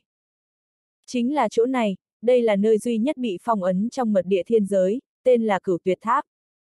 Xa nhìn đại tháp 9 tầng bị khí tức khủng bố vô cùng vô tận bao lấy xoay tròn kia, phong hành thiên chủ nhẹ giọng nói. Cửu tuyệt tháp, chẳng lẽ có liên quan đến cổ độ mà ta lĩnh ngộ sao? Lục lâm thiên hỏi phong hành thiên chủ, từ khí thức thuộc tính khủng bố trong không gian nơi này cũng có thể cảm giác được sợ rằng sáu bức cổ đồ mà mình lĩnh ngộ có liên quan rất lớn đến cửu tuyệt tháp này. Phong hành thiên chủ nhẹ gật đầu, quay đầu, nhìn lục lâm thiên nói. Đúng vậy, sau bức cổ đồ mà ngươi lĩnh ngộ, đều là ta từ nơi này phục chế ra cho ngươi, hiệu quả không bằng một phần ngàn phong ấn cửu tuyệt tháp nơi này. Vì sao phải phong ấn cửu tuyệt tháp? Lục lâm thiên cao mày lại, sau đó hỏi phong hành thiên chủ. Phong hành thiên chủ nhìn lục lâm thiên, đầu đầy tóc trắng không hề cột lại, tăng thêm vài phần phiêu giật, trong con người thâm thúy lúc này cũng tuôn ra vài phần bất đắc dĩ cảm thán nói nhỏ. Bởi vì cửu tuyệt tháp này đã làm tổn thất quá nhiều thế hệ thiên phú tuyệt đỉnh, những tổn thất kia, đã vượt ra khỏi phạm vi toàn bộ thượng thanh thế giới có thể thừa nhận, phá hủy cửu tuyệt tháp này lại quá đáng tiếc, cho nên cuối cùng tất cả các đại cổ tộc đồng thời quyết định phong ấn cửu tuyệt tháp này lại. Cửu tuyệt tháp là tồn tại bực nào vậy? Lục lâm thiên trên mặt nghi hoặc, xa xa nhìn cửu tuyệt tháp khổng lồ lơ lửng trong hư không kia, nó giống như một đầu hung thú khổng lồ đang mở ra miệng rộng dữ tợn, có thể thôn phệ hết tất cả vậy, càng nhìn càng làm cho người sởn hết cả gai ốc, không rét mà run. Phong hành thiên chủ quay người nhìn cửu tuyệt tháp khổng lồ kia, khuôn mặt già nua nghiêm lại, nhẹ giọng trả lời lục lâm thiên. Cửu tuyệt tháp chính là do một vị cường giả khủng bố ngoài cổ tộc trong thượng thanh thế giới lưu lại, đồn đãi vị cường giả này chính là cường giả cùng thời kỳ với các tiền bối lão tổ cổ tộc. Chỉ là không biết vì sao lại không lưu lại một cỗ tộc nào cả. Nhưng thực lực chân thật thì theo như truyền thuyết, lúc trước chỉ dưới phong gia lão tổ thôi. Trong thượng thanh thế giới, chính là đệ nhất nhân sau phong gia lão tổ, lúc trước tung hoành 3.000 đại thế giới, uy danh hiển hách, đánh đâu thắng đó, không gì cản nổi. Cửu tuyệt tháp là do cường giả mạnh mẽ như vậy lưu lại, phong ấn cửu tuyệt tháp có phải là quá mức đáng tiếc không?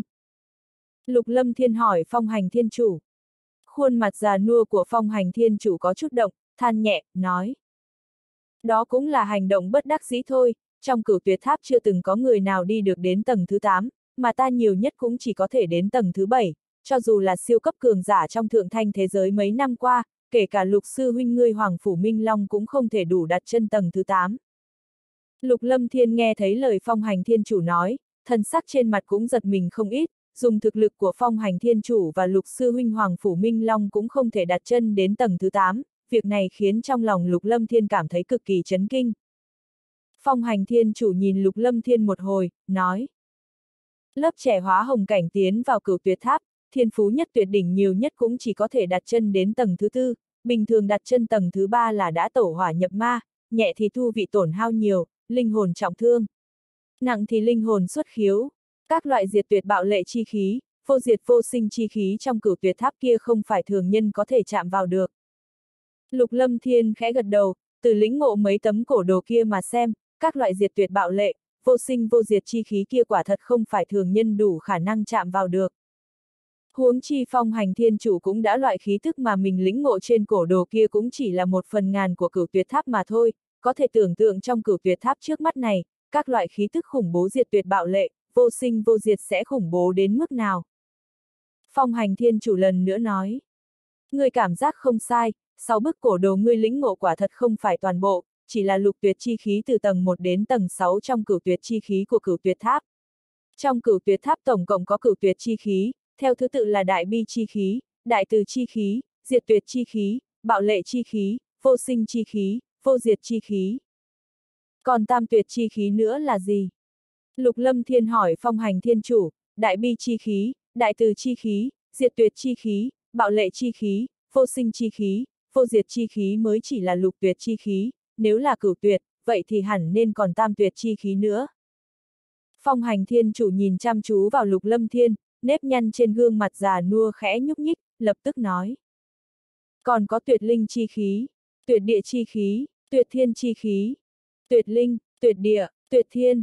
Lục lâm thiên nghe xong, lục tuyệt chi khí đại bi chi khí, đại từ chi khí, diệt tuyệt chi khí, bạo lệ chi khí, vô sinh chi khí, vô diệt chi khí trong cơ thể trong lúc mơ hồ cũng khẽ rung lên.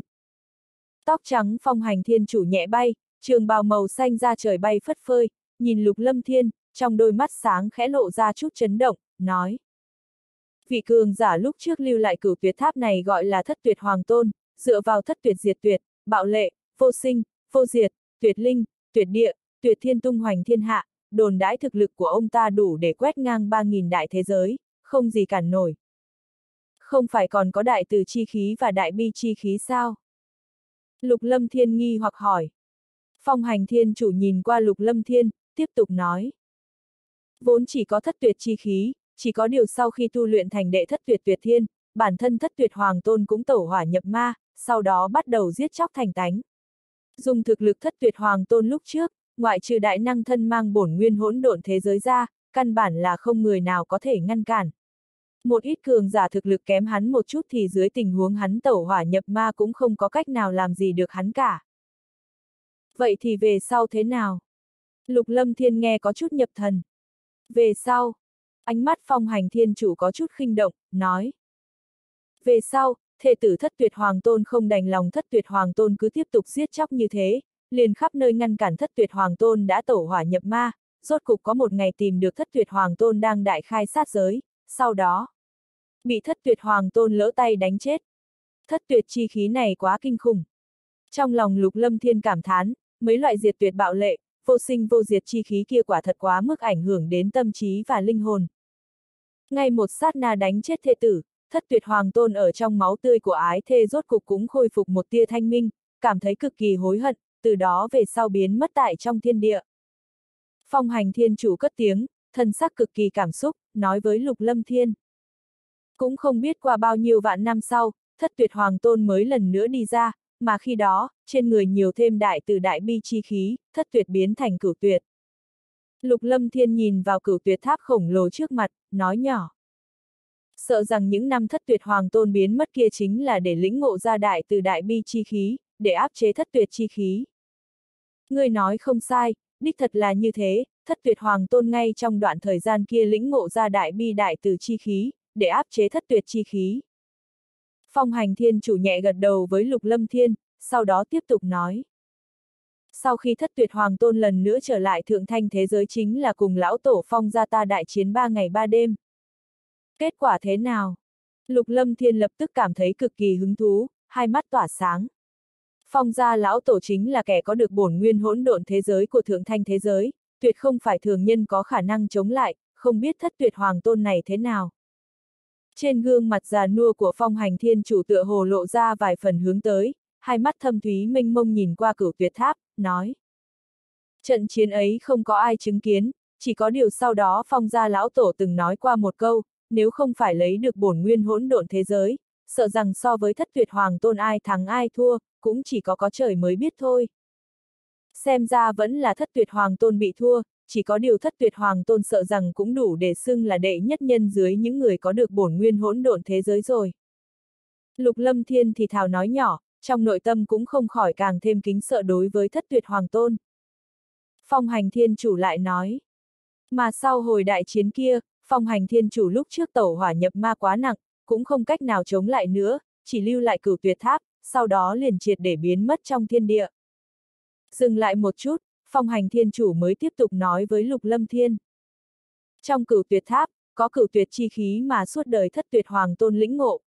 Thất tuyệt hoàng tôn lưu lại di ngôn muốn đạt được cửu tuyệt chi khí thì trước đó cần phải lĩnh ngộ được đại từ đại bi chi khí đã, nếu không căn bản không cách nào tu luyện thành công thất tuyệt sau, chỉ sẽ tẩu hỏa nhập ma hại người hại mình thôi. Khó trách ngay từ đầu cần lĩnh ngộ đại từ đại bi chi khí. Lục Lâm Thiên không khó hiểu rõ nguyên nhân vì sao lúc trước lĩnh ngộ lại là đại từ cổ đồ và đại bi cổ đồ, thất tuyệt hoàng tôn chính là muốn dựa vào đại từ chi khí và đại bi chi khí để áp chế thất tuyệt chi khí sau. Những năm gần đây, thế hệ thiên phú tuyệt đỉnh tiến vào trong cửu tuyệt tháp lĩnh ngộ đại từ chi khí cũng không ít, nhưng cuối cùng nhiều nhất cũng chỉ lĩnh ngộ được bạo lệ chi khí liền tẩu hỏa nhập ma. Lời vừa dứt, ánh mắt phong hành thiên chủ liền nhìn chằm chằm vào lục lâm thiên, trong lúc nhất thời cũng khó có thể quyết đoán, mở miệng từ từ nói. Người bây giờ hãy suy nghĩ kỹ càng một chút, cân nhắc xem có nên tiến vào cửu tuyệt tháp hay không. Người tuy rằng đã lĩnh ngộ lục tuyệt chi khí, bất quá duyệt tuyệt chi khí, bạo lệ chi khí, vô diệt chi khí, vô sinh chi khí mà ta phục chế trên cổ đồ đều chỉ bằng một phần ngàn trong cửu tuyệt tháp mà thôi. Huống chi phía sau còn có tuyệt linh chi khí, tuyệt địa chi khí, tuyệt thiên chi khí càng thêm kinh khủng, đồn đãi sau khi tu luyện thành tuyệt thiên chi khí đủ để hủy thiên diệt địa, khủng bố vô song, dù là cường giả như thất tuyệt hoàng tôn lúc trước cũng vì thế mà tổ hỏa nhập ma. Ánh mắt nhìn qua cửu tuyệt tháp trong không gian tối tăm lu mờ kia, lục lâm thiên giống như đang trầm tư, sau một lát, ánh mắt nhìn qua phong hành thiên chủ, nói. Tiểu tử quyết định đi vào cửu tuyệt tháp thử xem. Đã nghĩ kỹ càng chưa, hậu quả không phải bình thường đâu, có lẽ ta không nên mang ngươi tới nơi này. Kỳ thật ta vụng trộm đưa cho ngươi lục tuyệt cổ đồ, sư huynh của ngươi Hoàng Phủ Minh Long cũng không biết, hắn cho rằng ta đưa cho ngươi chỗ tốt khác, nếu hắn biết rõ, sợ rằng sẽ không cho ngươi bốc lên phong hiểm lớn thế đâu. Phong hành thiên chủ nhìn lục lâm thiên, khuôn mặt già nua tràn đầy ngưng trọng. Lục lâm thiên gật đầu, nói. Đã quyết định rồi, ta cũng không phải người hay lùi bước.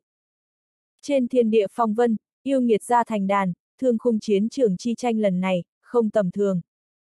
Phong hành thiên chủ nhìn qua lục lâm thiên thì thào nói nhỏ, lập tức nói. người đã quyết định tốt rồi, vậy thì vào đi thôi, nếu ngươi có thể thành công, trong thương khung chiến trường sẽ càng được bảo đảm hơn. Vậy tiểu tử xin tiến vào. Lục lâm thiên gật đầu, lời vừa dứt, nguyên lực nơi mũi chân đã bắt đầu khởi động, thân ảnh lập tức xuyên thủng qua giữa không gian đen tối, tiến nhập trong cửu tuyệt tháp khổng lồ kia. Phong hành lão ca, ngươi làm như vậy, Hoàng Phủ Minh Long đại ca sợ rằng sẽ có ý kiến đấy. Ngay say khi thân ảnh lục lâm thiên tiến vào cửu tuyệt tháp, trong không gian lờ mờ bỗng nhiên nhiều ra một cỗ hàn băng chi khí, lời vừa dứt một đại hán trung niên tuấn lãng đã xuất hiện ở bên người phong hành thiên chủ, đúng là băng ra băng thiên. Phong hành thiên chủ không quay đầu lại, vẫn nhìn vào cửu tuyệt tháp, hai con người hơi nháy một cái, nói nhỏ. Ta tin tưởng hắn cũng sẽ hiểu, trên thiên địa phong vân, yêu nghiệt ra thành đàn. Trong thiên la minh lúc này cũng xuất hiện quá nhiều yêu nghiệt, ba đại tộc tu la nhất tộc, thiên ma nhất tộc, la sát nhất tộc thì vẫn một mực phong tỏa tin tức, việc này khiến ta cảm giác rất bất an, tin tức phong tỏa quá mức nghiêm trọng rồi. Băng thiên nhíu mày lại, hàn băng chi khí có chút chấn động, nói nhỏ. Tu la nhất tộc, thiên ma nhất tộc, la sát nhất tộc cường thịnh trở lại, sợ rằng cũng không bằng một mình thần linh nhất tộc A, lần này thương khung minh chúng ta cũng không yếu, huống chi tiểu tử lâm thiên này càng thêm biến thái.